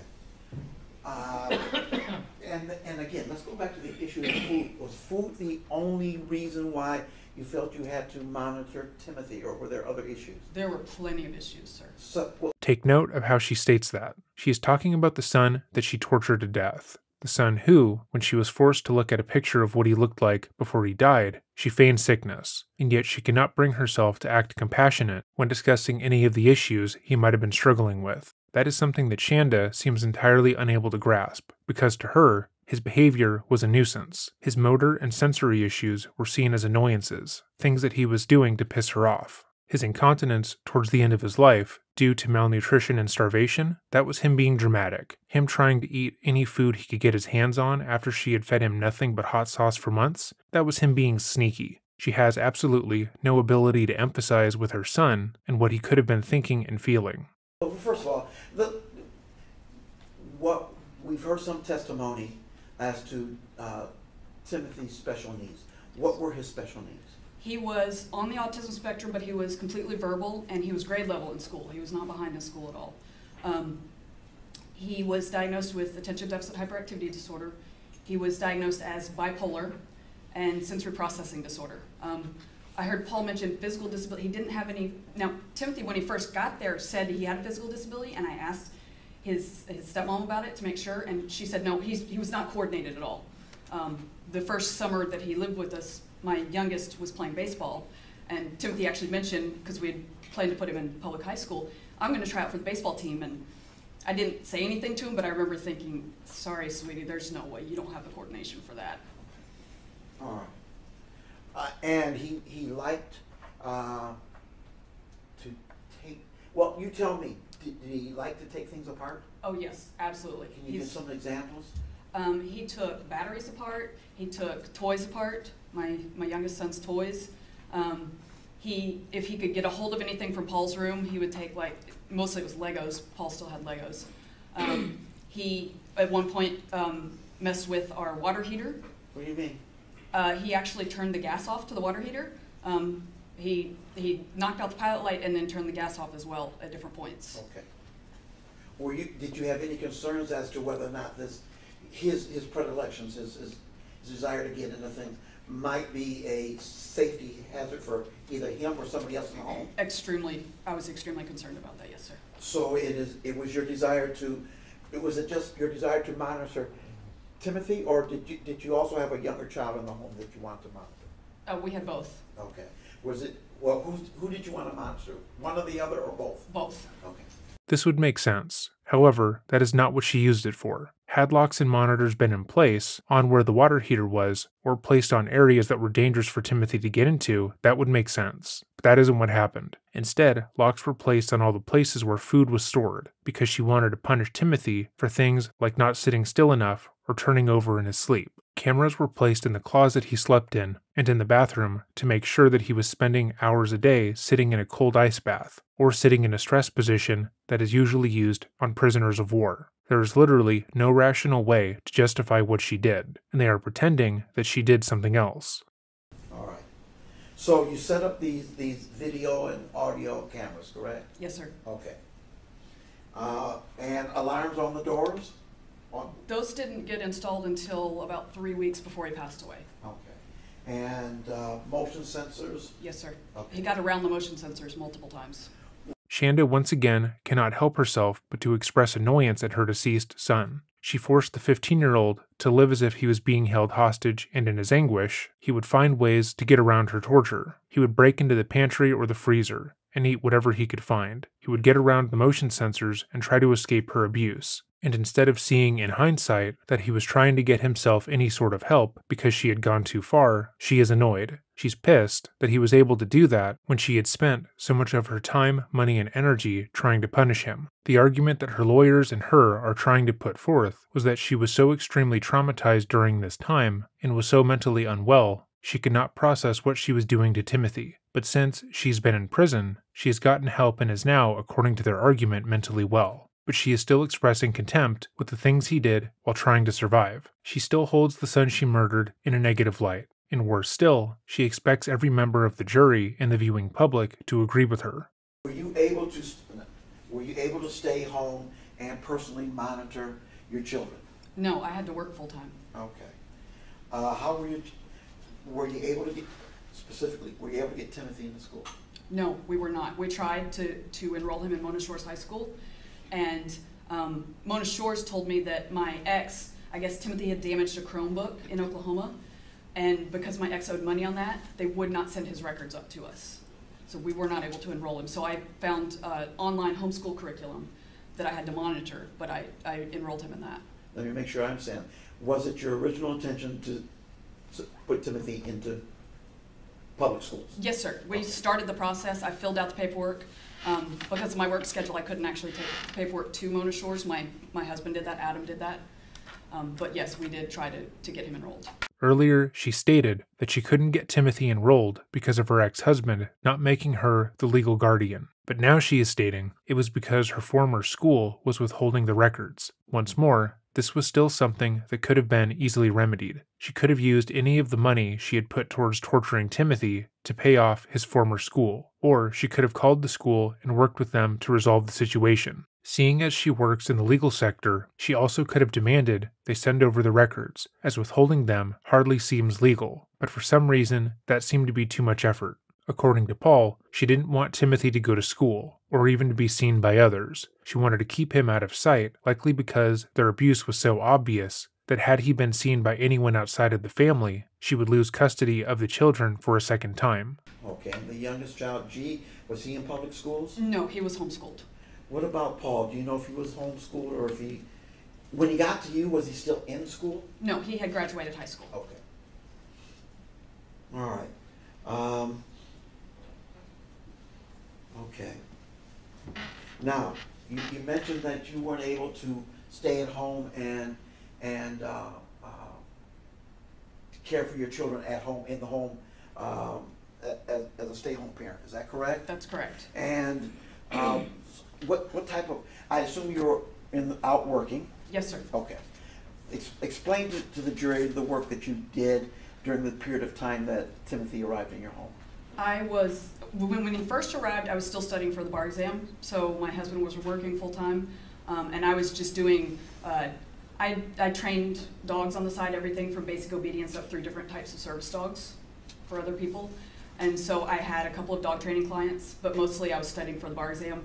I also was an intern here in this courthouse. That at pay a time. lot of money? Oh, it was it was not paid at all, sir. Okay. Um, but uh, it was the week of the bar exam. Um, my actually my, my judge that I worked for here as a law clerk informed me of this position that was opened in Newaygo County, and she knew that judge referred me, and that's when I did the interview, and, and I started work. I think it was three days, two days after I completed the bar exam. Okay. Was that a paid position? Yes, it was. Was, was it lucrative enough where you didn't have to do any other work? Um, well, with my husband's income, it was Okay. But your husband's income stopped when he, when he got sick? when he had the stroke. Yes. Okay. So at that point, was it enough income to provide for you and your family? No. Were you receiving any other outside income? Um, my um, older brother lives in the home that I used to, that I still own in Oklahoma, and he paid rent to us. Okay. But it wasn't a lot. It was that went towards our house rent. Child support? No, my my ex, one of the siblings was forgotten yesterday. Um, I, there's five total. We talked about the four boys. I also have a daughter. Um, she is now 19, but she stayed down with her dad. Okay. So we each had one, so there was no um, there was no child support, and because of child support on the, the other four kids, I actually was still paying my ex child support. It was still being deducted from my check. Okay. So you had, that, that's another deduction from your income? Thousand dollars a month, yes, sir. Okay. So, um, were you also doing tutoring when, when you went to the judge who was paying you? Were you still tutoring or doing any other outside work? Not at that. I was doing the dog training. Okay. Let, let me ask you this. What time in the morning did you leave to go to work? Um, I usually left the house about six thirty, And what time, eh, on average, were you getting home? about six o'clock. Okay. So we're talking about 12 hours away from the home? Yes, sir. Okay, those, those, those monitors, um, uh, the video cameras in your home, you were able to, or to re, to view them while at work? From my phone, occasionally, yes, sir. Okay. Um, and you were, but you were still working? Yes, sir. I didn't view them at all until after the stroke. I mean, because my husband was there, or we had we had arrangements where my husband was off certain days of the week. Paul was off one day, specifically one day a week, so he took care of, of Gabriel and Timothy. And then um, the other two days that I needed to care for Gabriel when my husband was working, he actually went to my in-laws' house down in West Olive. May I approach the witness for just a moment, John? You may.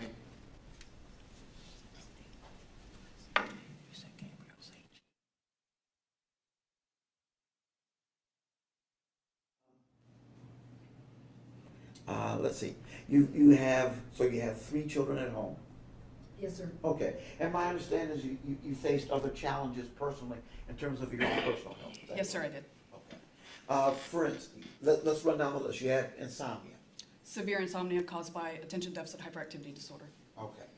And, and, uh, for those folks who, who get a great night's sleep every night, don't understand what insomnia does to, to your ability to function, can you explain to them what impact chronic insomnia has on a person?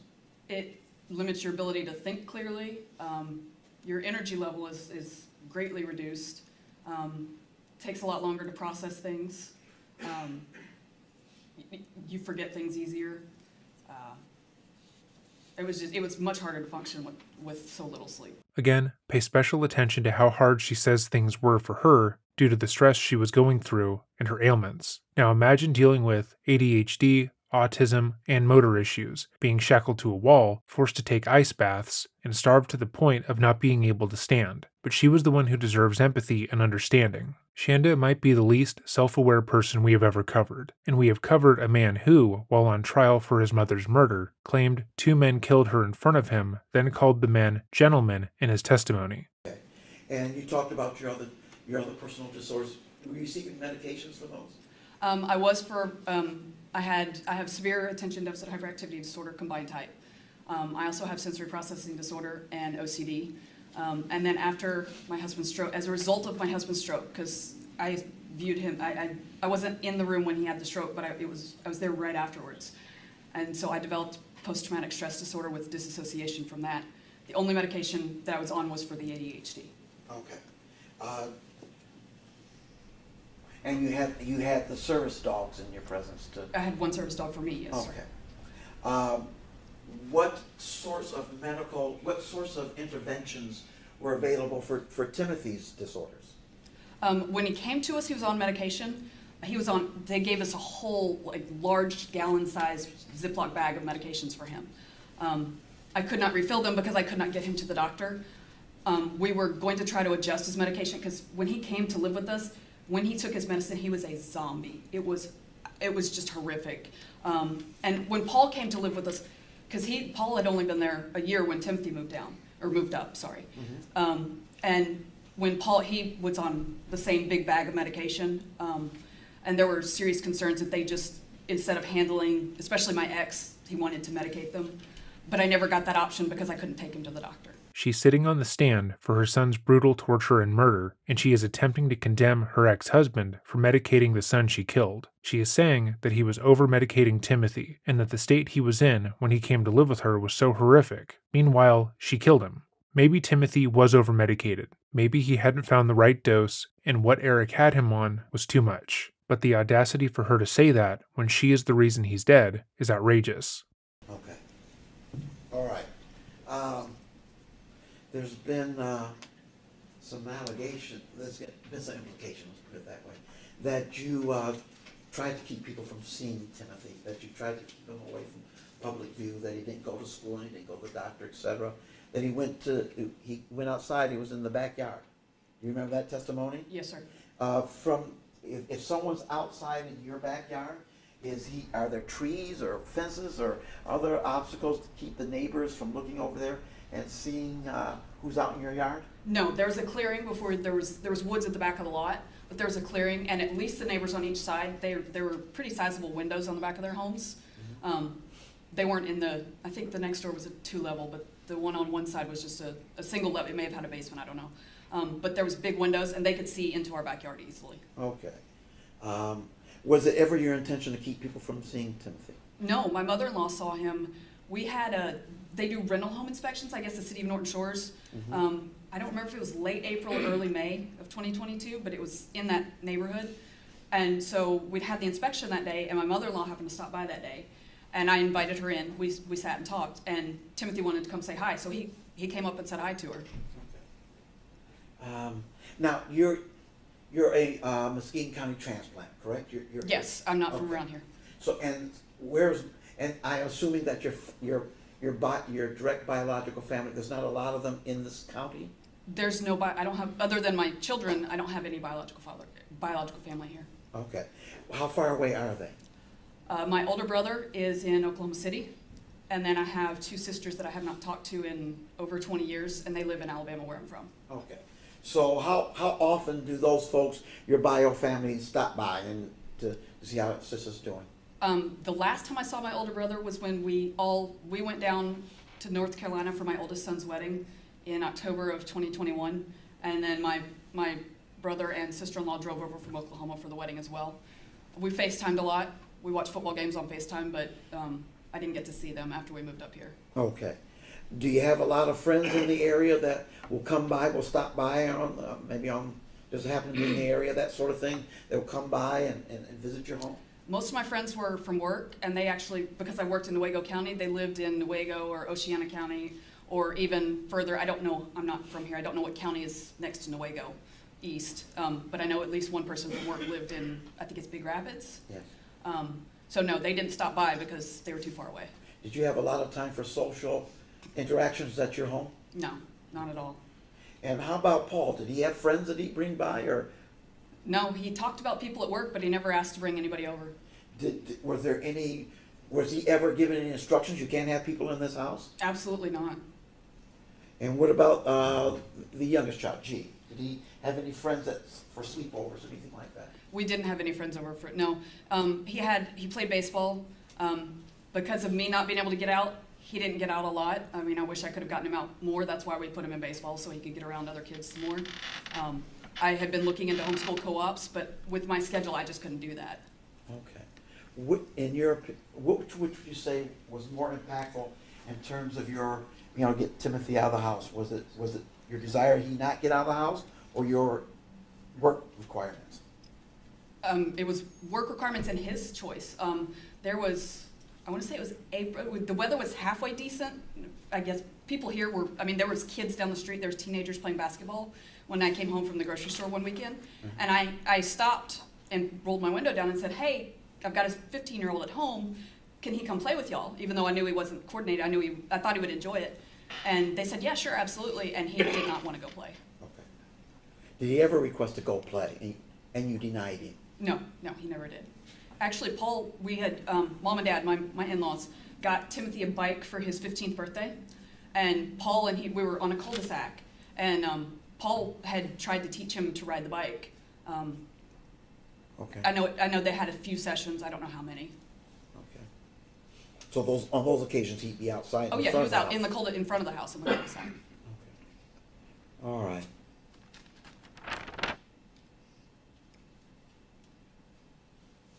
Okay. Let's talk about some of the things that have come up in this case. Uh, th- there, there were, uh, okay, there, there are leg irons discovered in your home. Were you aware of those? I, I was aware that Paul had them. Um, you actually could look on my Amazon. Paul had the option to do payment on the Amazon as well as mine, Uh-huh. and Paul had actually ordered those under his his account. This is a stupid thing to lie about. She had instructed Paul to buy them, and she would repeatedly make reference to them in their text messages, saying how she had shackled Timothy to the wall multiple times. It's not as if she is unaware they have this information either. It was discussed before she testified. More importantly, she also claimed that she had to rely on Paul's income as well as her own due to financial strife, meaning it's just as likely that she was the one who made the purchase. Okay, you did not order the leg irons? I did not know. Did you, did you ever use them? No, sir. No, I Uh, never instructed. Let's be in specific. Did you ever use them with Timothy? No, sir. Okay.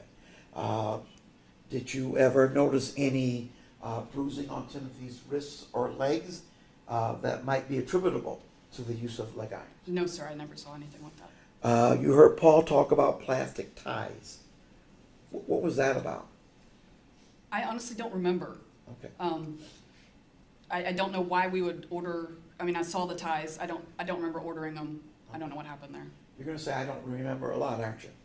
Unfortunately, yes, because of the dissociation. Okay. Explain to, explain to the jury what that means. Um, well, there, I guess there's different forms. Somebody told me this. I did not find out about the PTSD and the dis- disassociation until about seven months after my husband's stroke, even though it had been going on since the stroke. I need to place an objection on the record, and I think we're going to have to excuse the jury. Continue, uh, Mr. Johnson. Thank you. Um, Ms. Van Ark, uh, you, you- you've, you've told the jury about how busy you are, and you told the jury that, that you have some, some physical things going on with you, correct? Yes, sir. How did those things impact you in terms of, of your, your, your your ability to think clearly, organize, and uh, follow through on information? Starting right after my husband's stroke, um, I started experiencing episodes where if you've ever passed out, like the world close, you get tunnel vision and the world closes in on you until you, you completely black out. It felt like I was blacking out, but I didn't actually pass out. Um, and the events that happened after that, I have no idea of what happened. I don't remember it. I, I don't know. It might surprise you to learn that this is a lie. According to multiple experts who examined Shanda, she did not experience depersonalization, disassociation, or any episodes like the one she is describing. But it's obvious why this lie was put forth, because saying you experienced blackouts in your memory whenever you abused your son is definitely preferable to saying you abused him because you thought it was fun. Okay. And this happened anytime I got even a little stressed. So, so you're understanding, you're under oath right now, correct? Yes, sir. And you're asked to tell the truth right now? Yes, sir. Okay. So we're, we're asking you that you not fill in, not guess at anything? Correct. Okay, do you understand that? Yes, sir. So it is, if you don't understand, we need to say you don't, or you don't remember, we need to say those things? Correct. Okay. Um, and, and you did, you did testify that these symptoms and this pressure impacted your recollections, is that correct? Absolutely, yes. And then there's the, the final pressure, you, you're, you're raising children and, and teenage children, uh, some of them in your home at the same Yes. time. So all these things are going on at once, is that correct? Yes, sir. Um, while you're at work monitoring, and you've got the, the ability to monitor the home, uh, would your job permit you, did you have the ability to sit in front of a monitor and watch the home all the time? Or did, were there times that you could not do that? Most of the time I couldn't do it. And why is that? because I had work to do. Um, we were, part of the time I was in court with my judge, um, and then most of the time I was doing research or doing other tasks that my judge or one of the other judges in the county assigned. So I didn't, I didn't have time to do that. Uh, you're, when, when you're watching the videos on the phone, you said you watched them with your, your telephone screen, correct? Correct. And it is a standard screen, nothing special about it? It was an iPhone, I think it was a 12. Okay. Um, I've seen those video cameras where they, where, systems where that you can have four different cameras going all at one time, all the same screen. Was that your situation, or did you move from camera to camera and only have that camera visible? No, the cameras were different brands and different cameras, so you could only do one at a time. Okay, all right, so, and were you wearing an iWatch as well? An Apple Watch, yes. Apple Watch, thank you. Uh, were, were you able to monitor your children, uh, from the Apple Watch? No. Okay. Uh, so if you were, if you were, say, in a courtroom like this and you're doing your job, you got a message on your Apple Watch, you, what would you get? Um, I, you could get messages and pictures. You couldn't see it. I mean, the screen was tiny, um, but you could get messages, and then there's certain like pat responses, like pre-programmed responses, or you can type with your finger. Okay, I'm gonna ask you about a specific, uh, email or text that you received, uh, that accompanied a picture. Uh, it's, it's the one that the prosecutor's given to, to the, to the jury, where, that shows Timothy, uh, from the chest up and then his legs. You know the one I'm talking about? I have heard about it. I have not actually seen these pictures. How could, when you respond to it, how's it, how can that be? I typed on my. We were in court that day. I actually think I responded. I'm in court. Um, I scribbled out a message real quick back to Paul.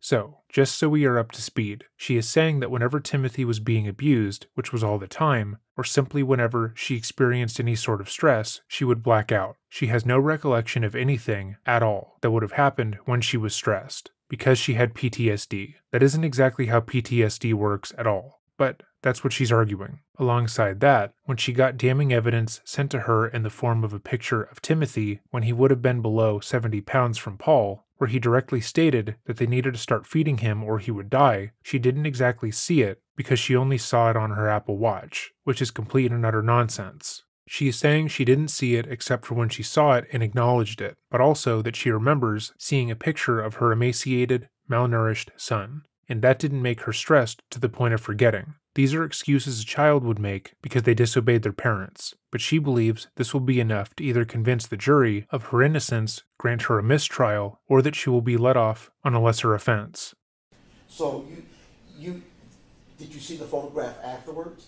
No, I had too many messages on my phone. I don't usually scroll back. Okay. So how did you know to respond to, to, to Paul to say, give him some food?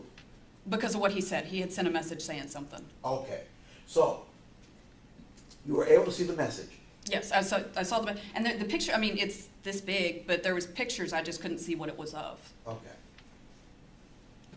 Let's, and I, I deviated again, I tend to do that, sorry about that, I need to be more organized and we'll get there. Um, we talked about the leg irons, we talked about the plastic ties, and did you purchase those plastic ties? I don't remember honestly. Okay. Uh, what about the hot sauce? Talk, tell this jury about hot sauce and your son Timothy.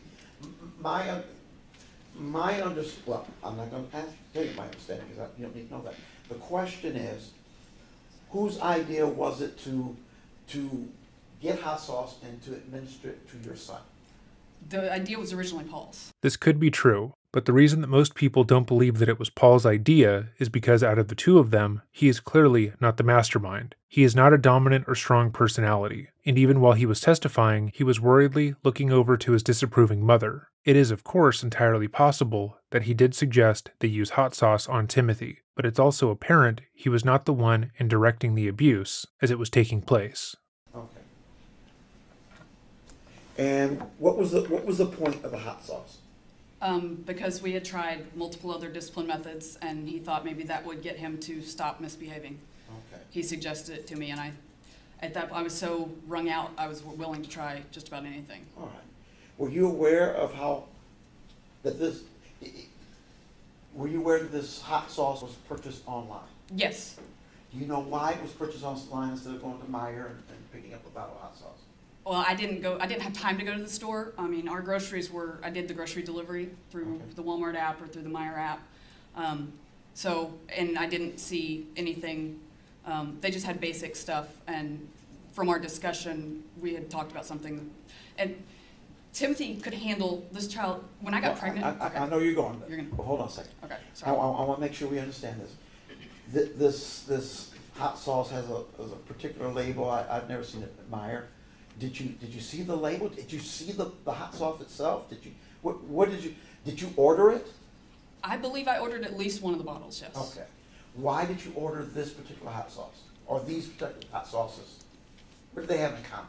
Um, because, I think it was the same brand, um, the same one. Um, because it was hotter than what you could usually get, and because Timothy could, he liked spicy food. Okay. He loved spicy food. Think about what she just said. She said that Paul suggested that they use hot sauce on Timothy as a punishment. Timothy misbehaved so much that they had tried to punish him in every other conceivable way, that finally, Paul suggested that they should give him hot sauce and see if that would work. Eating hot sauce in this case would be a negative thing. It was them disciplining Timothy. And yet, she follows that up with saying that Timothy loved spicy food, that he was obsessed with it, which makes no sense. If you have a child who is misbehaving who loves sugar, you don't punish them by giving them a Snickers bar every time they do something wrong. You take away something that they like, or you give them something that they don't like, because you don't want them to repeat that behavior. Paul and Shanda forced Timothy to eat ridiculously spicy hot sauce. When he was allowed to eat, which was rare, he was only allowed to eat slices of bread with hot sauce smothered on it, and only if he could keep the bread down was he allowed to eat a normal slice of bread with butter on it. This was obviously not something that he liked, but something that they did as a punishment, or because it brought, both of them, some kind of sadistic pleasure. Right. Uh, how, how do you know you like spicy food? That actually started before he was ever born. Um, before I got pregnant with Timothy, I didn't like spicy at all. I mean, I nothing, no heat, nothing. And when I got pregnant with him, I started craving. Um, my ex liked spicy foods, but I didn't, and I started craving. Like I would outspice my my ex. Um, it was amazing.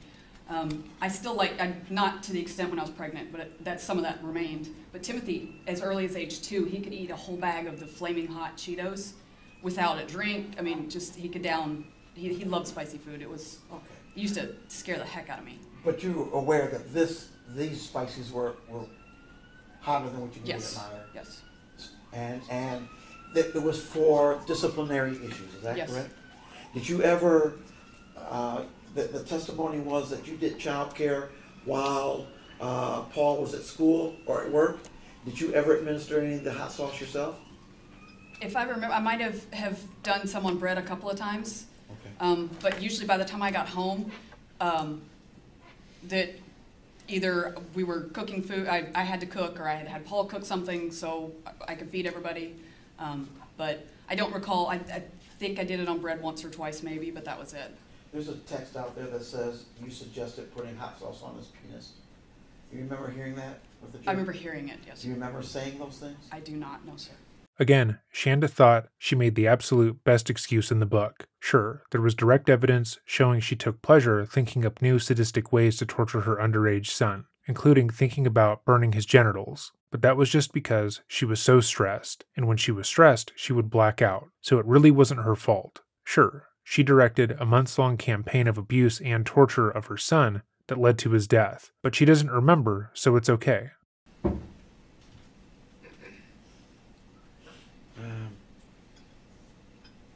Oh yeah, um, we talked. We talked about the ice baths. I'm like, some talk cold baths, and sometimes they were called ice baths. Do you remember that testimony? Yes, sir. Okay. Uh, the the source of the ice, according to the testimony I heard, was your home refrigerator. No, it was actually a countertop ice maker. The refrigerator did not have an ice maker in it. Okay, and you didn't go on by the, the fifty pound bags of ice for the home. No, I did not. How much ice are we talking about that that that, that tabletop ice maker can? It actually made about a cup and a half of ice. I had to measure it to use it for, I made some frappes at times. Okay. Um, the basket was maybe this wide, and then underneath was the water, um, where the water was kept, because that's how it made the ice. Okay. And then it took about two hours to remake more ice. Okay. Basically, this is the defense's way of saying that her instructing Paul to force his brother to sit in a bathtub for nearly nine hours a day wasn't really that bad, because he only had to sit in a cup or two of ice, which might not be that bad for someone who is a normal height and weight. But Timothy was 60 pounds when he died of malnourishment and hypothermia. It was torture.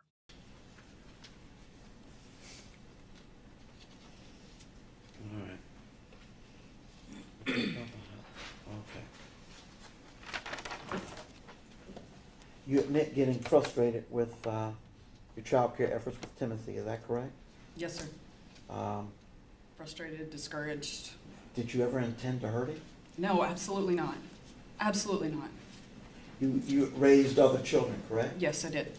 And uh, while Timmy was malnourished, do you, to your knowledge, have any of your other children ever been reported as malnourished? No, not at all. I, as I looked at Paul, he seemed uh, like a thin guy to me. He is. That's we're all pretty small. Well, Okay. other my oldest is a little bit thicker. Okay. My, my question is this, is it, was Timothy's, when he was healthy, was his build like his brother's, or was, is he, was he built like his older brother who's a little heavier? He went back and forth. Um, he actually there was an, um, a situation where he actually got on the, the bathroom scale in it was after Mother's Day of 2022. Um, I can tell you why I know it's after Mother's Day if you want me to. No, that's not Okay, necessary. unless but you ask. um, I was I, I was training a new service dog, um, as has been discussed. It's a Great Dane puppy. He was seven months old at the time, and he was too big to sit on the bathroom scale to get his weight. And I wanted to see what he weighed. And Timothy, what we would do is somebody would stand on the scale, get your weight, and then you pick up the dog. And Timothy wanted to help out that day, um, so I I thought the dog would be too big for him at that point. He was already really big at seven months old, but uh, I said, okay, let's try it. And so it was, like I said, sometime after Mother's Day. It wasn't very long after Mother's Day, but at the time he was 104. Timothy was. Okay. Um, he could not pick up the dog because the dog was 102 at the time. Okay.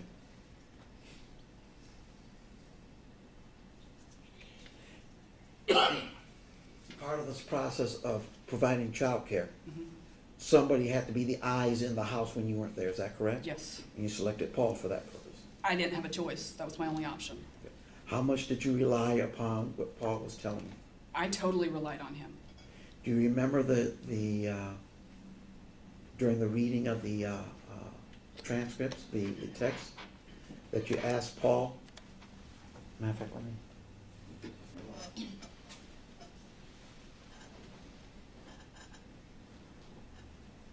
Be honest with me. Are you worried about him at all, or is it all a bunch of BS like it has been for days? Do you remember that? Do you remember that text? Um, vaguely, yes, sir. Okay. Do you remember his response? I remember he said he wasn't worried about it. Did you rely on that? Yes, absolutely. He was the one. I was I was at home so few hours when the kids were awake, unfortunately. And then you had to sleep, try to sleep yourself. I tried, yes, sir. And They your- slept better than I did. let- Let's let's face it. Your house is a mess. It's a wreck. Yes, sir. Why was that? I'm honestly, I'm not a great person at keeping things clean, and having three boys that contributed. Um, I tried to, to get help, their help cleaning up as much as I could, but I just didn't have time or the energy with the lack of sleep and everything else going on. I, I barely functioned. Okay. And um, that, that, e- that message I, well, strike that, need that. Did you depend, I, I asked you, did you depend on what Paul was telling you? Yes, sir. To your, in your opinion, did Paul ever, for lack of a better term, sound the alarm? Not that I was aware of, no, sir. Okay. Do you, that one message, where, was that it? That was it. That's the only thing I got from Paul that ever had any concern. With the one little pictures in it? Yes, sir. Okay. To be clear, Paul is just as responsible as Shanda. He could have saved Timothy's life, and his choices directly led to his brother's death. But Paul didn't need to raise an alarm to Shanda. She is not an idiot. She knows that if you don't feed someone, force them to run up and down the stairs of your home for hours, then place them in the freezing cold bath, that that would lead to their eventual death. She knew that forcing him to sleep in the closet, locking the food up and away from him, and making him do manual labor naked wasn't something that she would find in a parenting handbook. She knew that what she was doing was wrong, and she didn't need to be told by her son that it was. And it's, okay, let's talk about some other stuff here. Um, once, once you discovered that, that Timothy had passed, uh, and once the police get there, do you tell them the truth? I was so freaked out. I was, I'm sorry.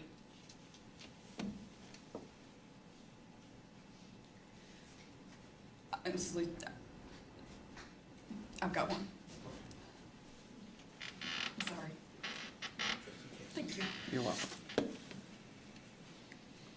Why didn't you tell them the truth? Why were you so free? I don't remember what my line of thinking was at the time. I was so tired. I, I don't, I don't know. I wish I had an answer for you, but I don't. Were you tired at that point? I was exhausted. I, the night before he passed, I had had less than an hour of sleep.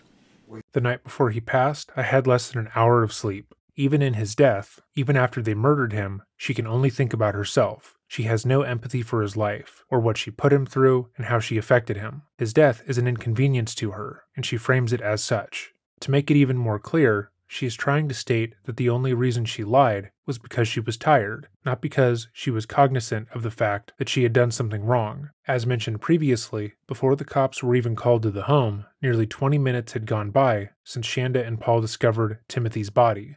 Paul tried to resuscitate his brother, but when they realized he was too far gone, Shanda and Paul carried him over to one of the beds in the basement, dressed his nearly naked body up, and tried to stage the scene as if he had died in his sleep.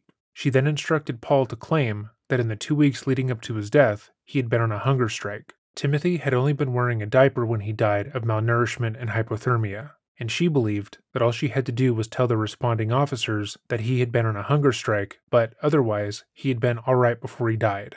Whenever someone tries to argue diminished capacity, which Shanda is clearly trying to imply here, the topic of what the guilty party did immediately after the murder is always brought up, because in most cases, it shows that they did know right from wrong. If Shanda believed what she had done to Timothy was justified, she would have justified it. She would have told the police the truth, said that she believed in a more rigid set of disciplinary measures, and would have told them that she forced Timothy to sleep on a tarp in a closet.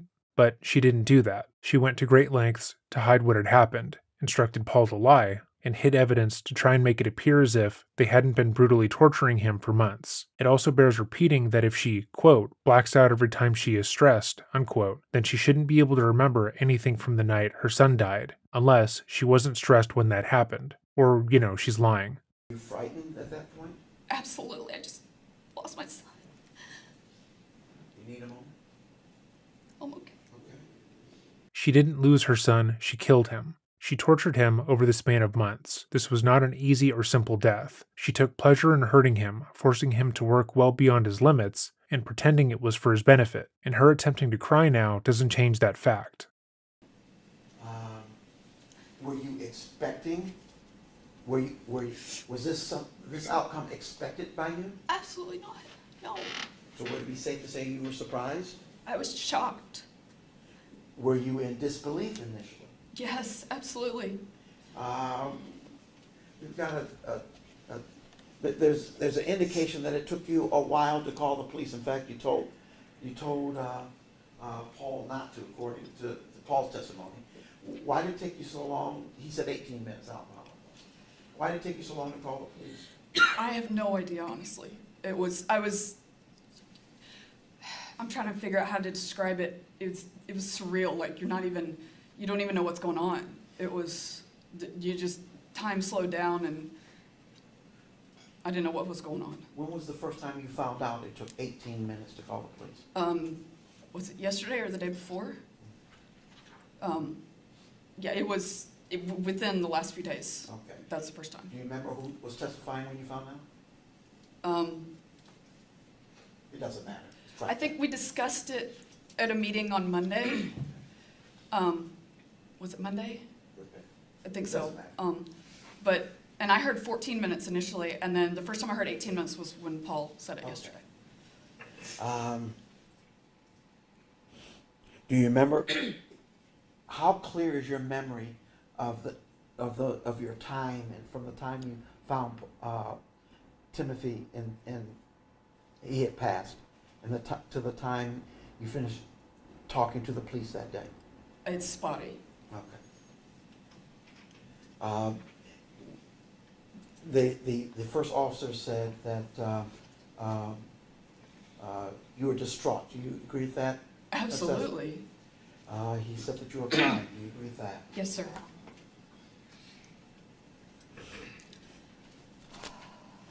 Do you remember telling the police that you that uh, you pulled Timothy from his bunk bed when you found him in distress? I remember saying something like that, yes, sir. Was that true? No, sir. Do you remember uh, providing CPR for Timothy? Yes, I do. When, when did you stop that?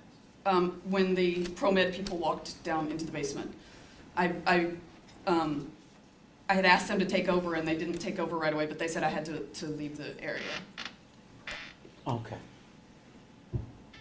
Let's do the hard stuff here. Um, jury's seen pictures of Timothy. We've all seen pictures of Timothy at the time of his death. How could you not know he was that ill? How could you not know? Honestly, I just, I was barely functioning. I missed a lot. There's, I mean, I hate it because, I mean, I feel like a complete failure, but there was things that I just didn't see. There was a lot that I didn't see. Let's discuss things that she saw. She saw him running up and down the stairs and ordered his older brother to chase him to make sure he was running fast enough. She saw him doing wall sits in the closet for hours, monitoring him on the cameras she had set up while she was at work. And if he passed out or didn't do them right, she would punish him. She watched and timed him as he went to the bathroom, keeping a motion sensing camera in the room at all times. She saw him take ice baths, and if he ever seemed too comfortable in the tub, she would instruct Paul to move him and make sure he wasn't enjoying himself. She saw him become incontinent, unable to control his bowel movements due to malnourishment. She saw all of this and she acknowledges all of it. She just doesn't want to take responsibility for it. It is quite sincerely that simple. At this point in the testimony, she still believes that what she is saying is completely understandable. Unfortunately. Those on those in those texts, you you instruct Paul to make sure he's getting enough calories, correct? Yes, sir. I did. You had a restricted diet, correct? Yes, sir. But you instructed Paul to make sure he's getting calories. Yes, sir, I did. Did you rely on that? Absolutely. Um, Paul says he called the police ultimately. Who called the police? I called 911. It was on my phone. I'm sure you can pull the call and find out where it's from.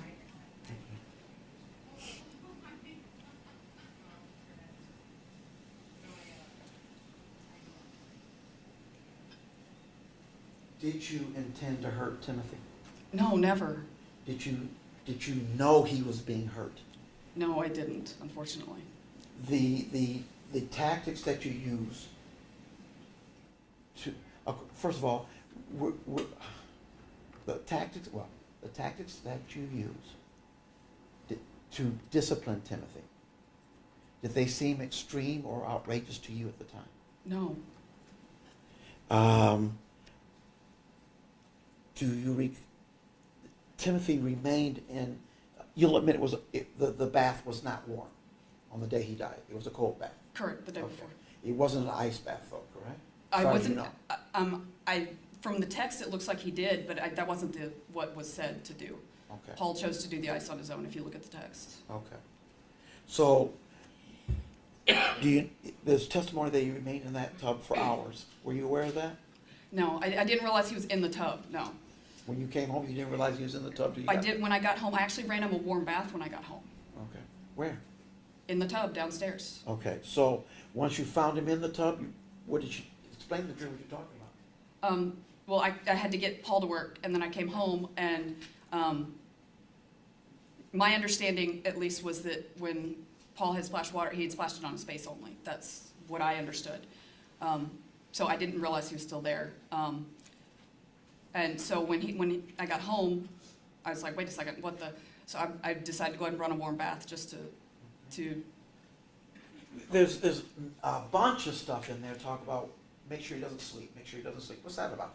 Um, there was a couple of situations where he actually, Timothy actually intentionally kept everybody in the house awake. Um, he would intentionally set off the motion sensors. Um, he would make noise. Um, with the house being a bi-level, you could hear a lot from the downstairs. Um, but he intentionally kept everybody awake. No, he didn't. Shanda, you forced a person to wear a motion sensor at all times. You forced him to sleep on the cold, hard ground and never gave him food. If he moved at all, even if he was just adjusting while sleeping, the alarm would go off, waking up everyone in the home. No one more than him. But again, she has no consideration for that. She cannot have any empathy for her deceased son, because to do so would say that she did something wrong. So instead of looking at the situation and saying that maybe he wasn't intentionally keeping everyone up by setting off the motion sensor because it's crazy that he was forced to wear one in the first place, she has to say that he set it off on purpose. He was truly the evil one, tormenting her by not accepting the abuse correctly. She was the one being tortured, because why couldn't he just sleep on the cold floor and not move the way she wanted him to? Okay, if you're going to keep us awake, then you have to stay awake. Okay. So, here, here's the, here's my question. If he slept all day, what would he do all night? Oh, he'd be up all night. There's no. He had to. You had to get him up no later than about ten in the morning, or he was he was up all night long. Okay.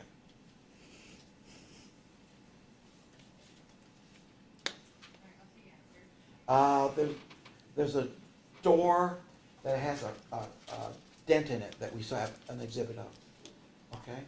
Um, and, and you heard Paul testify that he, he did that. Yes. What is your recollection of that incident?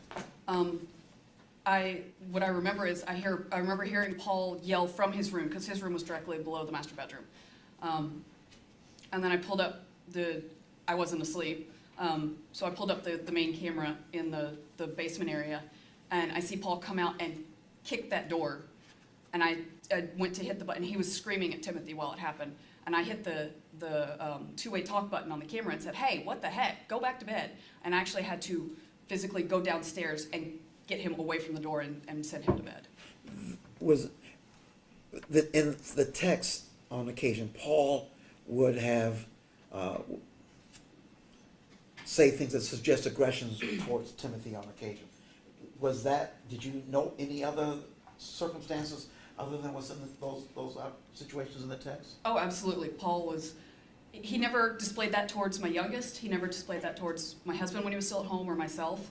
Um, he would get aggressive when he was playing games. He would get really angry. He had some serious anger, anger issues. Um, and then when Timothy moved up, and Timothy did push his buttons some, but he just he never reacted well. I mean, he just overreacted to Timothy every time. It was he hardly ever reacted rationally to Timothy. Then why the fuck did you put him in charge of Timothy? You were the parent. You were the one responsible. If you cannot take care of the child, if you cannot mentally or financially handle being a parent, or even taking on the care of an autistic teenager, then don't. Even if what she is saying is true, she would still be responsible. She wouldn't have put her son, who she knew hated his brother, in the care of that same brother. She had other options. She just wanted to abuse Timothy because it was fun for her. And so, uh, other than what he was texting you, and other than what you could see when you weren't working at, at, at your job, uh, you don't have firsthand information as to what's going on between Paul and Timothy. Is that correct?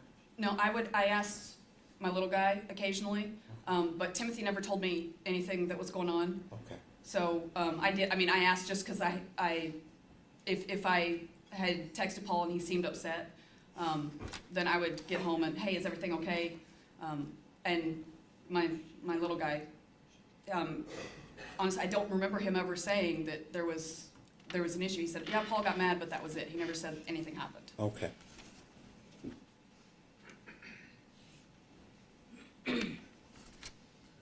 One moment.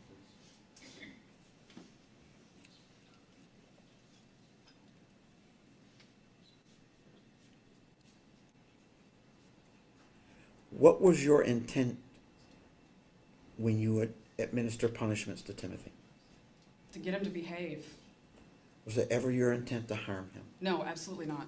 No, I, the, the, uh, the locks on the fridge and freezer, they're actually, he, that was, he scared the heck out of me after my husband's stroke. And that's what brought those two on. Okay. You, uh, I can tell you what happened. what was the incident, and then I got a. what was the incident that caused you to put locks on the fridge? Um, I had just purchased a two pound bag of frozen chicken nuggets and put it in the freezer. Um, and overnight, I guess he got a- around the motion sensors. Um, but the next day, it was a weekend, and the next day I went to, um, little man asked for, for some chicken nuggets. And I went to get them, and the, the bag was empty in the freezer. And I was like, what on, I mean, we hadn't touched it. And so I started asking, and at first Timothy lied to me. He said he didn't touch it. Um, and then I went and checked with little man and with Paul, and nobody had touched the. So I went back because I had issues with both Paul and Timothy lying to me a lot. Um, so I went back to Timothy. I said, somebody, nobody else has touched this. He said, I ate them. I said, okay, did you cook them? He said, no, he ate the whole two pound bag frozen, Okay. uncooked chicken. All right. Were you concerned about his health and getting into and eating frozen food? Yes, and um, he ate, um, there was a time where he ate uncooked bacon out of the fridge before the chicken nugget incident. He ate a whole pound of uncooked ground beef at one point. Um, this was all after the stroke when there was less people to keep an eye on. Did it occur to you he's doing those things because he's hungry? He's starving?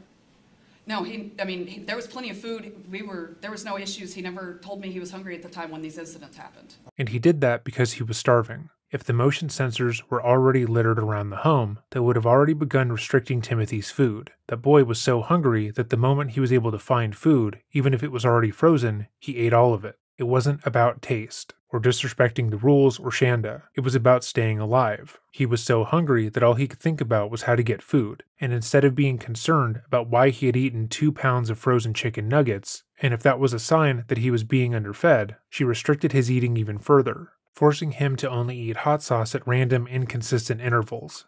Her stating that he never told her he was hungry is probably true, but there's a very good reason as to why that probably was. If you were Timothy, and every time you eat something in the home, you were being punished or abused, why would you then tell the person who is abusing you that you were hungry? You wouldn't. Moreover, how was Timothy supposed to trust Shanda at all? She had taken away his bed, his schooling, forced him to sleep with a motion sensor on, and would ridicule him day in and day out. According to the camera that she kept in the closet where he slept, the last thing she did was make fun of him for breathing with his mouth open, and called him a dummy. He could not trust that if he told her he was hungry, she wouldn't punish him or hurt him further, so he probably never said that, even when he was actively dying. So, fast forward. You offer him two pizza rolls if he does a certain thing. And you say, I don't care if they're frozen when you give them to him. If you're concerned about him eating frozen food, why would you offer him two frozen pizza rolls? because the chicken was uncooked and it's dangerous. I was that actually I had a, a panic attack when he did the chicken. It was it was terrifying. I broke down completely. So the nuggets were uncooked chicken. Yes, it's uncooked chicken. That's it, it that could have killed him. Okay. It freaked me out. And but the pizza rolls were at least cooked. Yes, that was just you frozen. reheated them. Okay. He was, and I'll give you one more. He was rail thin. How did you not notice? I wish I hadn't answered that. Um, part of it, he actually, from the time of the stroke, because my husband's stroke was January 3rd of 2022, so it was most of this was cold weather. Um, part of it was he wore he wore big clothes, he wore hoodies. The clothes that were sent to him from his dad and stepmom, um, most of the pants didn't fit him well to begin with, and I had gotten him a couple of pairs of jeans, but I mean I couldn't afford a lot. Um, and he also, um, once the stroke happened, he got really reclusive. Um, he, he just, I mean, he didn't want, and I had to force him. Um, for a while, when he was doing his homeschooling, he would do it on his tablet. And then I found out he was, I tried to lock the tablet down, um, but he was doing other stuff on his tablet when he was supposed to be doing schoolwork. So I started the, the curriculum that he was on. You could print the, the assignments and the questions.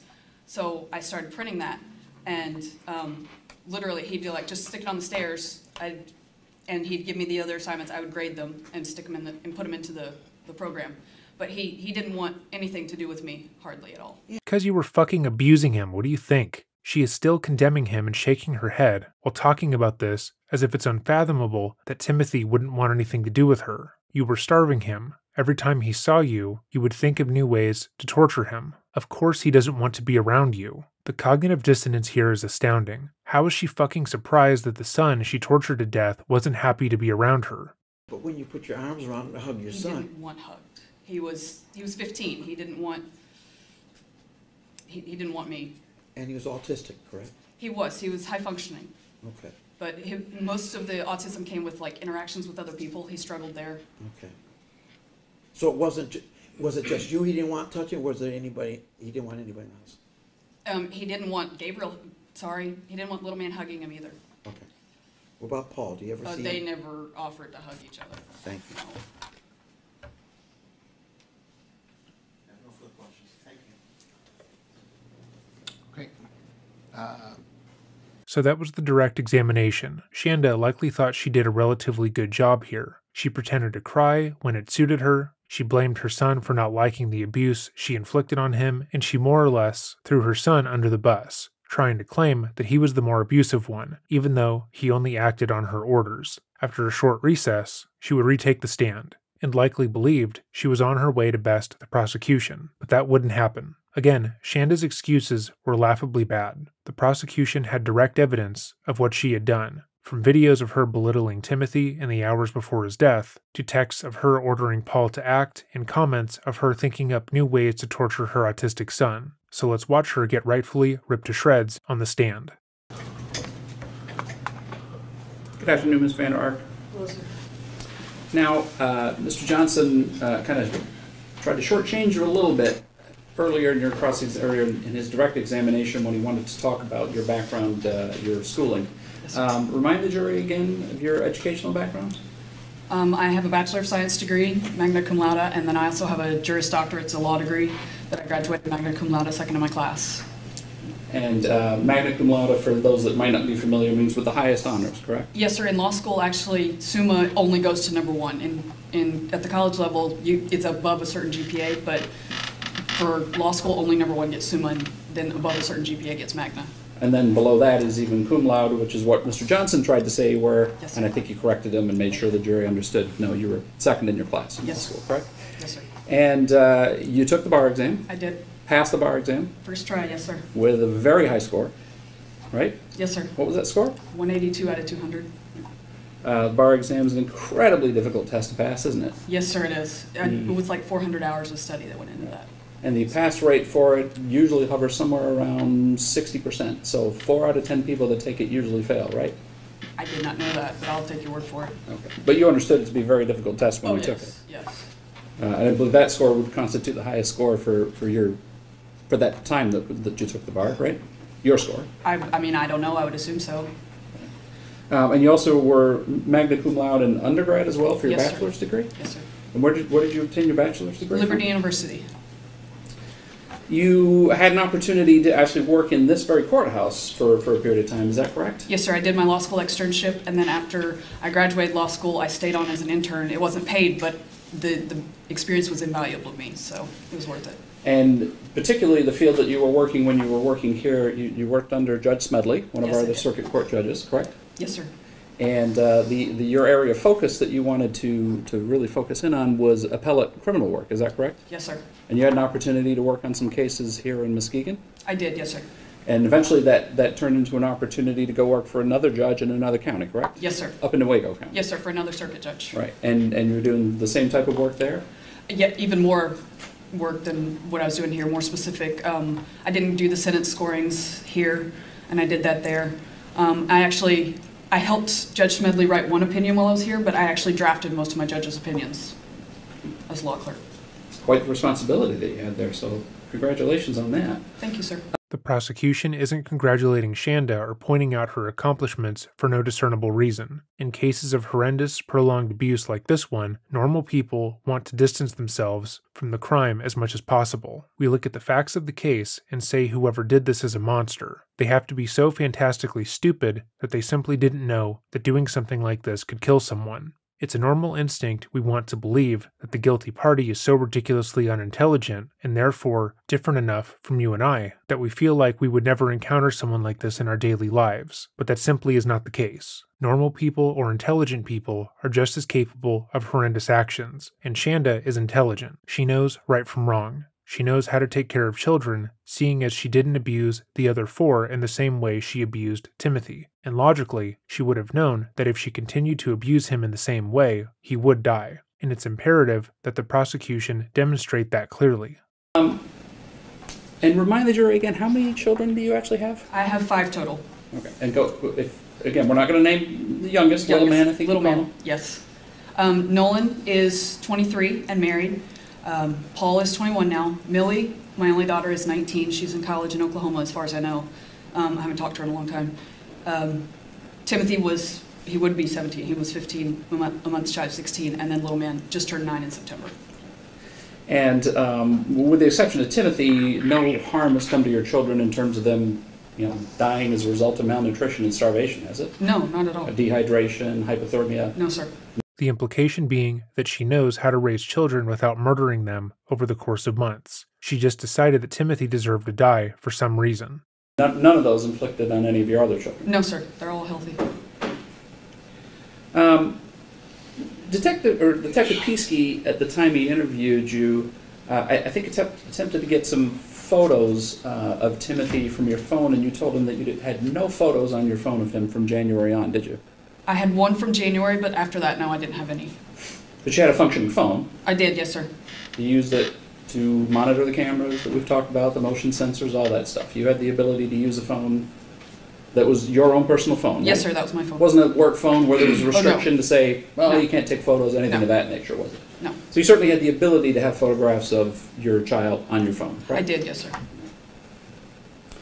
Um, let's talk about some of your health issues because we listed quite uh, quite a few issues that, that in terms of your diagnosis and health issues that you had. Um, I think you said ADHD, um, something called sensory processing disorder, OCD, OCD. Um, tho- those PTSD. PTSD. I, I would, I guess, I would kind of classify those more as almost. I don't, I don't want to use. I'm not using this word in a negative context, because those are almost more mental disorders. Would you Yes, agree sir. with Yes, sir. No, I, I agree with that. Right. You also had some physical disabilities as well. Yes, sir. And I, I don't know if Mr. Johnson went into those, so why don't you He didn't. tell the jury what your physical disorders are as well? I have um, allergy-induced asthma. I am allergic to almost everything environmental other than animals, every different type of pollen and mold and, and weeds. And then I am a reactive hypoglycemic. Um, I have been my whole life, but it was actually after Timothy was born, it got much worse. And um, they finally figured out right after I moved here why it, I mean, what was going on. But it required, I can eat, my blood sugar will still crash. So I can pass out, I can be doing whatever and just pass out. So. And if I'm not mistaken, you actually, I had, I had the opportunity to meet him. Very, very nice, but very large dog. You had a service animal when you worked here, didn't you? Yes, sir, I did. Gemini. Gemini, yes. And Gemini's function as your service dog was was what? He was scent trained to pick up the, your blood sugar smell. Um, if you've ever been around a diabetic, when their sugar's high enough, they put off this hubba bubba bubblicious smell. Well, we as humans, we can't pick up the low blood sugar smell, but a dog can actually pick up your sugar going up about 20 minutes before we can. And they can pick up the low blood sugar. So he was scent trained. He would let me know when my sugar was about to crash. So I always carried orange juice with me, and that would keep my blood sugar up for two and a half to three hours guaranteed. And then he was also trained if I ignored his alert, and this did happen at work a couple of times. Um, he was trained, he was off leash. He was trained to go and get somebody to bring them to me to make sure I took care of it so I didn't pass out. Um, it's just remarkable that dogs can do that. That's just It an aside. Um, and was Gemini the first service dog you had? on? No, sir. He was my second. Okay, and so you had one before Gemini, did. and then One after. then one after, and that was Sharma. Is Sharma, right? yes, sir. He was another Great Dane. Another Great Dane. Okay. I like the Um, big dogs. So you are certainly, uh, you are keenly aware of your health issues and the things that you need to do to address your health issues, right? At times, I don't take great care of myself. I will admit that. It, and the fallback to that is you have a dog that will It alert does. you if your blood sugar gets low. Yes. Yeah. So you understand that if, so you have a backup plan. Yes. I, Right? Yeah. So if, if, if I forget to eat or my blood sugar gets too low, then my dog is going to alert me to that, so I've, so I've got a backup plan. Yes, right? sir. But you understand the, how that works. You understand Yes, sir. the medical need to, to have those things treated. Yes, sir. And the need to have your other issues that we talked about, get treatment for those issues as well, don't you? Yes, sir. Um, sensory processing disorder involves basically overstimulation, right? Yes, sir.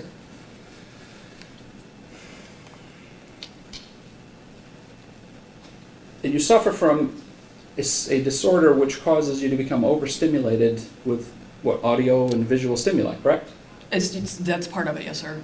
It can be stress related as well. But as a punishment for your child, you decided that hot sauce, audio alarms, cold, cold, we'll get into this later, but cold, at least cold, if not ice baths, and isolation and sensory deprivation were appropriate means of punishment. This is one of the best questions that the prosecution could have asked, because it immediately tells you everything you need to know about Shanda. Shanda cared about herself. She cared about if she was overstimulated, if she was impacted by someone else's needs, and the lengths she would go to to hurt someone she believed was negatively impacting her. That is how she viewed Timothy. Is that, is that your testimony? Those Yes, were sir. appropriate forms of punishment? For some of it, yes, sir. You also train service animals, correct? I do. And when you train service animals, um, is, is crate training involved, involved at all? in Yes, crate? it is usually. And, and explain what crate training is to a jury. Um, it depends on what you're using it for. Usually, it's part of house training to begin with. Um, and when the service animal in training is very young, you don't get to take them with you 24 7. Um, so you don't want to leave them unattended a lot of times. Plus, the putting a dog in a crate, a lot of times that's comforting to them. They like the, the, the more enclosed space.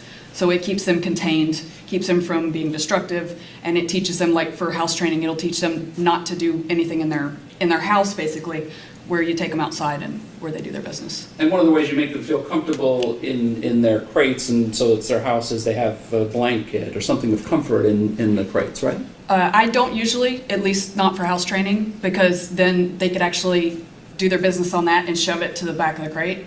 So I don't usually put anything in there. But that is a method that some, people, do use employ. it. Some people use it, yes, right? but I don't. Um, we've had a lot of, there's a lot of text messages. We had a lot of testimony from Paul yesterday and a lot of photographs about Timothy's small room. Um, that was basically like a crate, wasn't it? I don't, I don't believe it was that enclosed, but he, he asked for a space that he could close the door. He asked to go in, into that? He asked for a spa, he, he asked for somewhere he could, um, some place he can go in and close the door. And it was actually half joking, I was like, that's all I've got. Because the other rooms were taken and I- there was no way he was sharing with Paul and I didn't really want him sharing with little man either. But you didn't set that, that up as a room for him, did you? Not originally, no. He was actually out in the, the lower area for a while. Shanda's argument at the beginning of her testimony was that she was severely mentally unwell during the time she was taking care of Timothy, and that she was not fully cognizant of what was happening to him. Despite being able to take care of her toddler and everyone else in the house effectively, she simply didn't realize that she was abusing her son over the span of months. But for every decision that she made that negatively impacted Timothy's life, she has an answer. According to Shanda, she didn't force Timothy to sleep in a bare closet on a plain blue tarp because she wanted to punish him for being bad. She did it because he had asked for his own room, and that was the only place available. It wasn't this horrendously hurtful and cruel action. It was actually her being considerate. She stated earlier, this very day, that in hindsight, she realized that a lot of what she did was despicable, and she just wasn't mentally present during those moments. And forcing your neurodivergent son to sleep on the floor of a closet is objectively terrible, yet she is adamant that it's not that bad. Also, she never set that area up as a room for him. The way she phrases her response implies that eventually she did. But you didn't, you didn't put a bed in there, you didn't put We a did mattress originally, in yes. there? He tore it up. Okay, but there, but there was no mattress, nothing of comfort for there in him the day before he died, was there? Not that day, no. He had torn it up. I couldn't afford to get another one. You put a you put a blue tarp in there, didn't you? It was on, that was what was on the mattress previously, yes. And the tarp was because he would wet himself. Yes, sir. Because he, I tried the mattress covers, I tried plastic, I tried some of the rewashable, and he kept tearing them up. So his place of comfort was a closet with a blue tarp.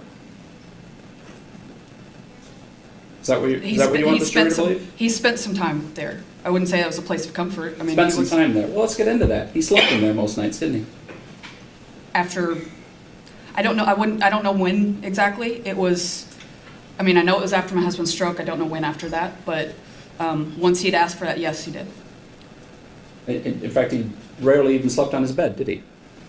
Um, he had taken the bed apart and lost some of the bolts. I couldn't, it wasn't safe for him to sleep up there. because she really cares about his safety, right?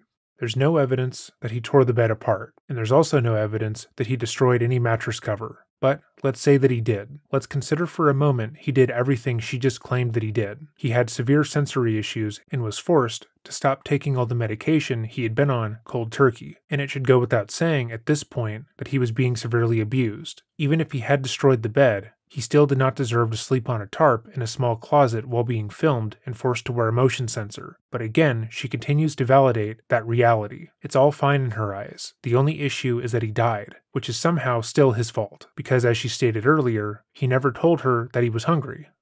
So, so the bed that we see in those pictures, it wasn't even safe to be used? No. So it was a complete lie when you told the police officers that you had to pull him off the bed to put him on the ground to do CPR, wasn't it? Yes. And it was a complete lie when you told 911, I need to put you on hold so I can take him off the bed to perform CPR, wasn't it? Yes, sir. I don't even remember. So in all your days, all your confusion, all your blacking out, tunnel vision, all that, you, you were able to somehow remember. I, I ought to tell everybody that Timothy was sleeping on a bed. Remember doing that. Vaguely, yes, sir. Mm-hmm. Again, though Shanda and her team aren't fighting for diminished capacity, it's clear based on what she said on the stand, she is claiming that she simply didn't realize what he was doing was killing her son. But that cannot be true because she immediately knew that she had to lie and try to hide what they had done. Had she been forthcoming on the phone with 911 and the responding officers and was otherwise unaware that she was at fault, that argument would make sense. By pointing out how quickly she began to lie and how deliberate those lies were, the prosecution is ruining the, frankly, already poorly made arguments. Have you ever given hot sauce to the dogs, to train the dogs? Um, I have put it on a couple of objects to keep them off of objects, yes. Keeps them, keeps them away from it, right? Yes, it does. Right, because they don't want to eat the hot sauce. Mhm. Uh, and you would, so you never actually grabbed a dog, forced its mouth open, and poured hot sauce down its throat, have you? No. Never put bread, put hot sauce on a piece of food and then fed it to them, make them eat it, have you? No, because I don't give my dogs human food. You can't do that with service animals. No, but you could put it on dog food, didn't you? I guess I've never even thought about that, honestly.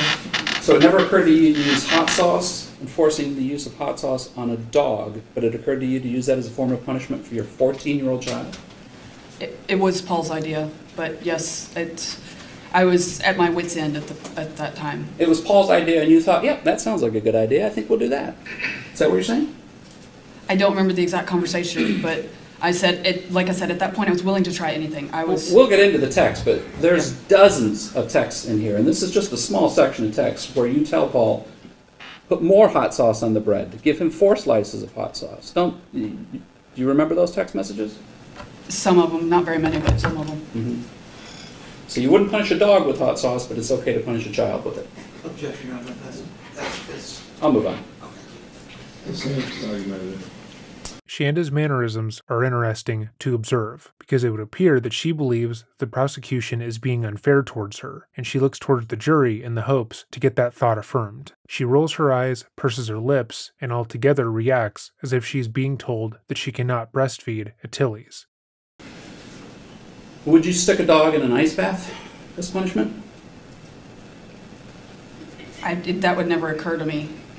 But then having big dogs, you don't, I don't bathe them at home anyway. I use dry shampoo or then I, or I take them somewhere else. I, I don't have I'm talking about as a form of. I'm not talking about giving them a bath. I'm talking about using. I don't have space. form of punishment, putting a dog in an ice bath. I don't have space to do that, so I, I wouldn't think of that because I don't have space with that size dog. You're saying if you had a large enough tub to punish one of the dogs, you'd put him, put him in an ice bath? I can't, im- I mean, I can't imagine doing that, but You can't imagine doing that. Right? Correct. You can't imagine punishing an animal by putting him in an ice bath. Because animals can't think the same way humans can. So it's okay to do it on a human because they can think, right? They can, they can think better than dogs can, so it's okay to put them in an ice bath. Is that what your testimony is? I don't want to put words in your mouth. Can you repeat the question? I'm sorry. Is it okay to put a human in an ice bath because they can think better than dogs can, but you wouldn't do it to a dog? I mean, based on the way you asked that, I guess the answer would have to be yes, but it's just a, it's not Okay. the way I think, so. I'm not uh, trying to put words in your mouth, but you said you wouldn't do it for a dog, but we know you did it as a punishment for I never, Timothy. I never did personally. Yes, she did, and she also ordered that to be done. Shanda tries to appear as if she was simply complicit in the abuse done by Paul, but I ask you, does Paul seem as if he is the one in charge of anything? Based on the direct evidence, Shanda was the one instructing Paul about what to do, not the other way around. Her trying to spin it any other way is false. But you told Paul to do it. Um, yes, a couple of times. And it never occurred to you, this is not a good idea. We shouldn't be doing this, right? No, because it was, the, um, the amount of ice was almost, I mean, it was non-existent, so. So it's okay as long as it's not a lot of ice in the ice bath? Is that your testimony? If it doesn't affect the temperature much. It Starts off as cold anyway, doesn't it? Um, not originally. I don't know down the road, but originally I did, that's not what, what I had told him to do. Because the original time, the first time that happened was before my husband's stroke. It was, Timothy had, um, the, we, we noticed there was no hot water. And we were like, what the heck? And I went down and I'm looking and I noticed the pilot light's not on on the water, it's a gas water heater. I'm like, what on earth is going This on? ends here? with Timothy turning off the gas, doesn't it? Uh, This- yes, this- sir. This part of the story, okay. And he lied about Let- it for let- let- two days, but Let, let me just make sure I understand then. Is, is, is it your testimony that you put ice in an otherwise hot bath to cool it down? yes. Why don't you just start with warm water to begin with? I honestly don't know. That, but that's what, that, what happened the first time. So if you repeatedly refer in these text messages to them as cold and or ice baths, but that's what it was at the end, wasn't it? Cold baths or ice baths, At right? the end, yes, sir, but not the first time. That doesn't matter. She continues to try and justify her actions, as if the jury is going to follow her line of thinking that leads towards her torturing her son. It doesn't matter if the original punishment was giving her son a luxurious spa experience if it ended in him being forced to sit in ice baths for seven hours plus. That doesn't change what happened, and that doesn't justify it either. Not the first time, you, you you apparently needed ice to cool down a hot. I have no idea what I was thinking. I was, we'd, ha- we'd all had to have cold showers for two days, and he'd lied to us about the water heater. I'd had to have the gas company out.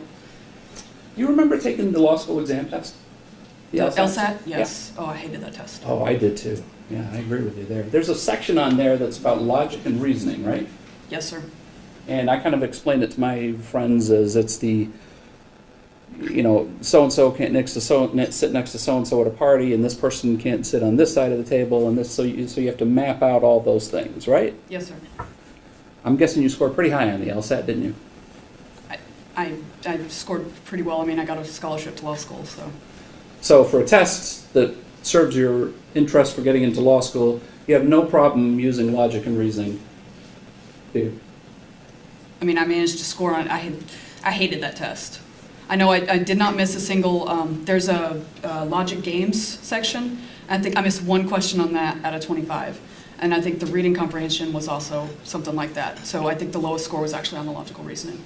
Any person can assess where the prosecution is going with this. We can clearly see the tale he is trying to weave, where her intelligence, and specifically her results on the LSATS and the bar exam, make it impossible for her to not realize she was abusing her son, but she cannot help but to brag about her results. Instead of trying to defend herself and justify her original position by saying that she could recognize patterns in behavior on a test, but not in reality, or stating that she was so blinded by stress she didn't even realize, she boasts about her high test scores. She's hurting her own argument, but she needs to talk about how good she did.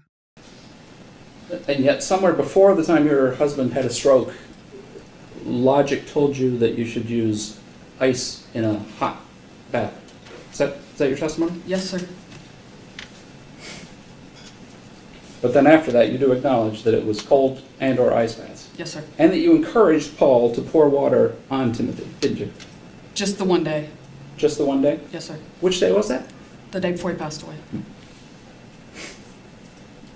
Now, Mr. Johnson asked you some questions about uh, homeschooling and not ever taking Timothy to a doctor. Do you remember that? Yes, sir. And I think you said that the reason you couldn't do that is because you couldn't get your ex-husband to help you out with signing over custody. Do you remember that? Correct. Yes, sir. The truth is, you were, by court order, not allowed to have custody of Timothy, weren't you? That's correct. But I was offered the option of either taking him or they were going to put him in foster care. And I didn't I didn't want my son in foster care. I don't think anybody would.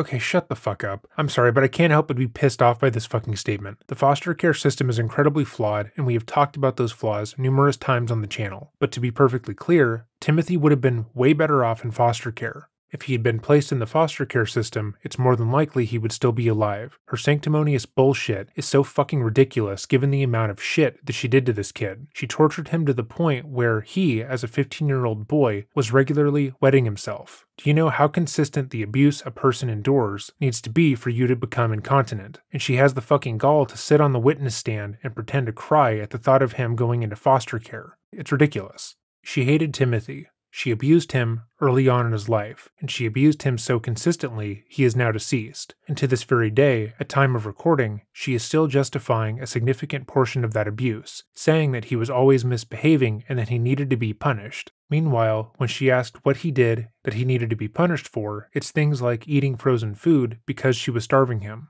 To sit on the stand and state that she needed to take custody of him lest he become part of the foster care system as if she is saving lives is disgusting. It's one of the sickest things we have had to cover, and that's saying something. There was a court order that said you are not allowed to have custody of Timothy. I'm not talking about a custody agreement. I'm talking about a court order that says you can't have custody of Timothy. Uh, my understanding of the, the order that you're talking about, um, it wasn't that I couldn't, it's just that I didn't get custody that time.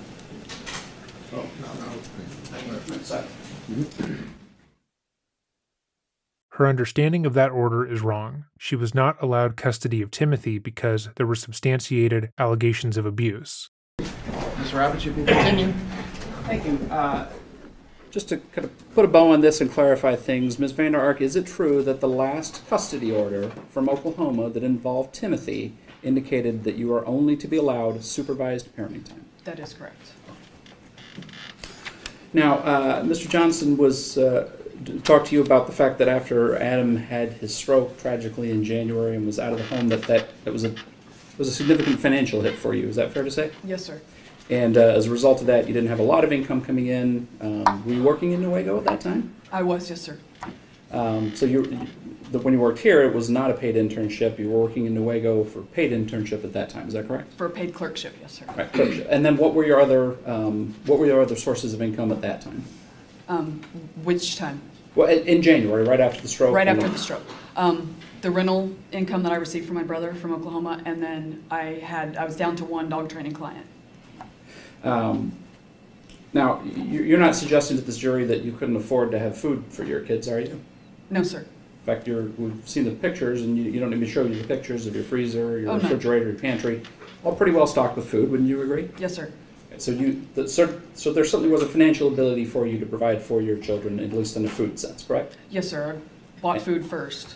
And you're you're a highly intelligent woman, and I'm sure you're aware of multiple resources available in the community if that ever became an issue, right? Yes, sir. United Way, food pantries, anything of that nature, but, but you never felt the need to reach out to any of those resources, did you?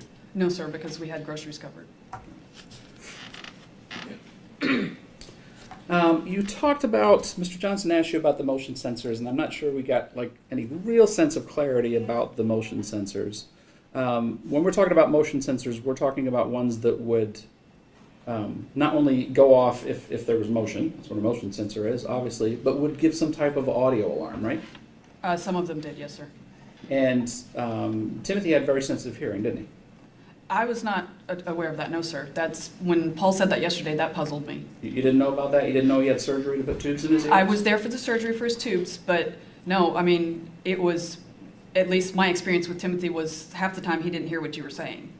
Shanda did not care about Timothy. That much has been made obvious. But at this point, it's absurd. Firstly, because she had sensory issues, so she would know how excruciating loud noises like alarms could be. She was there when Timothy had surgery on his ears, and she was told explicitly by his doctors growing up, as well as her ex husband, that he had sensory issues as well. Moreover, there was no way that Paul would know that without her being the one to tell him. But beyond all of that, at base level, Timothy is autistic. If you read any literature about autism, or even just take a cursory Google search about how autism can manifest in different individuals, one of the first signs of autism in children is a lack of reaction to verbal stimuli. Individuals with autism usually have a hard time appearing to focus on anything that is outside of their hyperfixation or special interest. Timothy not, quote, hearing what she is saying, unquote, was not a hearing issue or a sign that he wasn't sensitive to auditory stimuli. It was a symptom of autism, one of the most known symptoms. Shanda wasn't stupid. If she deemed something worth her time, she would put energy into learning about it. But she didn't think her son was worth it, so she didn't even know the most basic facts about him and what he had to deal with. Um, did you know that he found it d- discomforting when that when those noises happened? Did you know that that was, you know, for lack of a better way of putting it, that was that was a punishment too for those noises to be going on? No, sir, I did not. Um, um, and- and Timothy was autistic, right? He was on the autism Yes, sir, I was spectrum? on the spectrum. Loud noises, disturbances, things like that. Those are troubling for folks with autism, aren't they? For some of them, but he never, I mean, he, he liked to listen to his tablet extremely loud. Um, and I remember, because little man, sorry, I'm trying not to say his name. Um, you know, when we'd have thunderstorms, it sometimes it would freak him out, and it didn't. Things like that didn't bother Timothy at all. And Timothy sat with me. Okay, go ahead and judge me or laugh at me, but when I, before the PTSD, I used to watch when I watched college football. I would scream at the television every play, offense and defense. That's just who I am. And um, and Timothy was right there with me, hollering at the TV. So, so the, the alarms didn't bother him at all. I mean, I wouldn't say that. I mean, they they bother people, probably some, everybody, but I but they didn't. It wasn't. He wasn't overly sensitive to it. Right, because it begs the question: if the alarms don't bother him, what's the point in having them, right? Yes, sir. And they were there as part a a disincentive for him to do the things he wasn't supposed to do. It was to let us know he was doing it too. That way, we knew what was going on. But it was it was supposed to also be. You're Yes. not supposed to be doing this, and we know when you're you're going to be doing yes, this, right? It was. It was so he knew we would be notified. And the, the doing this that we're talking about is coming out of the basement area of the home, right? Coming upstairs in the middle of the night. Yes, sir. Coming upstairs in the middle of the night. Yes, sir. So so these would only be active at night. I only turned them on at night. Yes, sir. So there's no text messages in there about turning on the motion sensor during the day, so we can't come upstairs. I. I mean, I don't recall it, but But you would, i- if those are in there, you would agree with me then that you were using the motion sensors to keep him downstairs even during the day, right? it, I mean, if it happened occasionally, I'm Sure. just. Do you remember the text exchange about turning off the alarms so that he can go to the bathroom and then turning the alarms back on after he's done going to the bathroom? Do you remember those? That was read the other day. Vaguely, yes, sir. Well, I- I'm sure you remember them from being read the other day. Do you Yeah. remember sending those text messages? No, sir. No memory of those text messages. No, sir. And you're talking. There's. Are you talking motion sensor or there was there was I'm one. talking motion sensor right now. Okay, there, the motion sensors are, are still. That's not. That it, that's different. You're talking about a, a. It was actually for a bike alarm, like for somebody stealing a bike, I guess it was. And you, that was the one that, that was that you were referring to. The motion sensors that we've been talking about are posted in the house, and those don't get turned. Those didn't need to be turned on or I off. see. So the motion sensor with the alarm was the one that was outside? Is that what you're saying? The motion sensor with the alarm, the, the one that makes noise, was not one that was in the house? No, they were up, up on the stairs. There was there's a personal one that you could attach to whatever you wanted to. Right. There was one of those, and then there were several on the stairs. I see. Okay. And the purpose of the one on the stairs one was to make sure he didn't come upstairs. In the middle of the night, yes, sir. Right. And the ones to and you actually the ones that you could attach to a thing, you actually attached to a person, didn't you? Occasionally, yes, sir.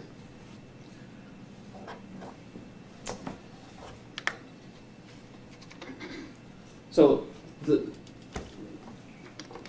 let's talk about the cameras then. Um, well, I guess let me ask you this question.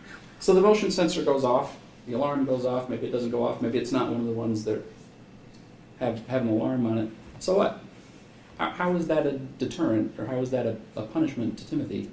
That wasn't meant as a punishment. It was to let us know so we could go make sure that he was, you know, he wasn't wandering around. He wasn't getting into taking batteries apart and taking other, messing with stuff that he shouldn't have been.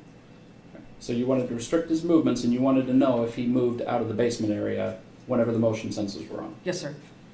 And the cameras are, I, I think you testified that the camera, at least initially, you put the camera in place in, Gabriel, in G's room to make sure that he wasn't running around without his clothes on, right? Yes, sir. When he was a toddler, he would strip down. How does putting a camera in his room to show him running around restrict him from doing that? Well, it doesn't restrict it. It was to let us know that he was doing it. And you have a problem with him running around? He wasn't potty trained. Wasn't potty trained, I see.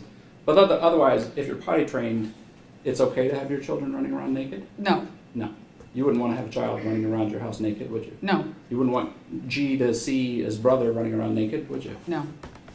Then I'm wondering why the text message that you sent to um, Paul about about Timothy making a mess in the garage was that he had to clean the garage without anything on below the waist, and then he could stand against the wall without anything below his waist. I don't remember that, sir. I'm sorry. You don't remember that text message? No, sir. Interesting.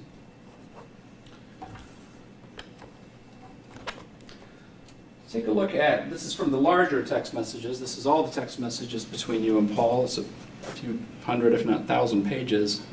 Uh, take a look at, this is page 5783 if Mr. Johnson wants to reference. The, this, the blue is your text messages. Can you read that for the jury, please?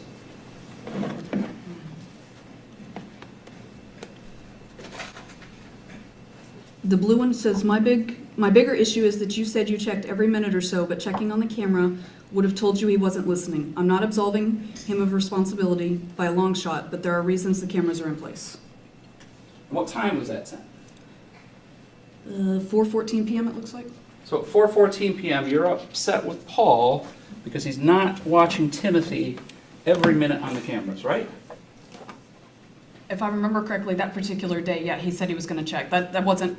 I didn't expect him to check every day, but there were days that were much more challenging, and that was when I asked him to keep a closer eye eye on. Once again, Shanda destroys her previous excuse. She stated that she only abused him because she would black out from the slightest bit of stress, and that caused a severe lapse in judgment. But now, when she is shown a text message that would have been sent while she was stressed and while Timothy was being abused, she can clearly recall why she sent it and what it was about. If I was going to claim that I had no memory of an event, I would continue to say that, but Shanda believes she can outsmart everyone in the room. She thinks that the jury is going to hear how Timothy turned out the pilot light once and ate a two pound bag of frozen chicken tenders and immediately understand why she attached a motion sensor to his person. Where's the text message that describes what the challenging incident was that day? I don't know, sir. I mean, there was it was there was a lot of challenging incidents. Going upstairs? No, sir. Going upstairs was okay during the day? Um, as long as that as he was being monitored, yes.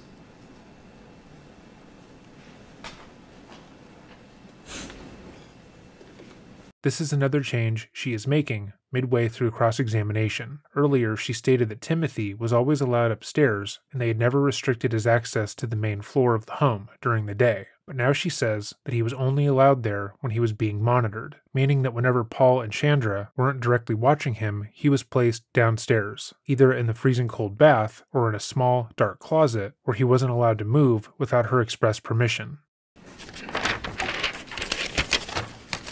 You talked about we, we talked about the autism already. You talked about a number of other issues that um, that Timothy had: bipolar, ADHD. Were there some other ones? or was it Sensory just processing disorder. Sensory process. So he had the same disorder that you did. Yes, the sir. sensory processing disorder. Um, But there's different it's there's different manifestations of it.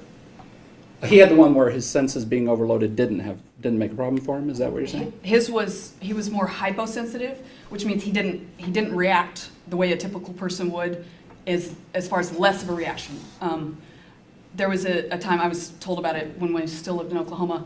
Um, I guess he was being given a bath and he fell and, and hit his jaw, and they didn't. He didn't say anything. He wasn't. He didn't say he was in pain. Well, I guess he went to someone's bedroom, and my oldest son brought him back out, and he had completely bitten through his tongue, and not said anything. So he, he did not react as much to stimuli as most people do. There's hypo and hypersensitive, and he was hyposensitive. And is there medication for that that you take? Not that I'm aware of. I don't. Uh, do, do you go to counseling for, for, for you, or did you go to counseling for, for you? Not for that, no, sir. Um, for any of your other issues, though? I have over time. It's been a long time. Um, but in fact, the entire time Timothy was in the state of Michigan, you never took him to a counselor or a doctor to address any of those issues, did you? No, sir, I didn't have insurance, the insurance information. Again, she didn't need the insurance information to get him access to the medical professionals that would have helped him. You didn't reach out to any resources in the community that might have been available to help, did you? I, I did actually Yes or contact- no? Did you reach out to any resources in the community? Which ones? I contacted DHHS about uh, getting on Medicaid, but they said that because he had other insurance, that would be primary, so we still had to have that information. Did you reach out to Community Mental Health or Health West, I guess it's called now? I didn't, I wasn't aware of it. I didn't, I I hadn't heard of Health West until I started working in the courthouse. Right. You worked in this courthouse in the county that you live in for at least an entire summer, as I recall correctly. You, you and you never knew that we had a, a, a mental health agency here, here in Muskegon County. I didn't realize that's what it was for. I, I honestly, I didn't think about it. I re- the only, as far as resources go, the only thing that I thought about was DHHS for things like Medicaid and food stamps.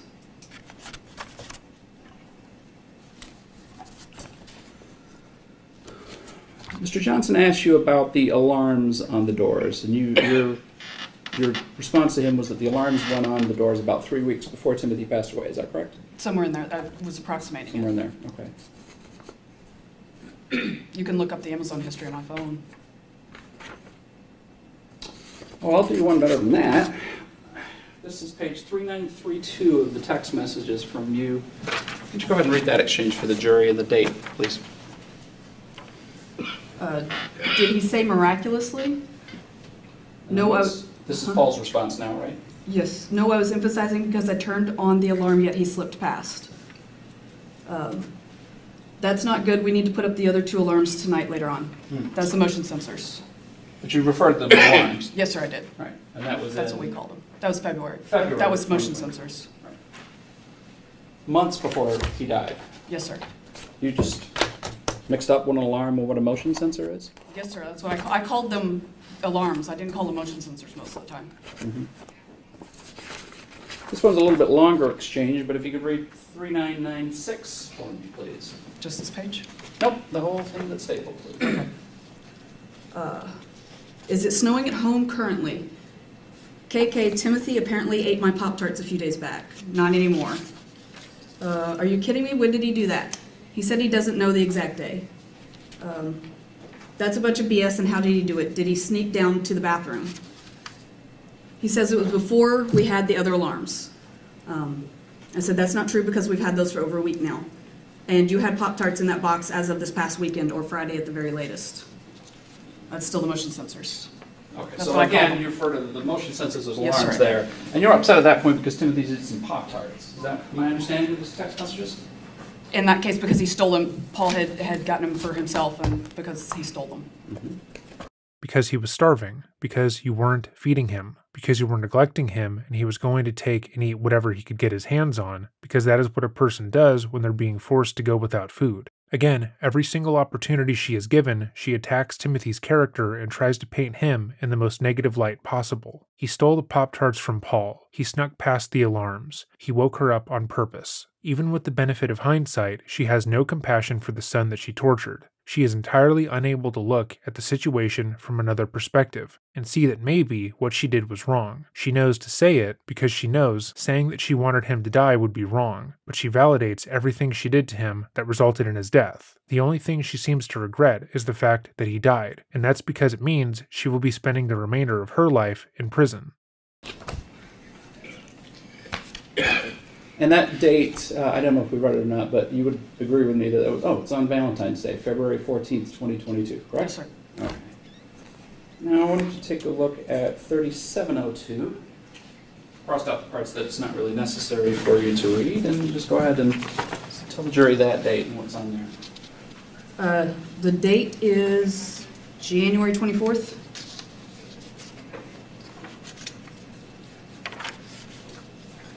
Okay. Okay. Uh, Did Timothy have to wash his sheets? Question mark. Yes. I said, ugh, okay, pretty sure that is him pouting over the extra camera and motion sensors. So, and that was in January of 2022, correct? Yes, So sir. no problem referring to it to a motion sensor in January of 2022, but suddenly, come February, you mix up what an alarm and what a motion detector are. Yes, sir. Correct? Yes, sir. Like I said, you can check my Amazon history. You don't want to revise your testimony about when it was that you started using alarms on the doors? No, sir, because it's it's in my Amazon history when I purchased those.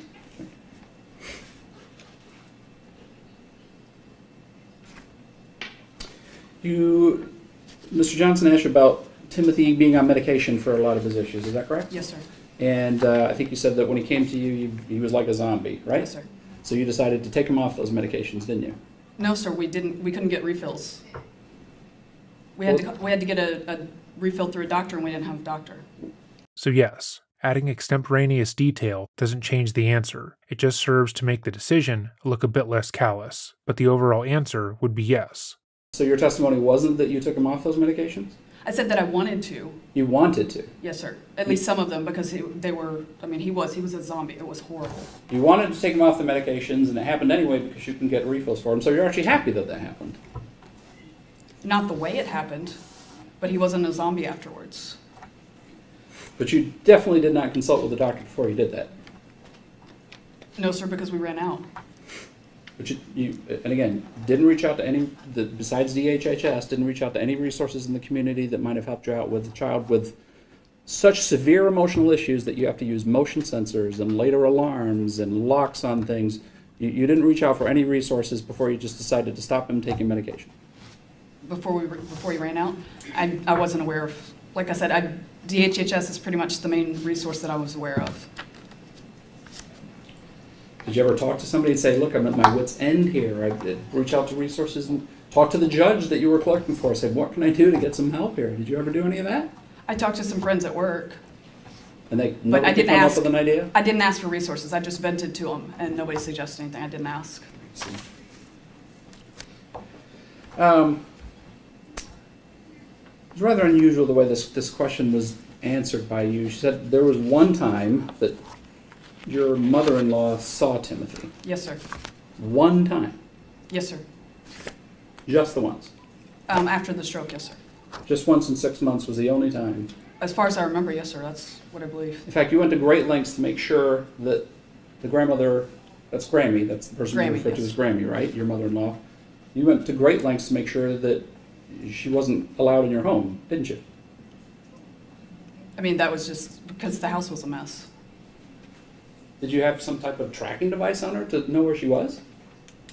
Um, she, we had her phone under our, our phone plan, so I could look up on, find my iPhone. Because usually when she was, that way, um, Paul wanted to know when she was coming to get Gabriel. Oh, gee, sorry.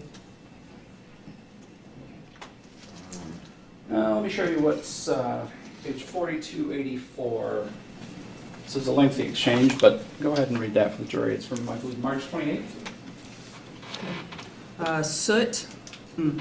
Uh, stupid thing writing on my watch. That should have said good. Uh, Grammy left home about 10 minutes ago. Hopefully, she will not beat me there this time, but please have him ready to go. And please keep a very close eye on your messages. I will track her on the app as I head home. Um, hey, I need to see to make sure you're seeing these messages, and please make sure his new shoes are on him. Okay, thank you. Um, and do not, do not, do not let Grammy inside. Exclamation point. Yes, sir. Right? Okay, uh, she will probably beat me there, but not by more than a couple minutes. You get clothes on too, please. Okay, uh, go ahead and take Gabriel outside and sit Timothy down to stand up against the wall downstairs. You can, it says create the puppy too, but, um, OL and then okay. She should be pulling up pretty soon. Okay, I got it. I'm glad you got it, but you better be outside. Uh, he is outside, do you want to say goodbye? That's Paul's response back to you, right? Yes. And I said, yes, I do. I'll be there in just a minute. Headed to the car now. How's it going there? He said, good. Already taped the coat rack. I think you can stop there. Um, so you're tracking her movements on your phone as you're driving home At stoplights, yes, sir. Because you're worried that she's going to see a messy house. Yes, sir. And the solution to that is put Gabriel outside when, so that he's outside when she gets there, right? Yes, sir.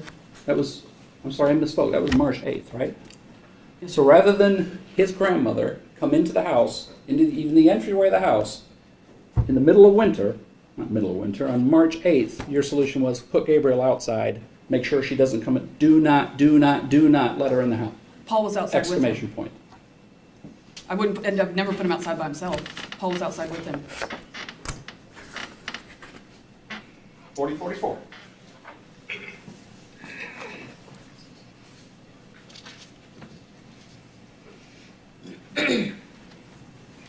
Uh, Please also have some decent clothes on in case I need you to bring a little man out. I'm hoping Grammy does not beat me there. It looks like it will be close. Uh, He said, okay. Said, I will tell you when to take him outside to wait for her. Just please make sure she doesn't leave until after I get there. I haven't been away from Gabriel at night since this all started, and I wanted to give him a hug and kiss before he goes. Uh, Okay. Go ahead and go outside and wait for her. It shouldn't be more than a few minutes before she gets there. Just please don't let her leave until after I get there. Uh, She is almost there, Are y'all outside. I would like a response to that message. Um, Question, question mark, question mark, question mark. You might need to make Timothy stand with his nose, it says of against the front door on the inside. Please tell me that you and the child are outside. Seriously, no response. I am almost there and I'm more than a little upset at the moment. You're upset because at that point you don't know whether or not she's going to come into the house, aren't you? I was upset because I wasn't getting a response. That drives me crazy. It's a pet peeve. I hate not getting a response via text message. Right, so you better have my child standing outside so his grandmother doesn't go inside, and oh, by the way, put my other child up against the front door with his nose against the wall, right? Because he was in trouble for something. I mean, I don't know what happened before that exchange. What would, what would, what, what would he do to get punished to have him make sure he's standing against the wall with his nose against the door? That's, that was one of the punishments. He would, we'd make him stand against the wall with his nose. And the reason I had it against the door is because I didn't want him getting into anything. That way Paul had a better ability to monitor him. 4123.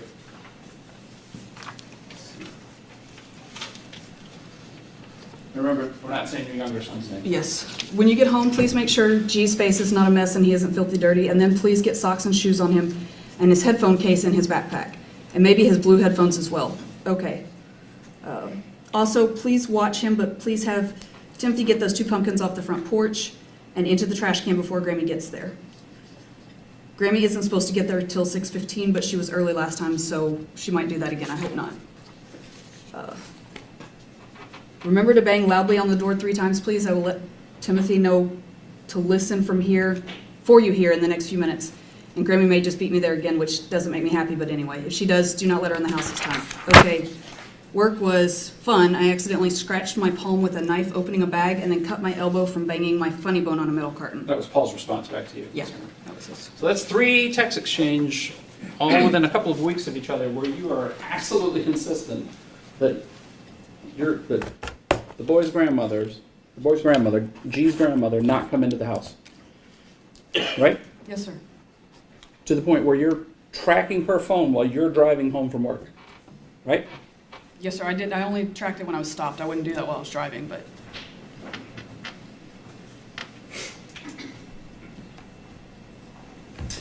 Now, Mr. Johnson asked you about the uh, leg irons. Do you recall that?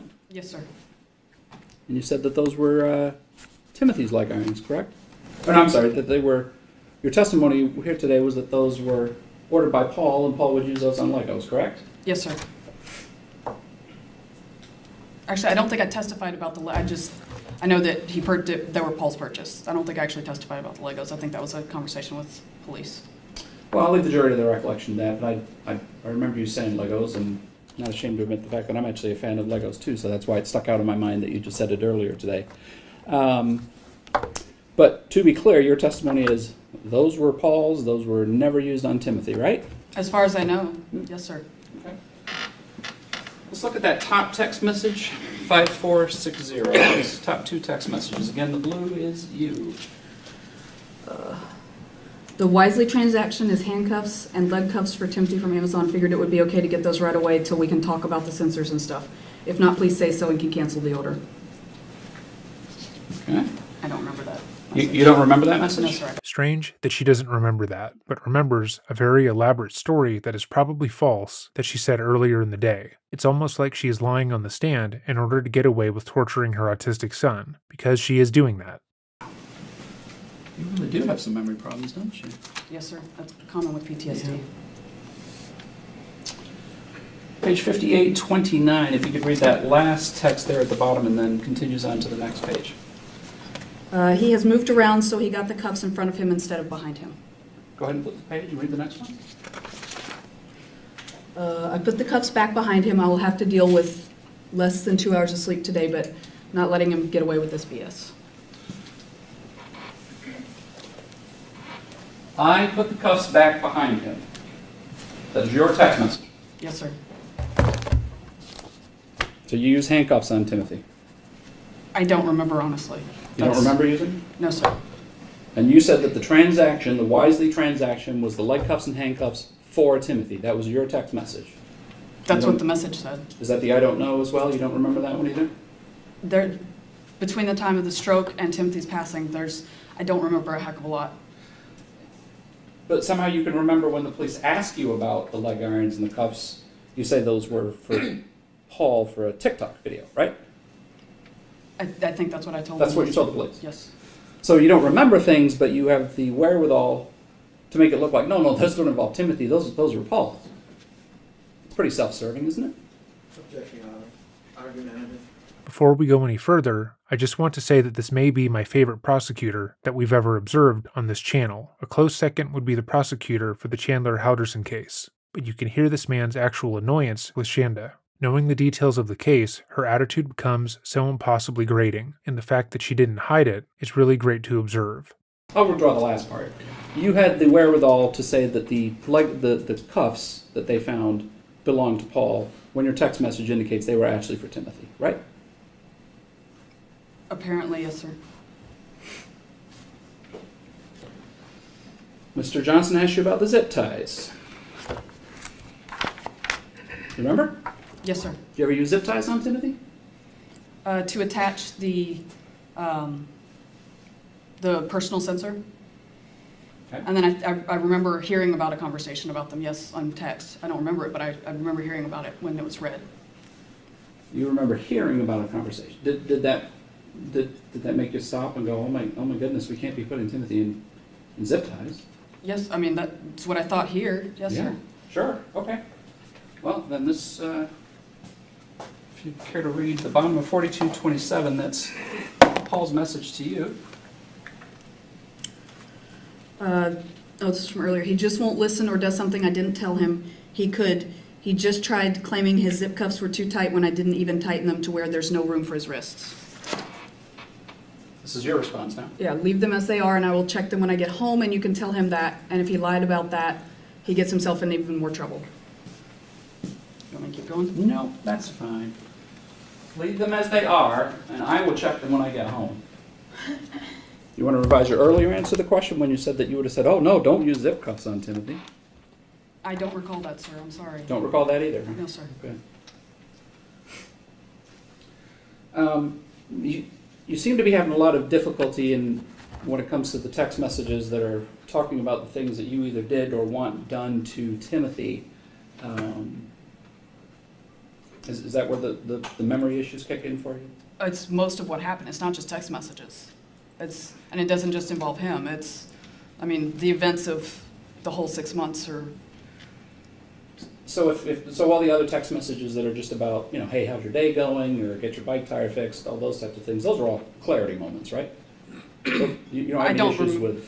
I don't know if I, rem- I mean, if you showed me, I don't know if I'd remember them or not, honestly. That's, we sent a lot of text messages. No, but I'm, what, what I guess that was a clumsy way of asking that question. You're certainly capable of engaging in a conversation with Paul that's not about anything for Timothy, right?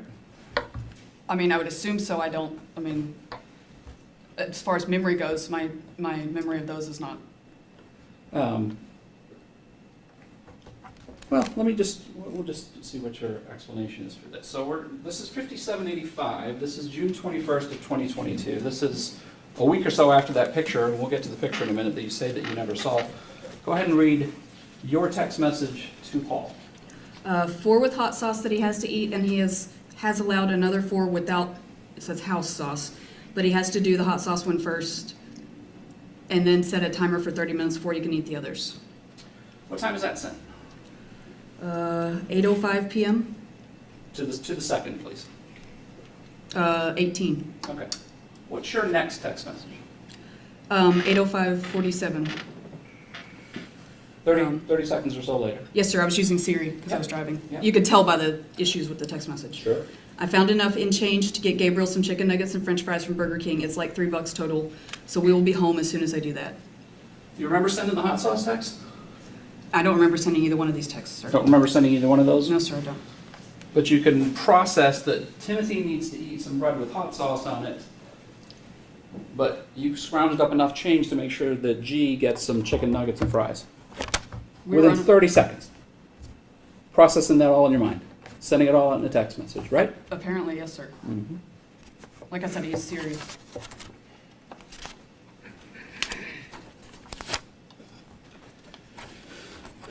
Let's talk about the photograph. It's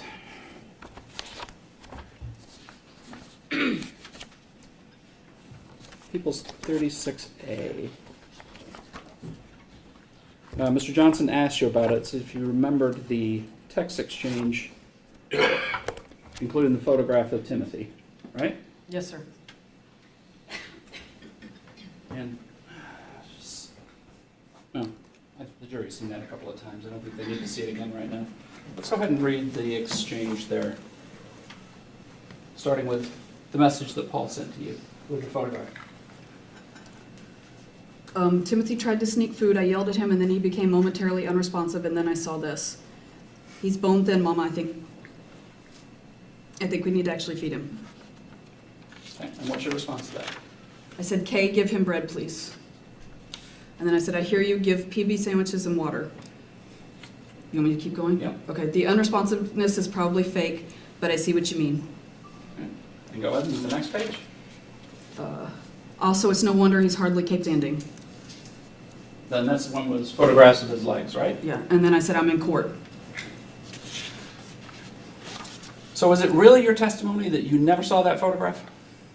I do not recall seeing it. I, that was it. I feel like I want to throw up. If you recall, Shanda said that she never saw the picture that was sent, specifically because she responded to the text message via her Apple Watch. She claimed the photo was too small to make out, but here she clearly remarks on the photo, states she saw it, and notices that Timothy's legs were so thin that it was no wonder he had a hard time standing. And yet, even after this, the abuse did not stop. This was shortly after he died, when he was under 70 pounds, and they still chose to restrict food from him, as well as have him sleep on the cold ground, force him to wear a motion sensor alarm, and had him sit in ice baths for hours. To be clear, she didn't say she didn't recall seeing it earlier in the day. She recalled, in immaculate detail, getting and responding to the text message. She said when she got it, how big the image was on the watch, and remarked exactly how quickly it took her to write back. If her story was simply that she didn't recall seeing the image, that she had no idea how bad things were, and that she sent those messages while blacked out, she would have said as much. But instead, she gave an entirely different version of events, one that doesn't align with the direct evidence. We know she has done this before, given all the lies she told the police the night of Timothy's death, so this is in line with her pattern of behavior. When someone makes her look bad, she will simply lie to try and make herself look better. The only issue is that there is no amount of lies that can actually excuse what she has done. You don't recall seeing the photograph, right? No, sir. The unresponsiveness is probably fake, but I see what you mean. You literally use the word see in your text message about see what you mean. But your testimony today is I didn't, I didn't look at the photograph. I didn't see the photograph. Yes, sir. That's. I mean, it's a phrase that you use. It's a phrase that you use. I see what you mean. Yes, sir. Isn't that usually when you see the things that the people are talking about? Sometimes. Hmm. I'm wondering why. She says G is under her breath here, and it seems that she might be realizing, finally, how horribly this is going. Your response to your son saying that your other child is bone thin and needs to eat, actually feed him. That's the phrase. Actually feed him, right? That's what he said. Yes, sir. Right. And your response to that is, Kay, give him bread, please, or bread with peanut butter. Is that right? Yes, sir. Not, oh my goodness, this is, if he's that hungry, yeah, make him a Make him some chicken nuggets. Make him some pizza. Make him some pizza rolls. Make him any one of a dozen or so things that were in your freezer or your refrigerator. Any of that. But that wasn't your response, was it? No, sir, I was, like I said, I was in court. I just was scrambling for an answer. You were in court, but you were able to send one, two, three text messages before you said you're in court, right? Yes, sir. And the first answer you could come up with to feed your child was give him bread. I don't remember what I was thinking at the time, sir. I just know that I was distracted because I was in the middle of stuff with court. But not so distracted that you can say, well, the unresponsiveness is probably fake, but I see what you mean. Like, I don't know how, I mean, I don't know what was going on when that was sent. I honestly don't.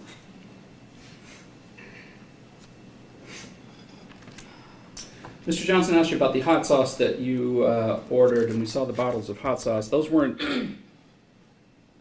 those weren't just ordered from Meijer, were they? No. You had to special order those, didn't you? On Amazon, yes, sir. Um, I think you said the reason that you couldn't just get those from Meijer for your grocery delivery things is because they just didn't have hot sauce, right? No, they didn't have that type of hot sauce. That type of hot sauce. Yes, sir. Okay. How did you how did you conclude that that was the type of hot sauce that Timothy? How do I put this? Both loved and got to be used as a punishment.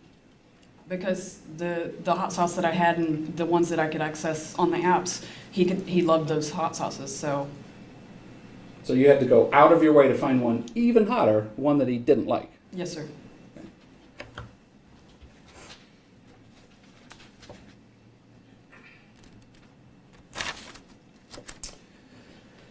And the, the hot sauce started as Paul's idea?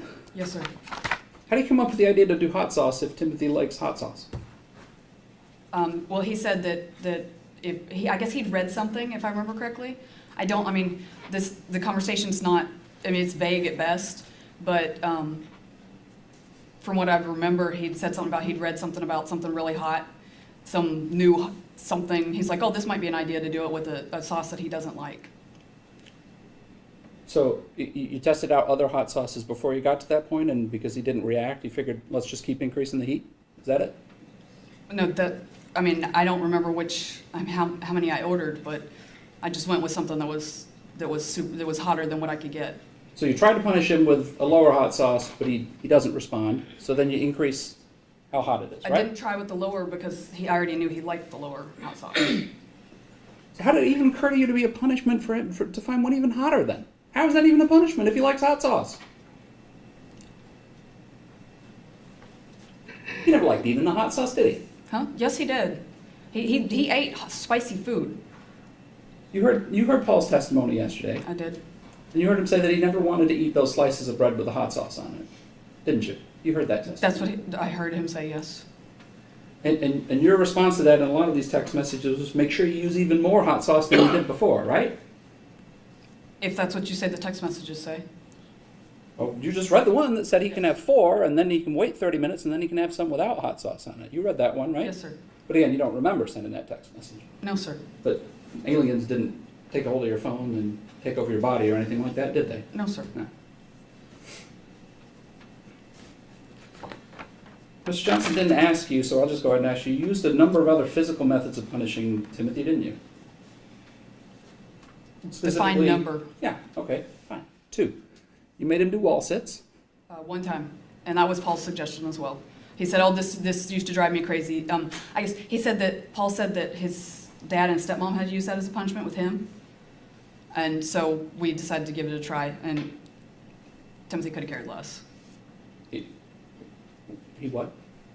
He could not have cared less. No, So, so being made to stand as if there's no support under your legs, he was he was okay to do that. I mean, How long did you have him do it for? A couple of minutes. A couple of minutes. Yes, sir. When was that? I don't remember honestly. And running the stairs. Yes, sir. You had to do that a lot, didn't you?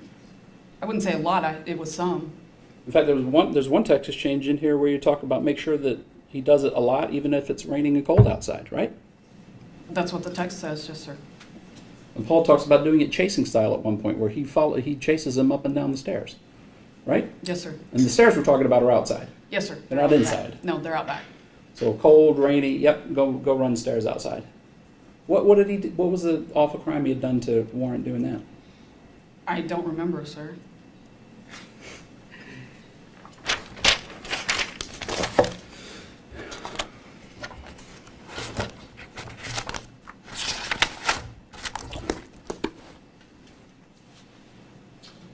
Direct to page 6011. Bottom text. I wonder how it would feel to have that hot sauce on your private parts. I'm not saying touching there, not at all, but dripping a little bit there is that horrible. Yes, it is. This is a mother openly fantasizing about burning the genitals of her underage son with her adult son. Did you have to ask that question? I wouldn't think so. I don't remember that. I can't even imagine saying that. But you did. I know, but I can't even imagine it. About your child, right? Who at that point was in the middle of an ice bath that had lasted at least two and a half hours at that point, right? What are you asking if I said that? I'm asking you if you said that when your child was in an ice bath for two and a half hours at that point in time, because this is 4:25 in the afternoon, and you're watching on the camera from work and texting with Paul about what he's supposed to be doing with him, with him in the tub, right? I mean, if that's what was, I, I don't remember. I, if that's what it says, I'm not arguing that. I'm not trying to argue that. I'm just saying I don't know. It just popped in your head today. Yeah, I wonder what hot sauce on your private parts would be like. That, I have no idea where it came from. No I have idea no idea. Did you ever try the hot sauce? No, I don't like food as spicy as Timothy. Mm. About the hottest I can handle is um, jalapeno cheddar Cheetos. I'm, I'm with you there. I can't handle hot sauce either. So you never even, but administering it as a punishment multiple times, you thought was okay without even trying it yourself first. Yes, I have a very weak stomach, and so I didn't want to throw up. Um, let's talk about the ice maker for a second. Uh, People's 31 and People's 32. Yes, sir. You recognize that as the ice maker? Yes, sir. It's the countertop ice maker. Right. You said it makes about a cup and a half of ice. Yes, sir. right? This is a cup and a half of ice in your mind? No, I measured it. I actually used it to. Um, you can get. I don't know if you've ever had a frappe from McDonald's, but uh, Walmart sells a powder mix that you can you add uh, milk and ice to. And it's really good, and it's only like a dollar three dollars at McDonald's. And so the it calls for. I, for some reason, I want to say it actually calls for more than a cup and a half, but that's all I could get at. But, but yes, that's in a measuring cup, like a sitting up measuring cup. It's a cup and a half. That's all it does. Shanda clearly understands how poorly her time on the stand is going now, and she is trying to distract herself from what she is doing. All she needed to say was yes or no, and instead, she went on a sputtering minute long diatribe about McDonald's iced coffees and how she bought the powdered coffee mix. The jury just heard her openly fantasize about burning her son's genitals with hot sauce, so they're likely not believing her narrative, and it's just beginning to dawn on her. And this reality is simply too much for her to handle. Any other topic, no matter how trivial or silly it seems, would be a welcome distraction. And the, uh, I, I think your testimony earlier was you didn't know that ice was being used. Is that right? As far In as the what, cold baths. Not unless it was specified. I mean, there was there was there was sometimes where it said cold and sometimes where it said ice. I didn't say I didn't know it was being used. Okay. It was if it if it was cold, it was supposed to be just cold. But all you would use would be the ice that was that you get out of that ice maker. You wouldn't make any more ice and put it away and No. store it up so we could have extra for the next day, would you? Not that I remember ever doing. No. Okay. Page fifty-eight twenty-three.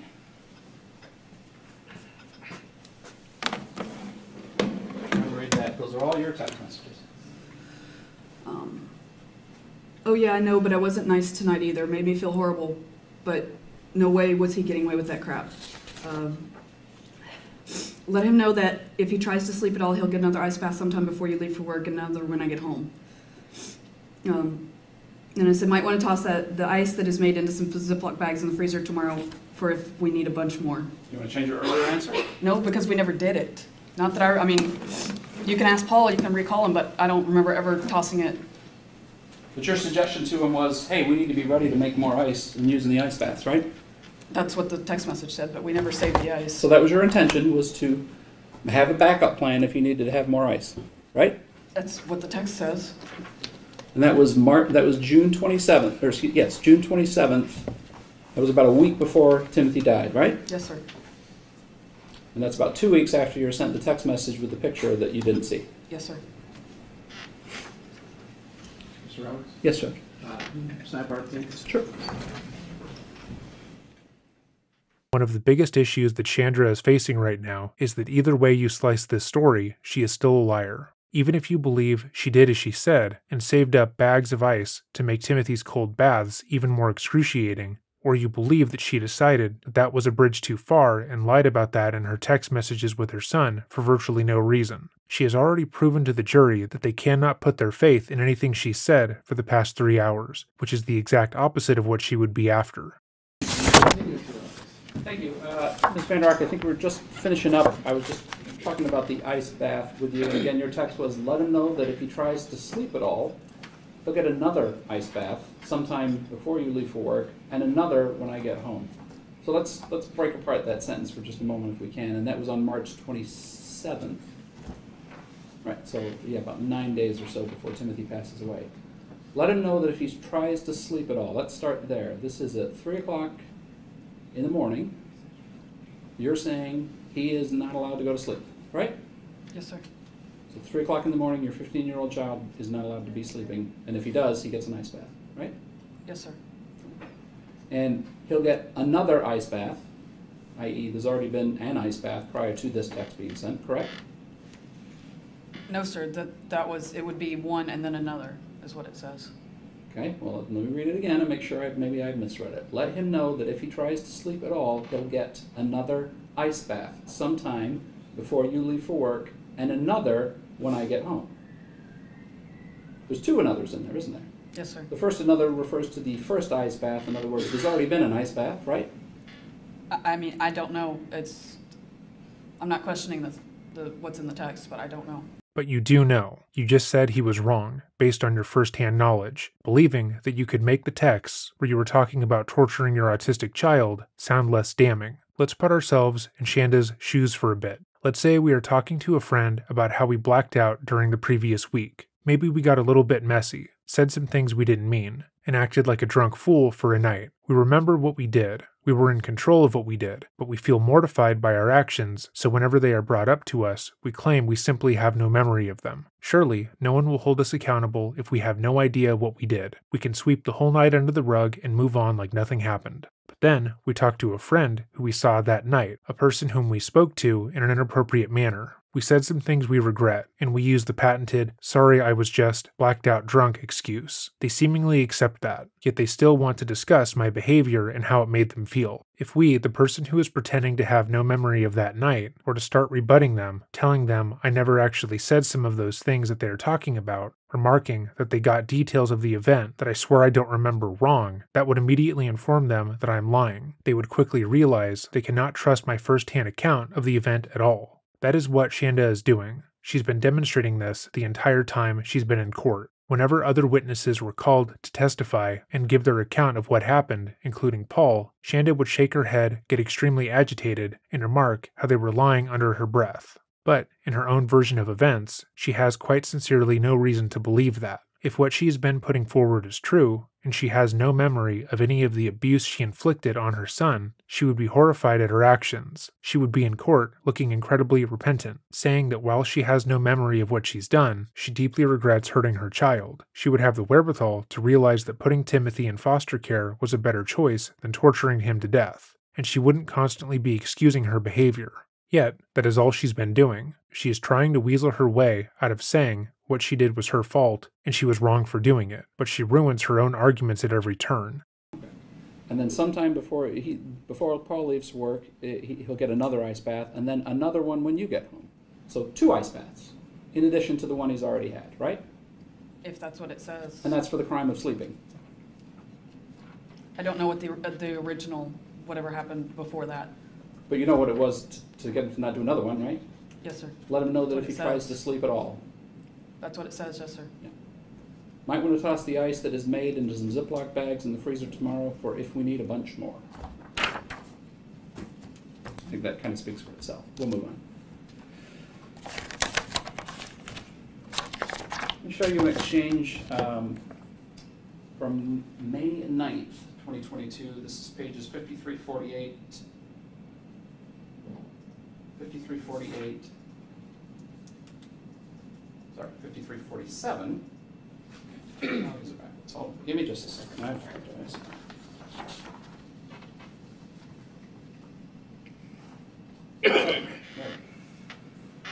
Okay, start at page fifty-three forty, and this is from May 9th. I don't think you need to read the top one.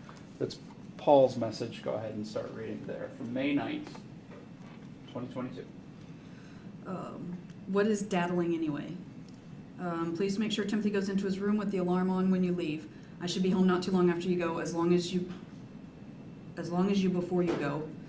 And please let me know where you put the alarm when you leave. All right, let me stop you right there. This is May 9th. And again, you're referring to an alarm, correct? Yes, sir. Okay? This Go is, okay. Go ahead. Because I know what Just- that's referring just to. Let's keep going. So- KK, thanks. Uh, YW, you're welcome. Um, I logged out of that for you, but you will not be allowed to have any devices tomorrow before work unless you manage, unless you manages to get everything done I assign to M standards, which will not be easy. I'm not sure what part of Timothy going nowhere but the bathroom without being watched closely, but he stole a bunch more of the Easter basket today and hid the wrappers behind the washer and dryer because he obviously wasn't washed as he should have been. Okay, so at that, so at this point on May 9th, you're saying that Timothy needs to be watched if he goes everywhere except for the bathroom, right? He needs to be watched, yes, sir. For committing the crime of what? uh, we had a combined Easter basket that year.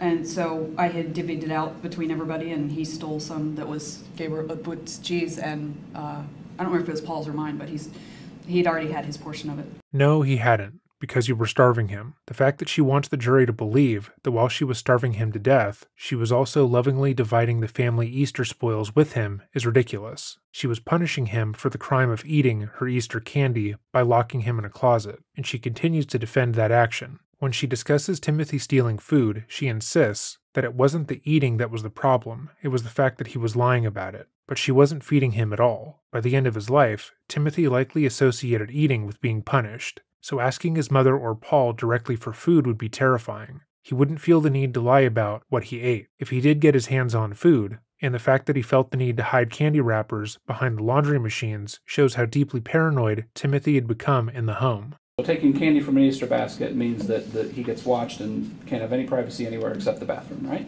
Yes, sir. Okay, keep going. Uh, then I, it was a star. What part of watching Timothy closely was unclear? Sheesh. Let me stop you right there. What part of watching Timothy was unclear? Why was it that you believed at that point that Paul wasn't watching Timothy? I was correcting, it's the little star. I was correcting what, um, where was it?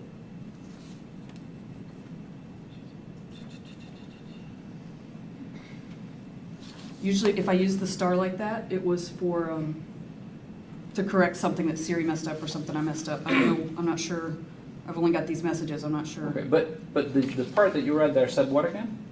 What part of watching Timothy closely was unclear? Sheesh. Okay, so you were upset at that point that Paul wasn't watching Timothy closely enough, correct? Yes, sir.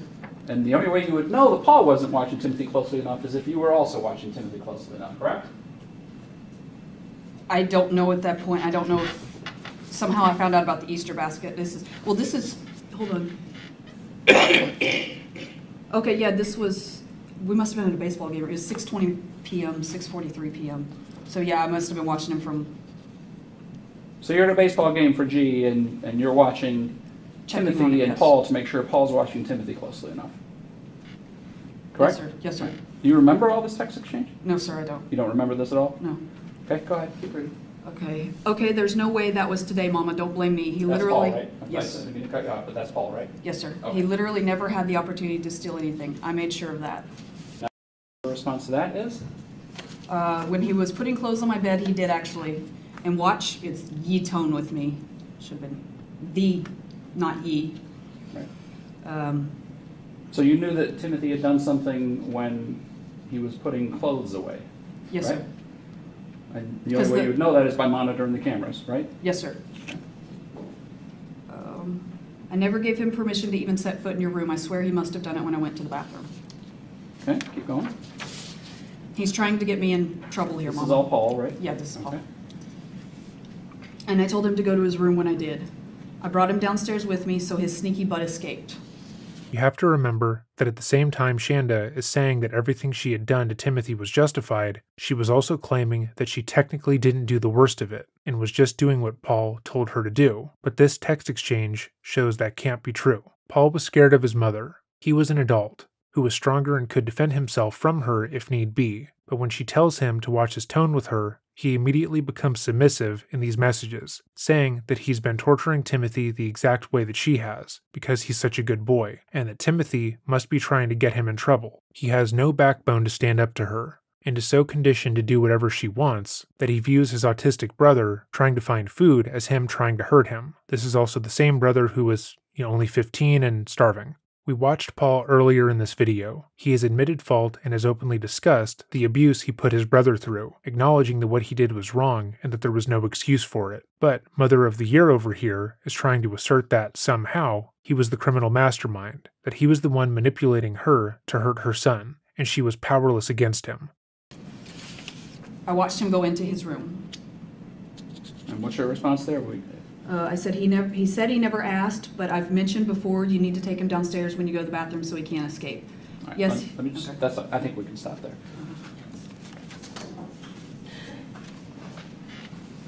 You don't remember sending these text messages? No, sir. No memory from this time period? No, sir. Because of all the blackouts, all the tunnel vision, all the PTSD, right? Yes, sir. Okay. He said he never asked, but I've mentioned before, you need to take him downstairs when you go to the bathroom so he can't escape. That was what you said, though, right? Yes, sir. You actually used the phrase escape in relation to your 15-year-old child, Apparently, yes, sir. as if he was some prisoner. No, sir. Well, who else needs to escape but a prisoner? I'll withdraw that.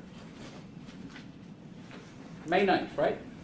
I, is, yeah, that's what it said. You don't remember that at all? No, sir. When was Mother's Day 2022? I don't remember honestly. If I told you it was May 8th, would you have reason to doubt that? No, sir, not at all. I believe you. Mr. Johnson was asking you, uh, and you were very eager to tell him about something that you remembered happening on sometime just after Mother's Day, right? Correct. That Timothy got on a scale and weighed 108 pounds. 104. 104 pounds. I'm sorry, I'm glad you corrected me. I wrote it down as 104 pounds, right? It's amazing your memory is that good that you can remember what your son weighed sometime after May 8th, but you can't remember talking about having him escape. Would you care to explain that to the jury? Yes, sir. That happened with the PTSD, with everything else that was going on. I would, especially when I got stressed, it would the, the tunnel vision and I mean I can't, for lack of a better term, blacking out. Um, it, pretty much any time my stress level went up, and it, I mean it wasn't up that day that that we did the weigh the dog. So you can't remember all of these text messages about the ice baths and the hot sauce and the zip ties and the handcuffs, but you remember over 18 months ago that your son weighed 108 pounds sometime after Mother's Day of 2022, correct? 104, yes. Sir. 104. You, Well, it you was, got it down. You're right. When we have covered men and women taking the stand in their own defense, there is usually some moment, like this one, where they feel the need to correct the prosecution on something small to assert their dominance over them. They want to regain some sort of control over the situation, because being forced to sit in a room and answer questions about a crime you committed is inherently uncomfortable, especially if you are someone like Shanda, who feels the need to deeply control the people directly around her. But why she would say this why she would correct the prosecution by stating that Timothy weighed less than he had just said at this moment, I do not know. It's so unfathomably stupid, it makes her look so horrendously terrible that it probably felt involuntary to her, like it's her fucking Tourette's. She just had to correct the prosecutor to make him feel small, like he was less than her, which is re fucking markable. He made 104 well. He made a, a comment that just things like that will stick out to me sometimes. And when when he couldn't pick the dog up, bear in mind this is a service dog in training, so he's he's used to being getting commands. And Timothy, I remember he put his hands on his hips and looked at Sharma and said, "Next time you get to pick me up." And the dog tilted his head like I don't understand that command, and it just that struck me. It sticks in my head. I don't know why, but that sticks in my head. What day was it? I don't know what day of the week it was, sir. It was during the week. But how long after Mother's Day was it then? I don't remember, sir. I know the reason I know it was after Mother's Day is because um, mom, my mother-in-law, for a for probably the last four or five years, as a Mother's Day gift, has given me um, cherry tomato plants and then miniature cucumber plants, and I keep them in like plant bags. I normally have a black thumb, I admit it, but I've managed to keep these um, alive pretty well. Um, and I had just, when we came, when I came upstairs to weigh the dog, I had just gone downstairs and checked on my plants. So the plants were outside then, so I know it was after Mother's Day. I just don't know when. Plants never missed a feeding then, did they? Objection, Your Honor. I love this prosecutor. He's the absolute best. But he's right. She is so proud about how she has kept these stupid fucking plants alive, but who cares? You killed your son. You withheld so much food from him that he went from being comfortably over a 100 pounds to being 60 pounds when he died. The fact that she is shocked and offended by this comment is so out of touch. You killed someone. You can't say it's offensive to call you a murderer. What's argumentative about it? She's, she's proud of herself and keeping plants alive. Plants never a feeding. Mr. Roberts says it's an irrelevant question, so sustain. So your testimony is Timothy weighed 104 pounds sometime after May 9th, correct? Yes, sir. That doesn't look anything like 104 pounds, does it? No, sir. And that's not even a month, that's barely a month after May 9th, isn't it? Yes, sir. I lose weight very quickly. I'm assuming he got that from me.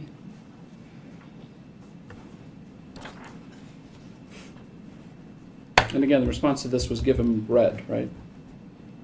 If that's what the text message says, yes, sir. Mr. Johnson asked you about the, uh, some text messages back and forth between you and Paul during the ice bath, the last day, the day before Timothy died. Um, and you were observing that ice bath from work, right? I glanced in on it. I wasn't observing the whole time. I didn't. I couldn't. You weren't observing the entire time? Not the entire time. I glanced in on it. Whenever you'd send a text message, you were also looking at the camera, weren't you? No, I wanted Paul to think I was. And Mr. Johnson asked you if you remember the text about, honestly, tell me if you think this is all fake. Remember that? Vaguely. You vaguely remember that text? Yes, sir. So you can remember the text where it, it, it tries to provide you with a defense to this, but you can't remember any of the horrible things that you did to Timothy. Is that your testimony here today? I don't have any control over what I can remember and what I don't, sir. You recall Paul's testimony yesterday about what he did in response to that photograph that he sent you and about saying we really need to feed him, Mama? I think we actually need to feed him, I believe is the actual text. Yes, sir. I remember his testimony. And what was his testimony? That he gave him peanut butter and jelly sandwiches, and I guess he cooked him some eggs. That was the first time you'd heard about that, wasn't it? Yes, sir. And that was not his instructions, was it? No, sir, but that was fine. I had no problem with that. Well, why didn't you just tell him to make him some eggs in the first place then? Because I didn't think of it. I was in the middle of something. As a reminder, Paul said when she gave his brother a sandwich and a small portion of eggs, he purposely didn't tell his mother because he didn't want her to be mad at him. He knew implicitly that if she had known he fed Timothy more than just some bread with hot sauce on it, he would face her wrath as well. So, like Timothy had been doing the entire time he was in the home, Paul hid the evidence and lied to his mother. The next portion of the video involves Shanda pretending to get sick on the stand when looking at a picture of Timothy. If you are sensitive to people pretending to throw up, skip ahead to the timestamp on the screen. But to be clear, she doesn't actually throw up. She just mimes it poorly. I think we actually need to start feeding him, and the only thing you can come up with instead of Paul thinking to give him scrambled eggs is give him some bread. That's all you could think of. It's, I, I mean, I, I don't know. I, I was in the middle of something. I wasn't, I wouldn't have thought of eggs anyway, not in the middle of the day. You said that you would the the punishments, and I guess this three o'clock in the morning one about not letting him sleep or he gets an ice bath, so he's got to be awake at three o'clock in the morning. You said that was because he would keep you guys up in the middle of the night or wake you up in the middle of the night. Yes, yes, sir. Can you, and again, you did really well on the logic and reason por- reasoning portion of the the LSAT exam. Can you explain the reasoning behind keeping somebody awake when they're keeping you awake? To show them how it feels. But they're already awake, aren't they?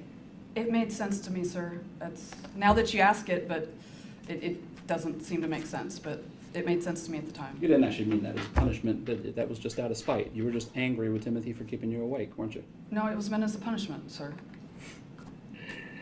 But it's also a punishment for yourself because you have to stay awake as well, don't you? I don't sleep much anyway, but yes, sir. Or Paul has to stay awake, right? Yes, sir. Paul's an insomniac as well. You testified that you gave Paul, you gave Timothy a warm bath the night before he passed away. That last night, July fifth. Do you recall that? Yes, sir. That was the first time you've told anybody connected to this case that you'd done that, isn't it? Yes, sir. You never told the police officers you did that, did you? No, sir. I imagine a warm bath sounds just like, it's just what it sounds like, right? You, you got him, you took him to the bath, you drew a warm bath for him, and you put him in the bathtub, right? Yes, sir.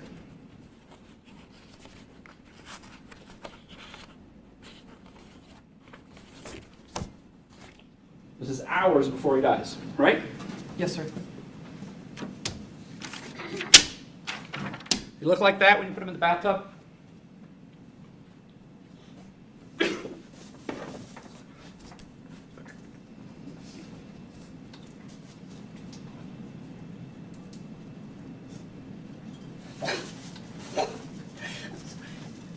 I'm sorry. It's, Gotta make me a moment. Uh, Yes.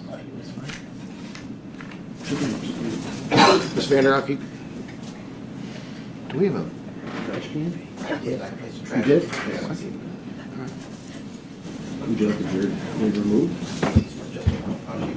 All right, please rise. Just to be clear, again, she didn't throw up. When a person throws up, there's usually a subsequent noise that follows them gagging, which indicates the liquid that came out of their mouth has landed on the floor, or in this case, a trash can. As anyone who has ever thrown up, they will tell you that it's not a silent affair. But despite Shanda's theatrics, there is no sound after she gags. There's no splash, there's no liquid hitting the bin lining, it's just quiet. I know the uploader of this footage didn't remove the sound, as the ambient noise of the room is still very much present. So Shanda, knowing she is coming across poorly, knowing that people don't believe that she cared for her son or has blackouts in her memory, decided to pull a Hail Mary by vomiting at the sight of her son. Mind you, she didn't throw up when she tortured him. She took glee, talking about pouring hot sauce on his genitals. And when he was dying, sitting alone in the closet she kept him shackled in, she came in and made fun of the way he was breathing. None of that made her sick, but she wants us to believe that seeing it does. You may be seated. Mr. Roberts, you can continue. your- Thank you. Uh, before we get back to the question I originally originally asked Ms. Vander Ark, um, you just obviously had quite a, uh, a visual reaction there to the jury, a physical reaction in front of the jury looking at those photographs. That's not the first time you've seen these photographs, though, is it? sir. In fact, you sat in this very courtroom not even a week ago on Friday when we had a hearing about those photographs and looked at those photographs, didn't you? I did not look at them last week, sir. You didn't look at them last week? No, sir, I did not. But you've looked at them before, haven't you? It was, I think it was at the prelim, and I just felt I gagged that day too. It just wasn't as bad. Didn't throw up, though. No, it wasn't as bad. So if there's video from that hearing that we had last week where you thumbed through the photographs, including the autopsy photos, without vomiting, do you just not remember that as well? We didn't have the autopsy, we didn't have those photos over at our table, sir. You, it won't be on the video, I can promise you that. Well, then I'll return to my original question. Those three photographs depict your son hours after you supposedly put him in a warm bath. Did he look like that when you put him in the warm bath, but for the fact that he was alive? I did not look at him, sir. He was 15. I tried to give him his privacy. It may sound lame, but I, I intentionally look away. That's that's why Paul did most of his baths, is because he's 15 and I didn't think that was appropriate. So she didn't give this poor kid an ounce of privacy in his life. He lived with her for a year and she had cameras in his room, motion sensors meant for bikes locked to his body, motion sensing cameras in the bathroom he used. She timed his bowel movements, giving him one minute to pee and two minutes to defecate. And she wants us to believe that the day he died, she finally gave him some privacy, that she put him in a nice warm bath lovingly, and finally didn't observe him at all. She spent her days at the courthouse glued to watching Timothy on the cameras linked to her phone. Torturing him was her favorite reality show and hobby. She fantasized about pouring hot sauce on his genitals, but sure, she gave him his privacy. So you didn't put him in the bathtub. No, he was already in the tub. I just Did, looked. did you get him out of the tub? Um, I don't remember. I think I think so. Later that night, I would assume so. Later that night. How long was he in the tub? Well, night to me is any time after work. So Okay. How long was he in the tub? I don't. I mean, I don't think it was long after I got home, but I don't know. And again, you didn't tell the police officers this when they talked to you about what had happened the night before, did you? I, I don't remember. Apparently, I didn't. Well, so you don't remember what you told the police officers? I remember part of it, but I mean, I'm, I, if you say I didn't tell them, then I, I trust your word there. If you told the police officers that you noticed he was skinny, so you made him some bread and put some butter on it and watched him eat three quarters of it and then sent him to bed, is that does that refresh your recollection about what you told the officers? I mean, I, I hear what you're saying. I don't remember saying it, but So you don't remember saying those things to the police officer? no, sir. And those things clearly didn't happen, did they? No, sir. How did he get into his room that night? I don't remember, sir. Last page of the text messages. You can go ahead and read that very top text message, please. Please set your alarm for 6 a.m. I ended up dragging him back to his small room because I wasn't going to risk him having access to the tub or other things overnight. He's still trying to be stupid, but I will tell you more tomorrow while I take you to work, describing how many different ways I proved that he's still faking. He's still doing it, though. It's beyond ridiculous. In the last days of his life, Timothy was nonverbal. He could barely keep his eyes open. He was incontinent, and he could hardly stand without assistance. But to Shanda, that was all fake. She had starved him so severely, but in her mind, everything he was doing was simply to inconvenience her. He had eaten all the candy because he was greedy. He had set off the alarms on purpose to keep her up at night. He had begun wetting the bed in order to hinder her. It never occurred to her that those things were all signs of failing health and continuous abuse, and that those were things that were also hurting him, because she had absolutely no ability to empathize with her son. Even now, as she validates and justifies her behavior on the stand, while saying she has no memory of it, she still cannot empathize with the boy she murdered. If you have ever been around someone like this, you know how frustrating even talking to them can be. Normal things like not responding to a text message are seen as deliberate acts of malice, and even if you simply fell asleep before responding or were busy with something else, they will berate you for making them wait. Anything that inconveniences them is an act of treason and aggression, and thusly you may as well have been skulking around in the shadows with a betrayer, so any response they have thereafter is justified. There is no understanding what someone else is going through, because to them, that doesn't matter. It's not happening to them, therefore it's not real. And even if it is real, it's not as important as what they are dealing with, since they basically are the Senate. Being around them can be anxiety inducing. Even when everything is going right, you are always waiting for the other shoe to drop. Living with a person like that is stressful for anyone. Then add to the fact that Timothy was neurodivergent and needed special assistance from Shanda. His death feels almost inevitable. The moment he first asserted a need that didn't benefit Shanda, the moment he first ate something that she was saving or accidentally woke her up, she viewed him as a troublemaker who deserved to be punished in the most brutal of ways. And to this day, she will justify that.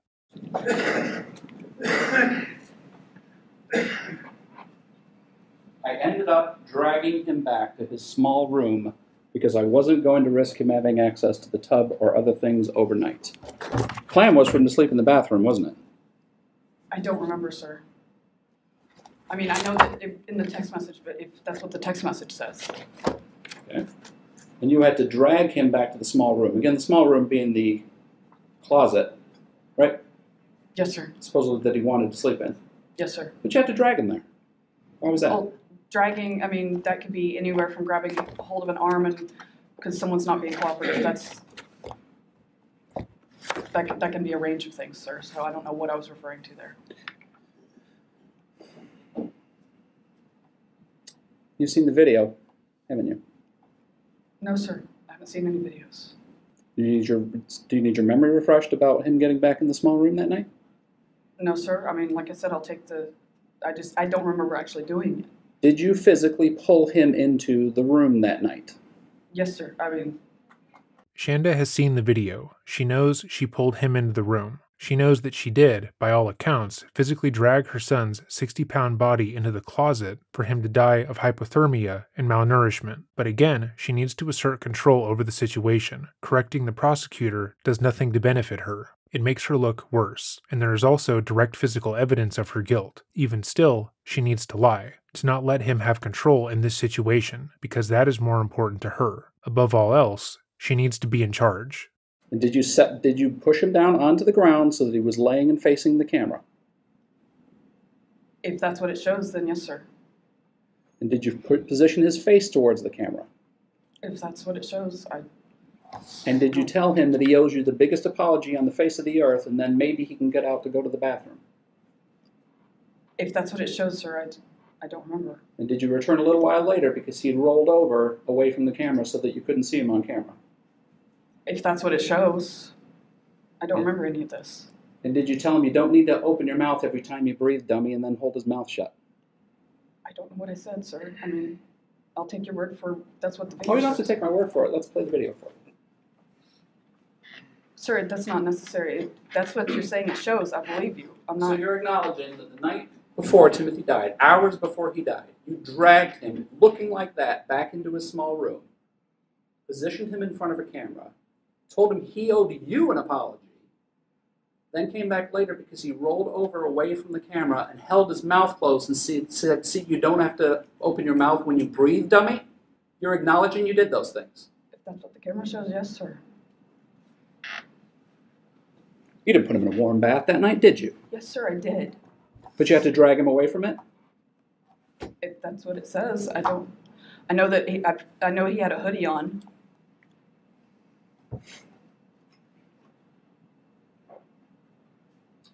You said the locks on the refrigerator were there because he got into the refrigerator, and if I heard your testimony correctly, he ate a pound of frozen hamburger Yes, sir. That was back. and a bag of chicken nuggets A frozen bag of chicken nuggets, yes, sir. and and frozen hamburger, Yes, sir. the hamburger was not frozen; it was refrigerated. but frozen chicken nuggets Frozen chicken nuggets and raw bacon. and raw bacon. Yes, sir. Frozen raw bacon? No, it was in the refrigerator. The, the frozen stuff was the chicken. The chicken, nuggets. That was the only frozen. Yes, sir. Did you think he had an affinity for frozen food? I, I didn't know the frozen. The only thing he ate frozen was the chicken nuggets.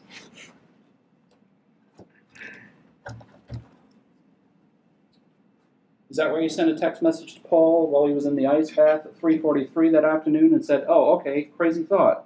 Tell him if he actually sits up by himself and stays sitting up, he will get some pizza rolls. Don't tell him it's only two, and I'm okay if they are frozen rather than cooked." Why'd you send that text message? I don't know. Don't remember that one either. No, sir. So you're not worried about him eating frozen pizza rolls if he sits up. If that's what it says. You- You've heard it read several times. You're Yes, not doubting that's what it says, right? Yes, sir. Just another one of those memories that you just just gone from your head, right? Yes, sir.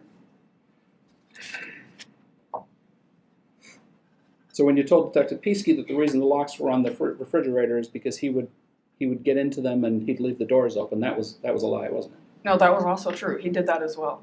How does putting locks on fix that problem? He can't get into it then, so it doesn't get left open. Oh, no, so, he was he the wasn't- so one. you admit that he was not allowed access to the refrigerator or the freezer or to the pantry. As far as and the refrigerator, freezer, after we put the locks on. He couldn't get into them, could he? N- n- No, not after that. And the pantry had an alarm on it as well, didn't it? No, it didn't. Okay.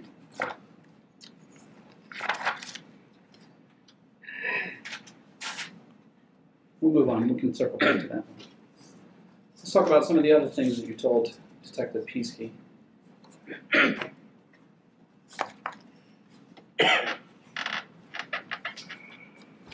You told Detective Peasky that long, long after the stroke happened in January, Timothy went on a hunger strike. That was a lie, wasn't it? Not long after, and no, that was not a lie. That was the truth. He went on a hunger strike. Yes, sir, he did. It was, it wasn't immediately, but it was within a few days. And uh, a hunger strike is refusing to eat, right? Yes, sir. So he's refusing to eat food not long after your husband has a stroke, right? Yes, sir. Then you don't need to put locks on the refrigerator or freezer, do you? If he's refusing to eat. He, he stopped. He, he actually he started eating again. He started eating again, so then you decided he's been on a hunger strike, he's eating again, so now we better lock up the food. No, I did the, the locks to protect him because he could have he could have killed himself eating the chicken nuggets. It's infuriating watching her try to insist that she deeply cared about if Timothy lived or died. She has done this three times during her three hours on the stand, and each time it feels more inappropriate than the last. She hasn't cried because she murdered her son. She has justified all of her abuse and torture of him. But you know what really gets those tear ducts going? The idea of him dying for any reason besides her killing him. If he died of natural causes, or being put in the foster care system, or eating a bag of chicken nuggets, that would be heartbreaking. But Timothy killing himself? That's fine. I didn't put the locks on after he did the hamburger or the bacon, but the chicken nuggets, he, it was raw chicken. Chicken nuggets are cooked, aren't they? They're pre cooked. Are they? I didn't even think about that. But it's okay if he has a frozen pizza roll or two if he sits up, right? Yes, sir. Mm-hmm.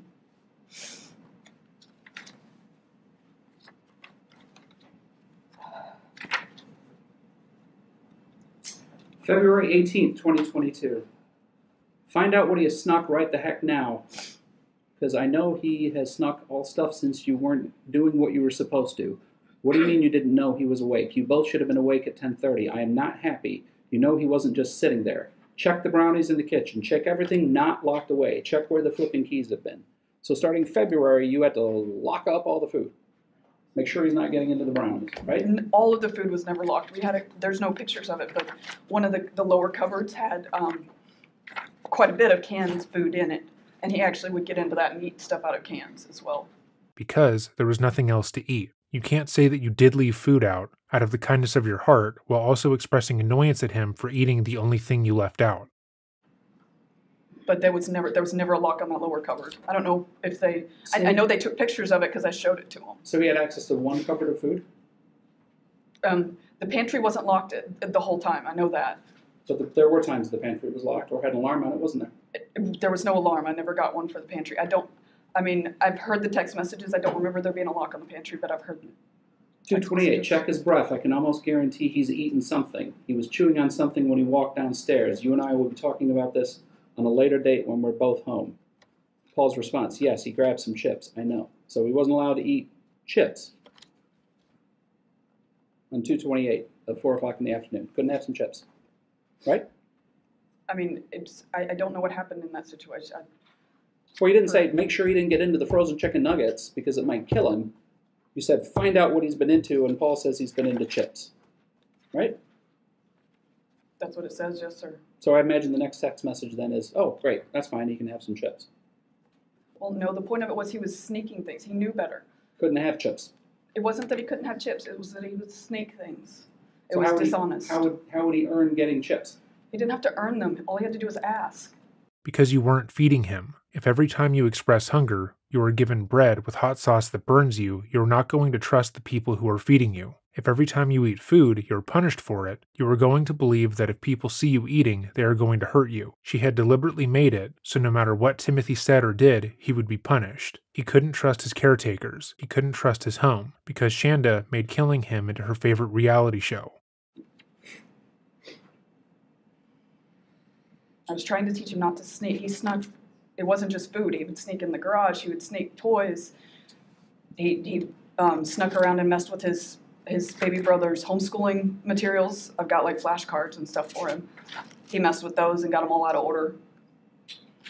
March 4th is around the time that you that, that you acknowledged that he was in zip cuffs. You, you, we talked about that a little bit earlier, but I don't think we clarified your final text message where you said, you know what? We will start cutting off the ends once they are tight, so he can't do that. Is that one of the can't remember texts too? Yes, sir.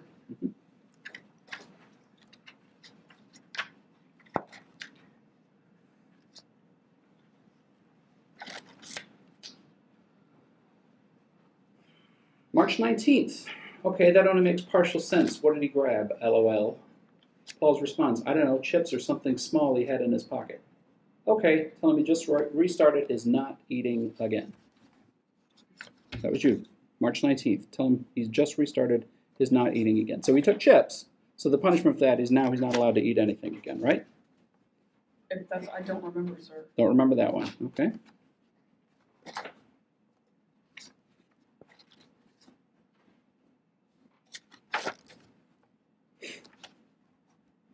Talking about the punishment outside, um,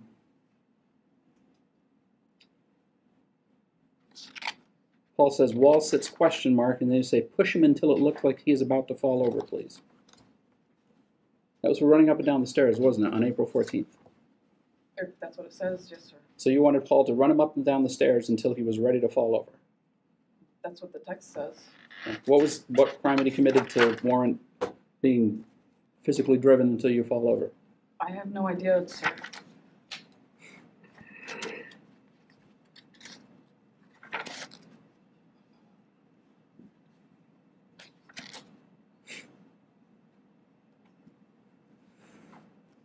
April 18th.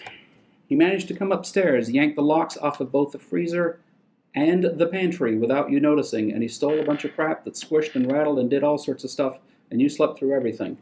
KK, no devices until tomorrow, at least my lunch other than messaging until at least my lunch, other than messaging me, which would be very little. Remember that? I don't remember it, no, sir. So, but if the text message said he yanked the locks off the pantry, then there were locks on the pantry as of April 18th, right? Apparently.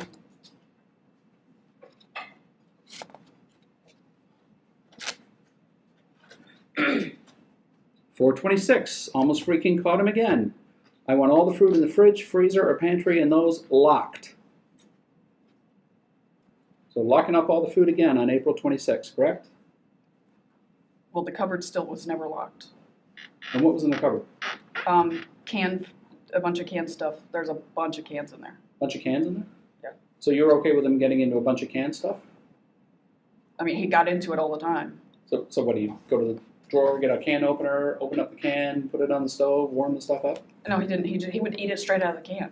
Well, that It's didn't worry you. weird. Huh? That didn't worry you? The fact that she is taking time to insult him even now is insane. Of course, he was eating the canned food straight out of the can. He was starving. You were depriving him of basic sustenance. You know this. You are literally on trial right now for it. He wasn't a weirdo who just liked eating cold soup or beans. He was starving and knew that if he didn't immediately down whatever he could get his hands on as fast as he could, he could be caught and punished. She created such a toxic environment that eating uncooked raw food was preferable to actually taking the time to prepare it. But she uses that to insult him, to remark to the public about how weird the boy she killed was. Well, when I discovered it, it did, but I just never put anything on that cupboard. So what what caused this almost freaking caught him? I want all the food in the fridge and the freezer, the pantry, those locked up, April 28th. I have no idea, sir. Without having it in there, I don't know what caused it. It's likely related to the text before that, isn't it? I, I don't know. He keeps pulling his arms down, and that doesn't set off the camera alarm, so please watch him for that. Well, why did he have his arms up? He was standing against the wall with his arms on his head. So he'd have to do that for long periods of time, right? Stand there, but he didn't have to have his arms up the whole time. But we- I'd set a time limit on how long he had to have his arms up. And you're you're either you're watching or watching an alarm to make sure his arm doesn't go down, right? From the sound of it,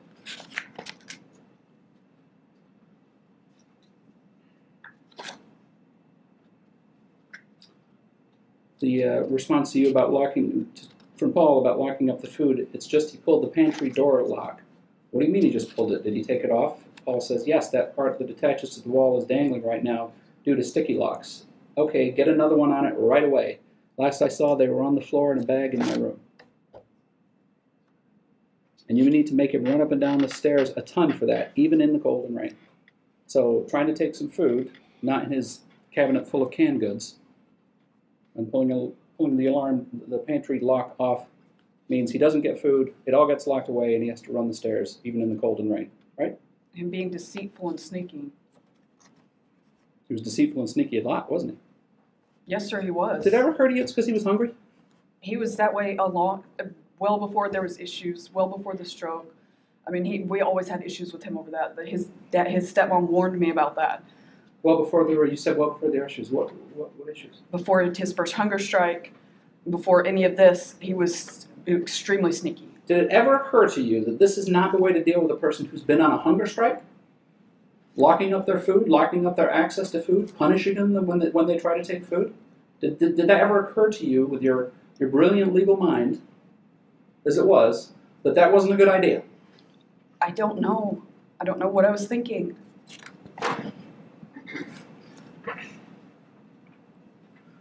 April 27th, Timothy is no longer allowed anywhere near the fridge, freezer, or pantry, or any other place where food is.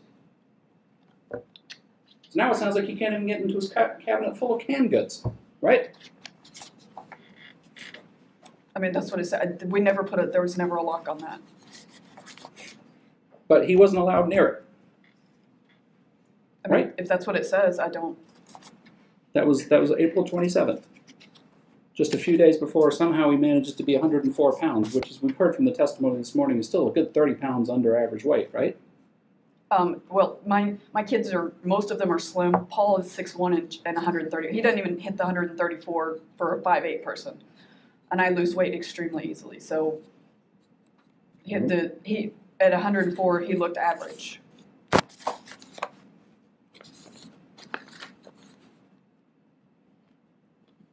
February 14th, I may need some help with it, but I am about to get a lock for the pantry door and a lock for the fridge and both freezers.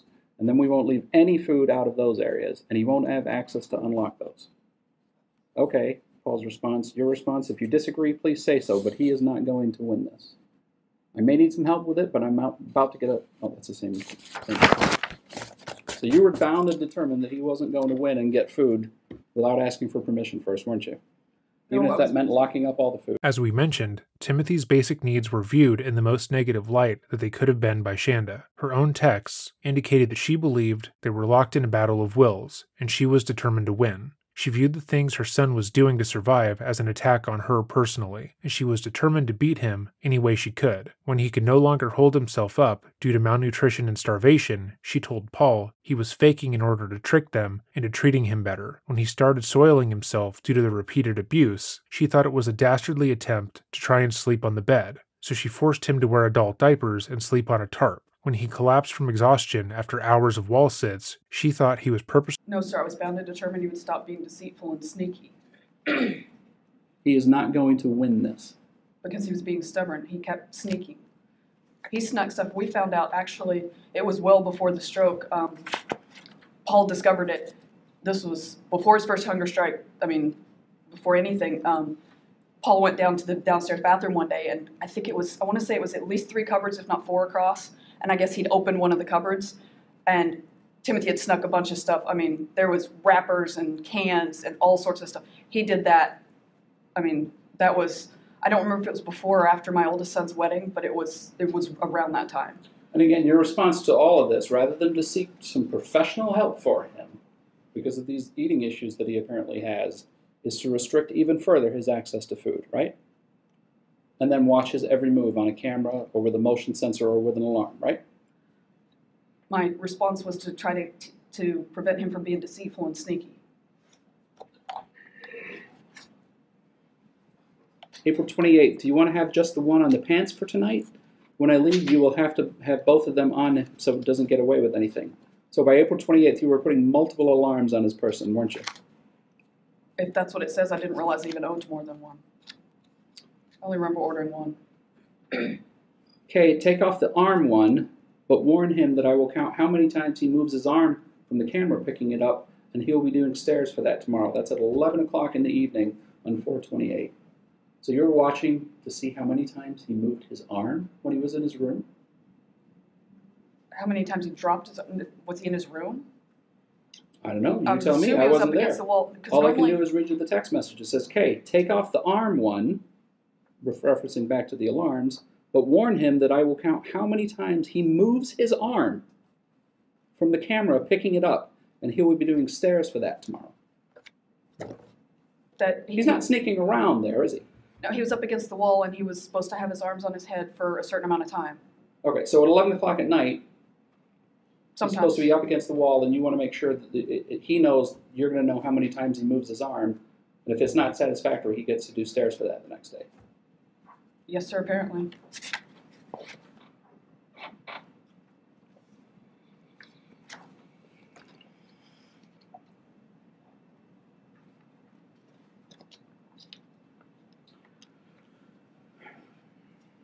April 29th. What did he eat? I ate my burger already. Paul's response. He ate the crust. You remember what your response was? I don't remember. I heard it the other day, but I don't remember sending that. Go try to make him throw up, please. That was your response, wasn't it? If that's what it says. Don't remember? No, I'm going to sir. put that one in the don't remember category. Like I said, I d- unfortunately between January and the time he passed away, I don't have a lot of memories in general of Gabriel. I'm sorry, of G, of Timothy, of Paul. I know that there's times that I went over to my in-laws' house, and there's I don't remember a lot of that. It's not just this. So the crime he committed here, just so we're clear, wasn't wasn't sneaking frozen chicken nuggets or a bag of chips.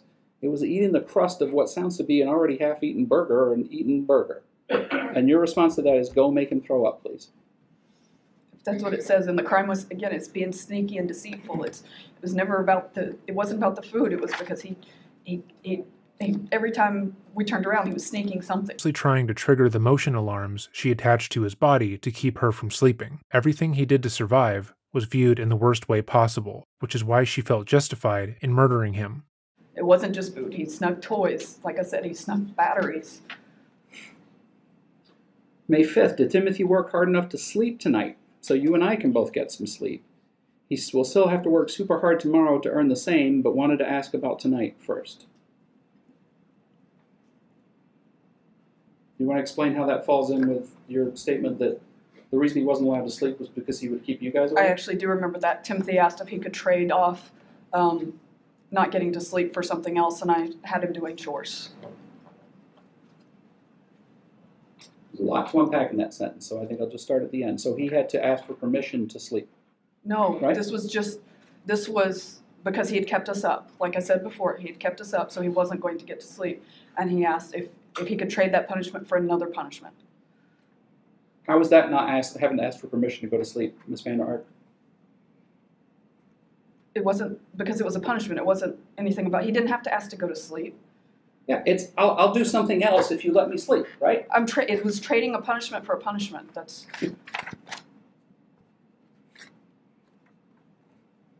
May 16th, where is Timothy?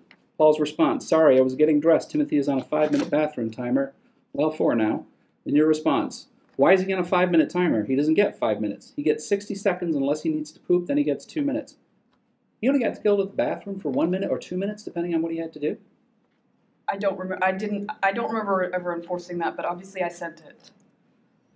But Does, doesn't that strike you as with everything else that happens? It's just cruel and unusual to tell a child, heck, to tell anybody that you only get a certain amount of time in the bathroom? That, that doesn't strike you as cruel? It's not argumentative. It certainly is. This argument that uh, she can answer the question, but certainly the way it's phrased uh, is, is an argument. There's no question here. There's it's an argument. The judge with a question mark at the end. No, I, I really want to know if she thinks it's cruel to put somebody on a bathroom. And the relevance of if she thinks it's cruel. the it's, it's simply argumentative, Judge. It- It's, it's uh, I, I don't think it's argumentative. Um, it, it would tend to give some insight, I suppose, to her intent. Uh, if Mr. Johnson, you would like to clarify or have it clarified what her definition of cruel or unusual is, so that we're all on the same page with the witness, that's fine. But I think the uh, question can be asked, so that Thank the you. objection is overruled. So you, but you, your response to that, well, I, and I want my question answered. Is it cruel to make a child go on, go to the bathroom on a timer? yes, sir.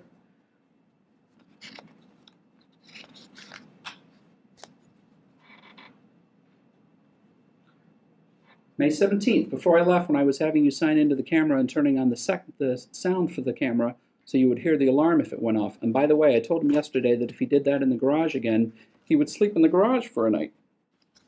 So let him know that he will be doing that as soon as the temperatures are safe enough for him to make, to make him do it. So you were going to have him sleep in the garage for a night. I actually remember that text message and I was vent, I was frustrated. I never would have done it, but I was frustrated. I, I type really fast and I, I admit I have a bad habit of saying stuff when I'm upset and then calming down later and it being totally different. But I do remember that and it, it never happened.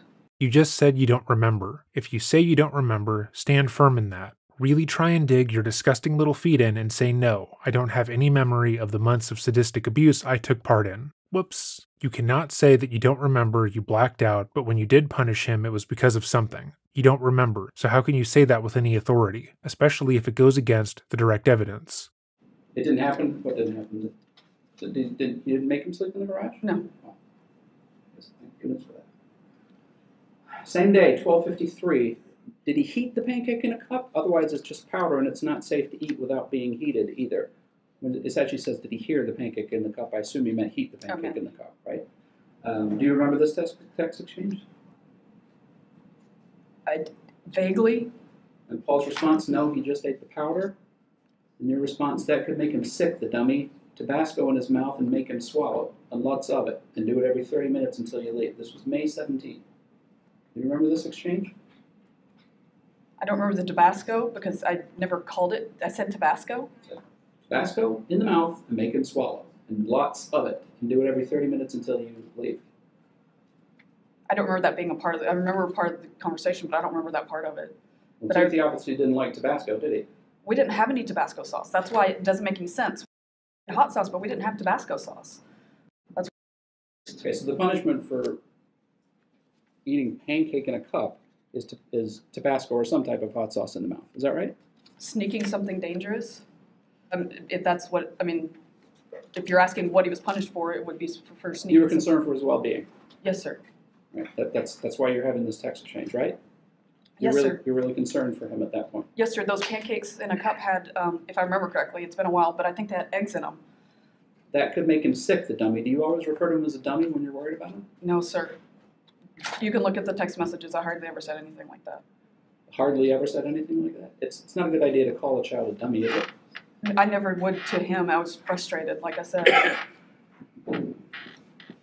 Later on in that same text exchange, Paul says he also crapped himself. And your response is, What? In his pants? Seriously? Paul, I told him to take a five minute shower. Make him do the work in the garage with nothing on below the waist. Just make sure the garage door stays closed, and then he can stand down against the wall with nothing on below the waist until you leave. Just please make sure G does not go downstairs at all while he's standing there like that. Break that up again. So make him do the work in the garage with nothing on below the waist. So his punishment for having an accident was that he had to do chores without pants and underwear on, right? If that's what it says, I don't remember this. That's pretty humiliating, isn't it? I mean, he was by himself. It wasn't. I would never. I mean, I don't remember this at all, sir. You don't, you don't remember that at all. No, sir. Uh, but you, you did have the presence of mind at that time says just make sure the garage door stays closed because you don't want anyone seeing him doing that, do you?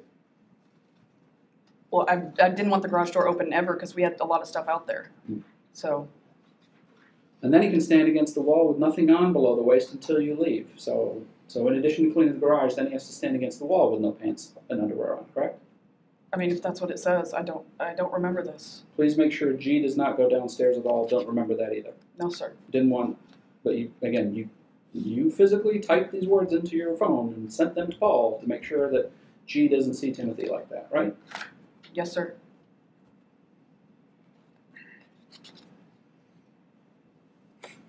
His clothes need to be washed right away, but he gets to be without anything below the waist for a while today. Did he see? Did he say why the heck he did that? And Paul's response is he didn't. He said he didn't want to disturb anyone. He had to ask for permission to go to the bathroom, didn't he? No, sir. Not usually. If he was on the wall, he did. Okay, so let's review. Timothy sleeping in the garage was a bridge too far for Shanda, but the following is a list of things that were deemed acceptable to her sleeping in the closet, doing hours long wall sits, being chased up and down the stairs in the rain and snow for hours, sitting in a bathtub filled with ice while being filmed, being poked and prodded while in the said bathtub to ensure he wasn't in a position she deemed as too comfortable, sleeping on a tarp, sitting in a dark closet with both of his arms over his head in a stressed position for hours, wearing a dirty adult diaper and not being allowed to change it, cleaning the garage and doing wall sits without any pants or underwear on, eating bread smothered in hot sauce for every meal, eating frozen pizza rolls, being shackled to a wall, being forced to wear leg weights, not being allowed outside or to see company. So all of that's well and good, and she can justify those things, but she cries at the idea of her being able to make Timothy sleep outside. Because he was supposed to be standing still. handcuff transactions, we've talked about that. So let's get back to your statement to Officer, or excuse me, to Detective Peasky. Um, again, you did you didn't tell the detective about the warm bath, um, but you told him that you realized how skinny he was the night before and threatened to take him to the ER if he didn't eat. That's not true, is it? No, sir. And you didn't make him a piece of toast and give it to him and make him eat it, did you? No, sir. I have no idea why I said that. I was, I was traumatized. I actually didn't come out of the first month I was in jail. I, it was. I wish uh, the Lydia that used to work for the public defender's office visited me, and she's she said it was it was pretty obvious that I was under severe trauma. Mhm. I didn't eat for my first month. This was this was while that they were searching your house on July 6th while you were sitting in your house. Yes. If you are on trial for intentionally starving and torturing your son to death, don't try to garner sympathy by saying you didn't eat. It's a bit inappropriate and also very fucking stupid. Like we're going to feel bad for you because killing your son over a period of months was so difficult for you. So you're thinking, ooh, oh, I better better tell him, yeah, he looked a little skinny last night, and I thought I should take him to the ER and then make some toast with butter on it and watch them eat it, and he walked away. None of that happened, did it? No, I don't. I don't even remember that. But you had the presence of mind to lie to the officer at the time when he was investigating. Like I said, I was traumatized. I don't know. I don't remember this, sir. Um, he wouldn't come upstairs when she said goodnight. She walked down to the last couple of stairs and asked for a hug and a kiss. That didn't happen either, did it? I don't remember. I mean, I would assume not, but I don't remember.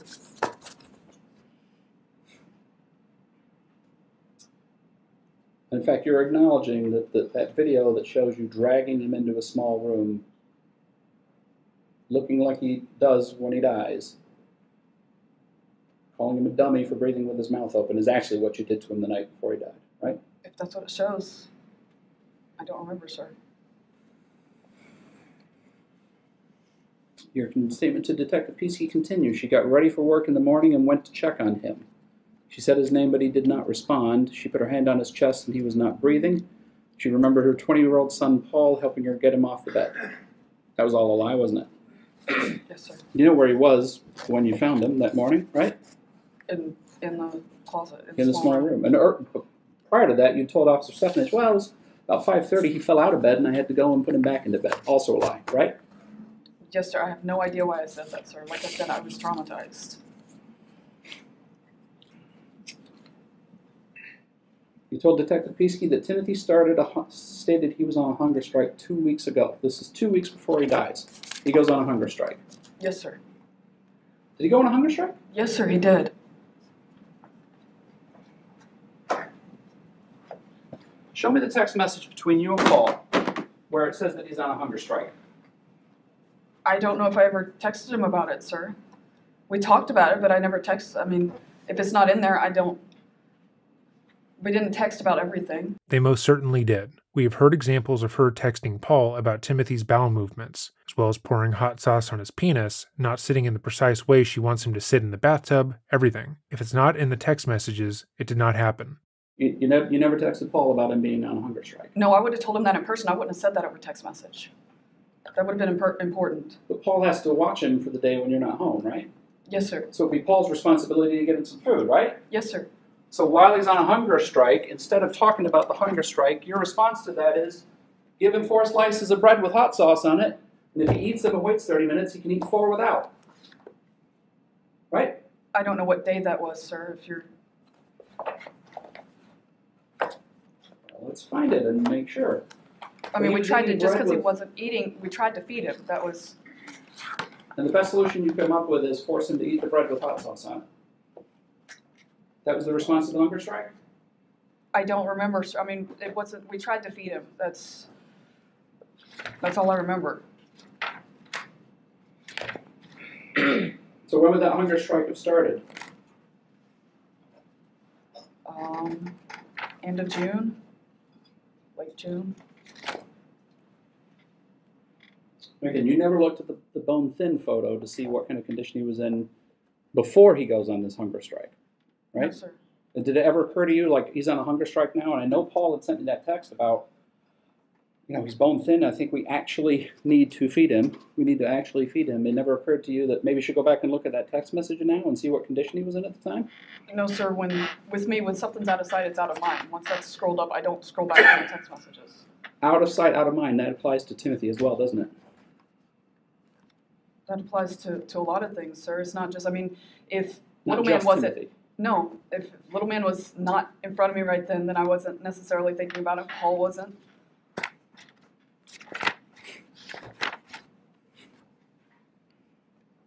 June 19th, you can do his bread with hot sauce at any time, though preferably sooner rather than later. Put more hot sauce on than you did yesterday, please. And he has to eat at least three slices with hot sauce, but he may have more as long as I have plenty of hot sauce on him. That was June 19th. Was he on his hunger strike then? I would assume not. I don't know. I don't know. I don't have an exact date. That- was about two weeks before he, he passed away, and that's when you said the hunger strike started. Is that right? Yes, sir. But Did it occur to you that the hunger strike was because he didn't enjoy eating bread with hot sauce on it? did it occur to me? No, sir, because he did it way back in January, and that wasn't the case. June 21st, how, how was everything? Did you make him eat his bread with hot sauce? Yeah, and that's when it's the, uh, he gets four with hot sauce and then four more, 30 minutes. That was June 21st. You don't know if the hunger strike started there then? I don't know, sir. Like I said, I, I can only guesstimate. That's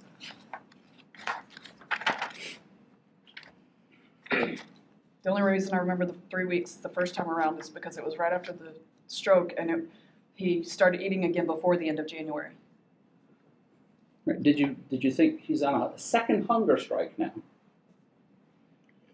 I really need to get him some treatment for this. Did I think along those lines? No, sir. He he admitted to being. He told us very early on after the stroke that he was taking advantage of that because we didn't have the extra set of eyes with my husband, and he was being difficult. He he actually, Timothy told me that his dad and stepmom used to let him get away with everything. Whether that's true or not, I don't know. But he's I've always been the stricter parent anyway, and he he told me on multiple occasions that if um, if he thought that if he pushed me hard enough that I would just quit making him do stuff and I, I wouldn't make him cooperate. Let me ask you, does this sound like something that anyone would say if not in a state of total duress? Think about a time where you needed to apologize for something, where you were wholeheartedly in the wrong and you felt bad for what you did. Did you say, hey, person I am apologizing to, I did whatever I am apologizing for because I am simply a bad person and believed I could manipulate you? I've been allowed to get away with my bad behavior by other individuals, but you were too cool and smart for me to manipulate effectively. No, because that's the dumbest fucking thing you've ever heard, and nobody talks like that. If someone is a proficient manipulator, they generally aren't going to admit that that's what they're doing. Then again, in instances where a person is apologizing for wrongdoing, they will acknowledge that what they did was wrong while also telling the other person why they felt justified in doing so. Timothy supposedly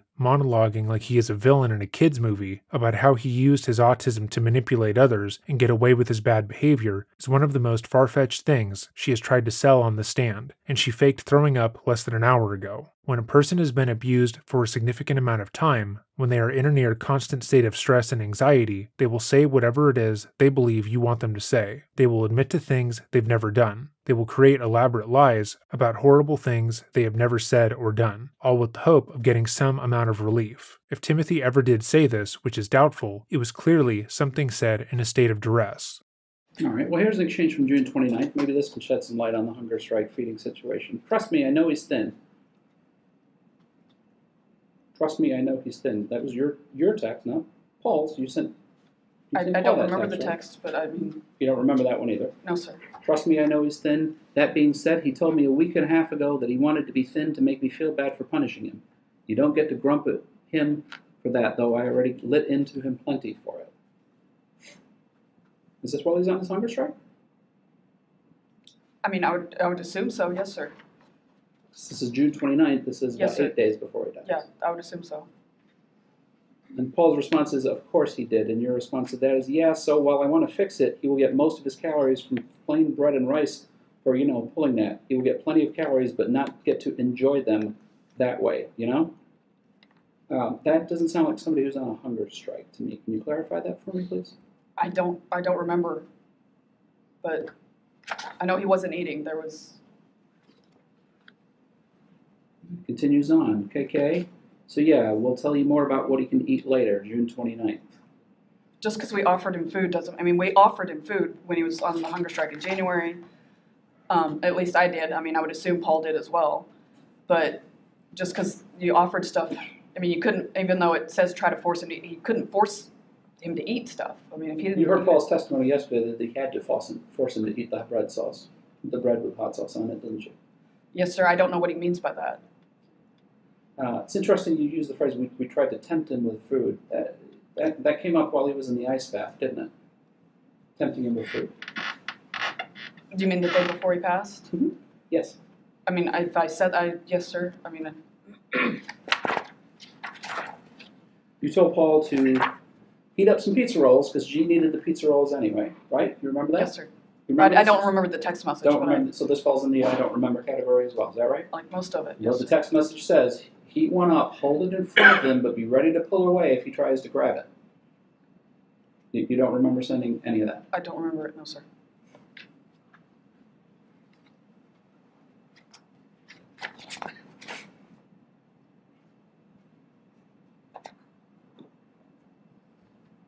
You, heard- you heard the text messages read yesterday, correct? Yes, sir. I did. Is it, is it fair to say that you just don't remember those text messages? Most of them, I don't. Most of them. But then you've got your big bind. I could, I can pretty much guarantee I don't remember most of that either. I don't, and it's not just my text with Paul. You, you don't remember anything. No, sir, I don't. But somehow you were able to hold down a job as a judicial clerk during that time period, right? Yes, sir. My And only, You were able to at least provide dog training to one client at that time, correct? yes, sir. And you remembered to tell Paul to get up and walk Sharma just about every morning, didn't you? I mean, I, that would be automatic, would be reflex. If it's in there, then, then I would assume so, yes, sir. That would be reflex. To, to tell Paul to get up and walk Sharma, is that what you're saying? I mean, if I, if it's a habit, if I do it enough times, then.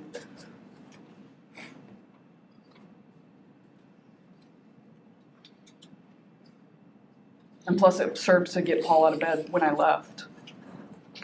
Cause he'd like to go back to sleep. You told the officer that there was an alarm on the basement door, that, that, that's this, the closet, this is the small closet, because there was some sewing stuff stored in it. That was a lie, wasn't it? Yes, sir, there was sewing stuff stored in it before he asked to do that, but But the I alarm don't know why I wasn't- told him that. The alarm wasn't on there because there was sewing stuff on it, was there? No, sir. The alarm was on it because Paul, because Timothy was supposed to be in there, right? I mean, as far as I know, like I said, I don't. You don't remember, but you were able to lie to the police officer at the time? I don't remember talking to the police, I mean, I don't remember this part of the conversation with the police officer, sir. You told the officer that there were cameras in the home because they, they because G would strip down naked and wander around. Um, well, that wasn't the only reason the cameras were in the house, was it? No, sir. You left out all the other details about that you had to monitor Timothy and make sure he didn't go to certain places and sneak places and be deceitful, right? You didn't tell the officer that, did you? Apparently not. I don't know why I didn't, but You said he fell out of bed and you went and had to get him and put him back into bed. He never fell out of bed that night, did he? not as far as I know. I don't remember, sir. Well, you know he didn't sleep in the bed that night, don't you? Well, yeah, so I'm sorry.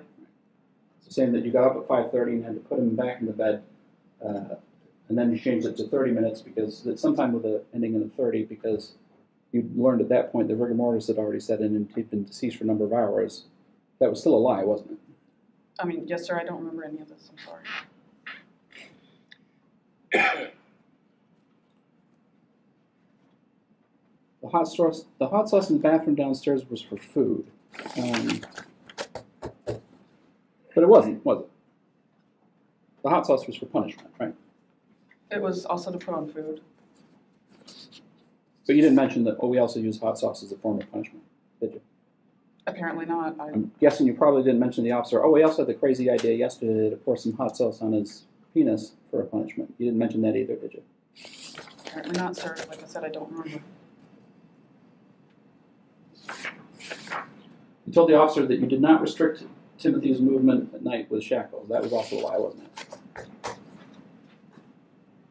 Uh, Again, I don't remember, sir. I know we talked about it, but as far as overnight, no. But you would restrict his movement with shackles, wouldn't you? Whether it was zip ties or handcuffs or leg shackles. I mean, I can only go back based on the text messages. I don't know.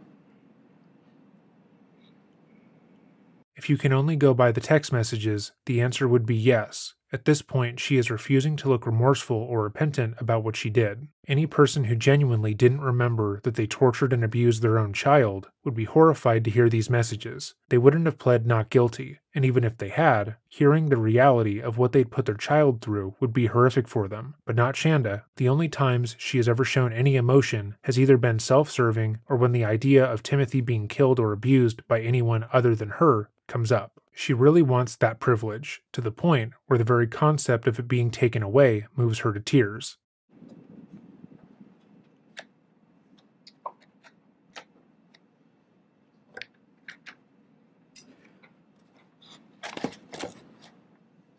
Why did you wait 20 minutes to call 911 after you found Timothy deceased in the small closet in the small room? I have no idea, honestly. I did. I had. I learned of that gap. What? Just a couple of days ago. I.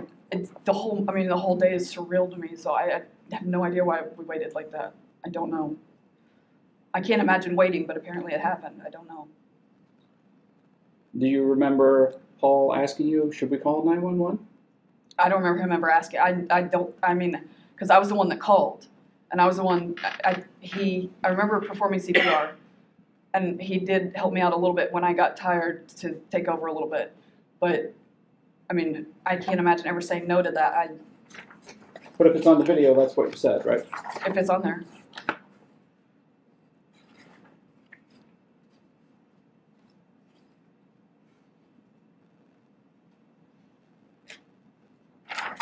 So if the video showed that it begins with you with movement outside of the room at about 61921, and 911 is actually called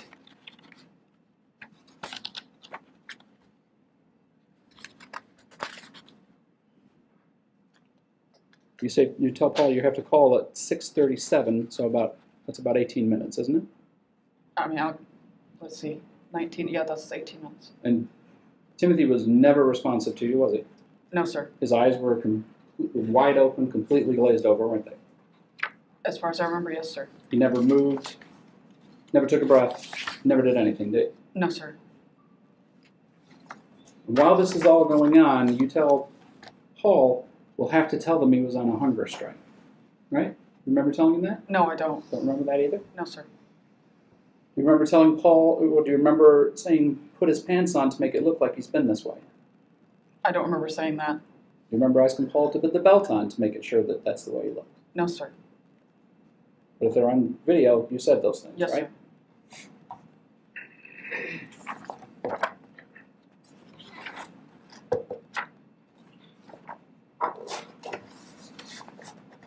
Van Ark, isn't it true? Timothy had just become nothing more than an annoyance for you, and he wasn't even a human being in your eyes anymore. That is absolutely not true.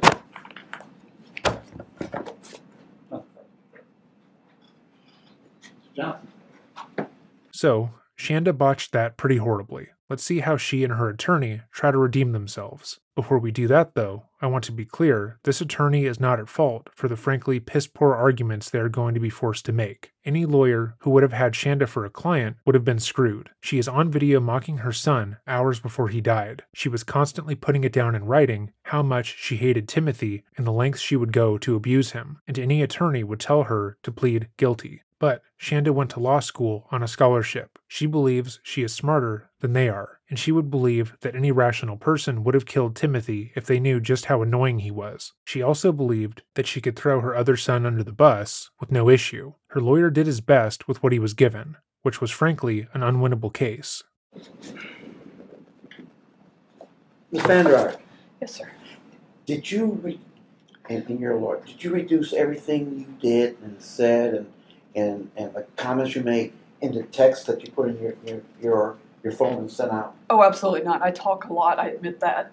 I, the text was probably 10% of what I said. Okay, so it, it, would it be true to say that there, there are other conversations, other issues, other details that are not contained in those texts? Many, yes, sir. Okay. Uh, you were asked um, if you only couldn't remember the, the, the bad things or the, incrim- I guess, the incriminating things. You remember having that question? Yes, sir. I remember that question. Were you, did, during the course of this conversation you had with Mr. Roberts, were you ever asked about any of the good things that were going on? Not really, no, sir. So, in, and uh, as I recall, you reported that you can't remember some of those as well? Yes, sir. Okay. Um, I know my son played baseball. I don't remember most of his games, and I know I caught for the team because coaches were on first and third, but I don't actually remember doing it most of the time. I remember a couple of games, but I know we had more than two games. let me ask you about this. You, you, you had children and you taught dogs.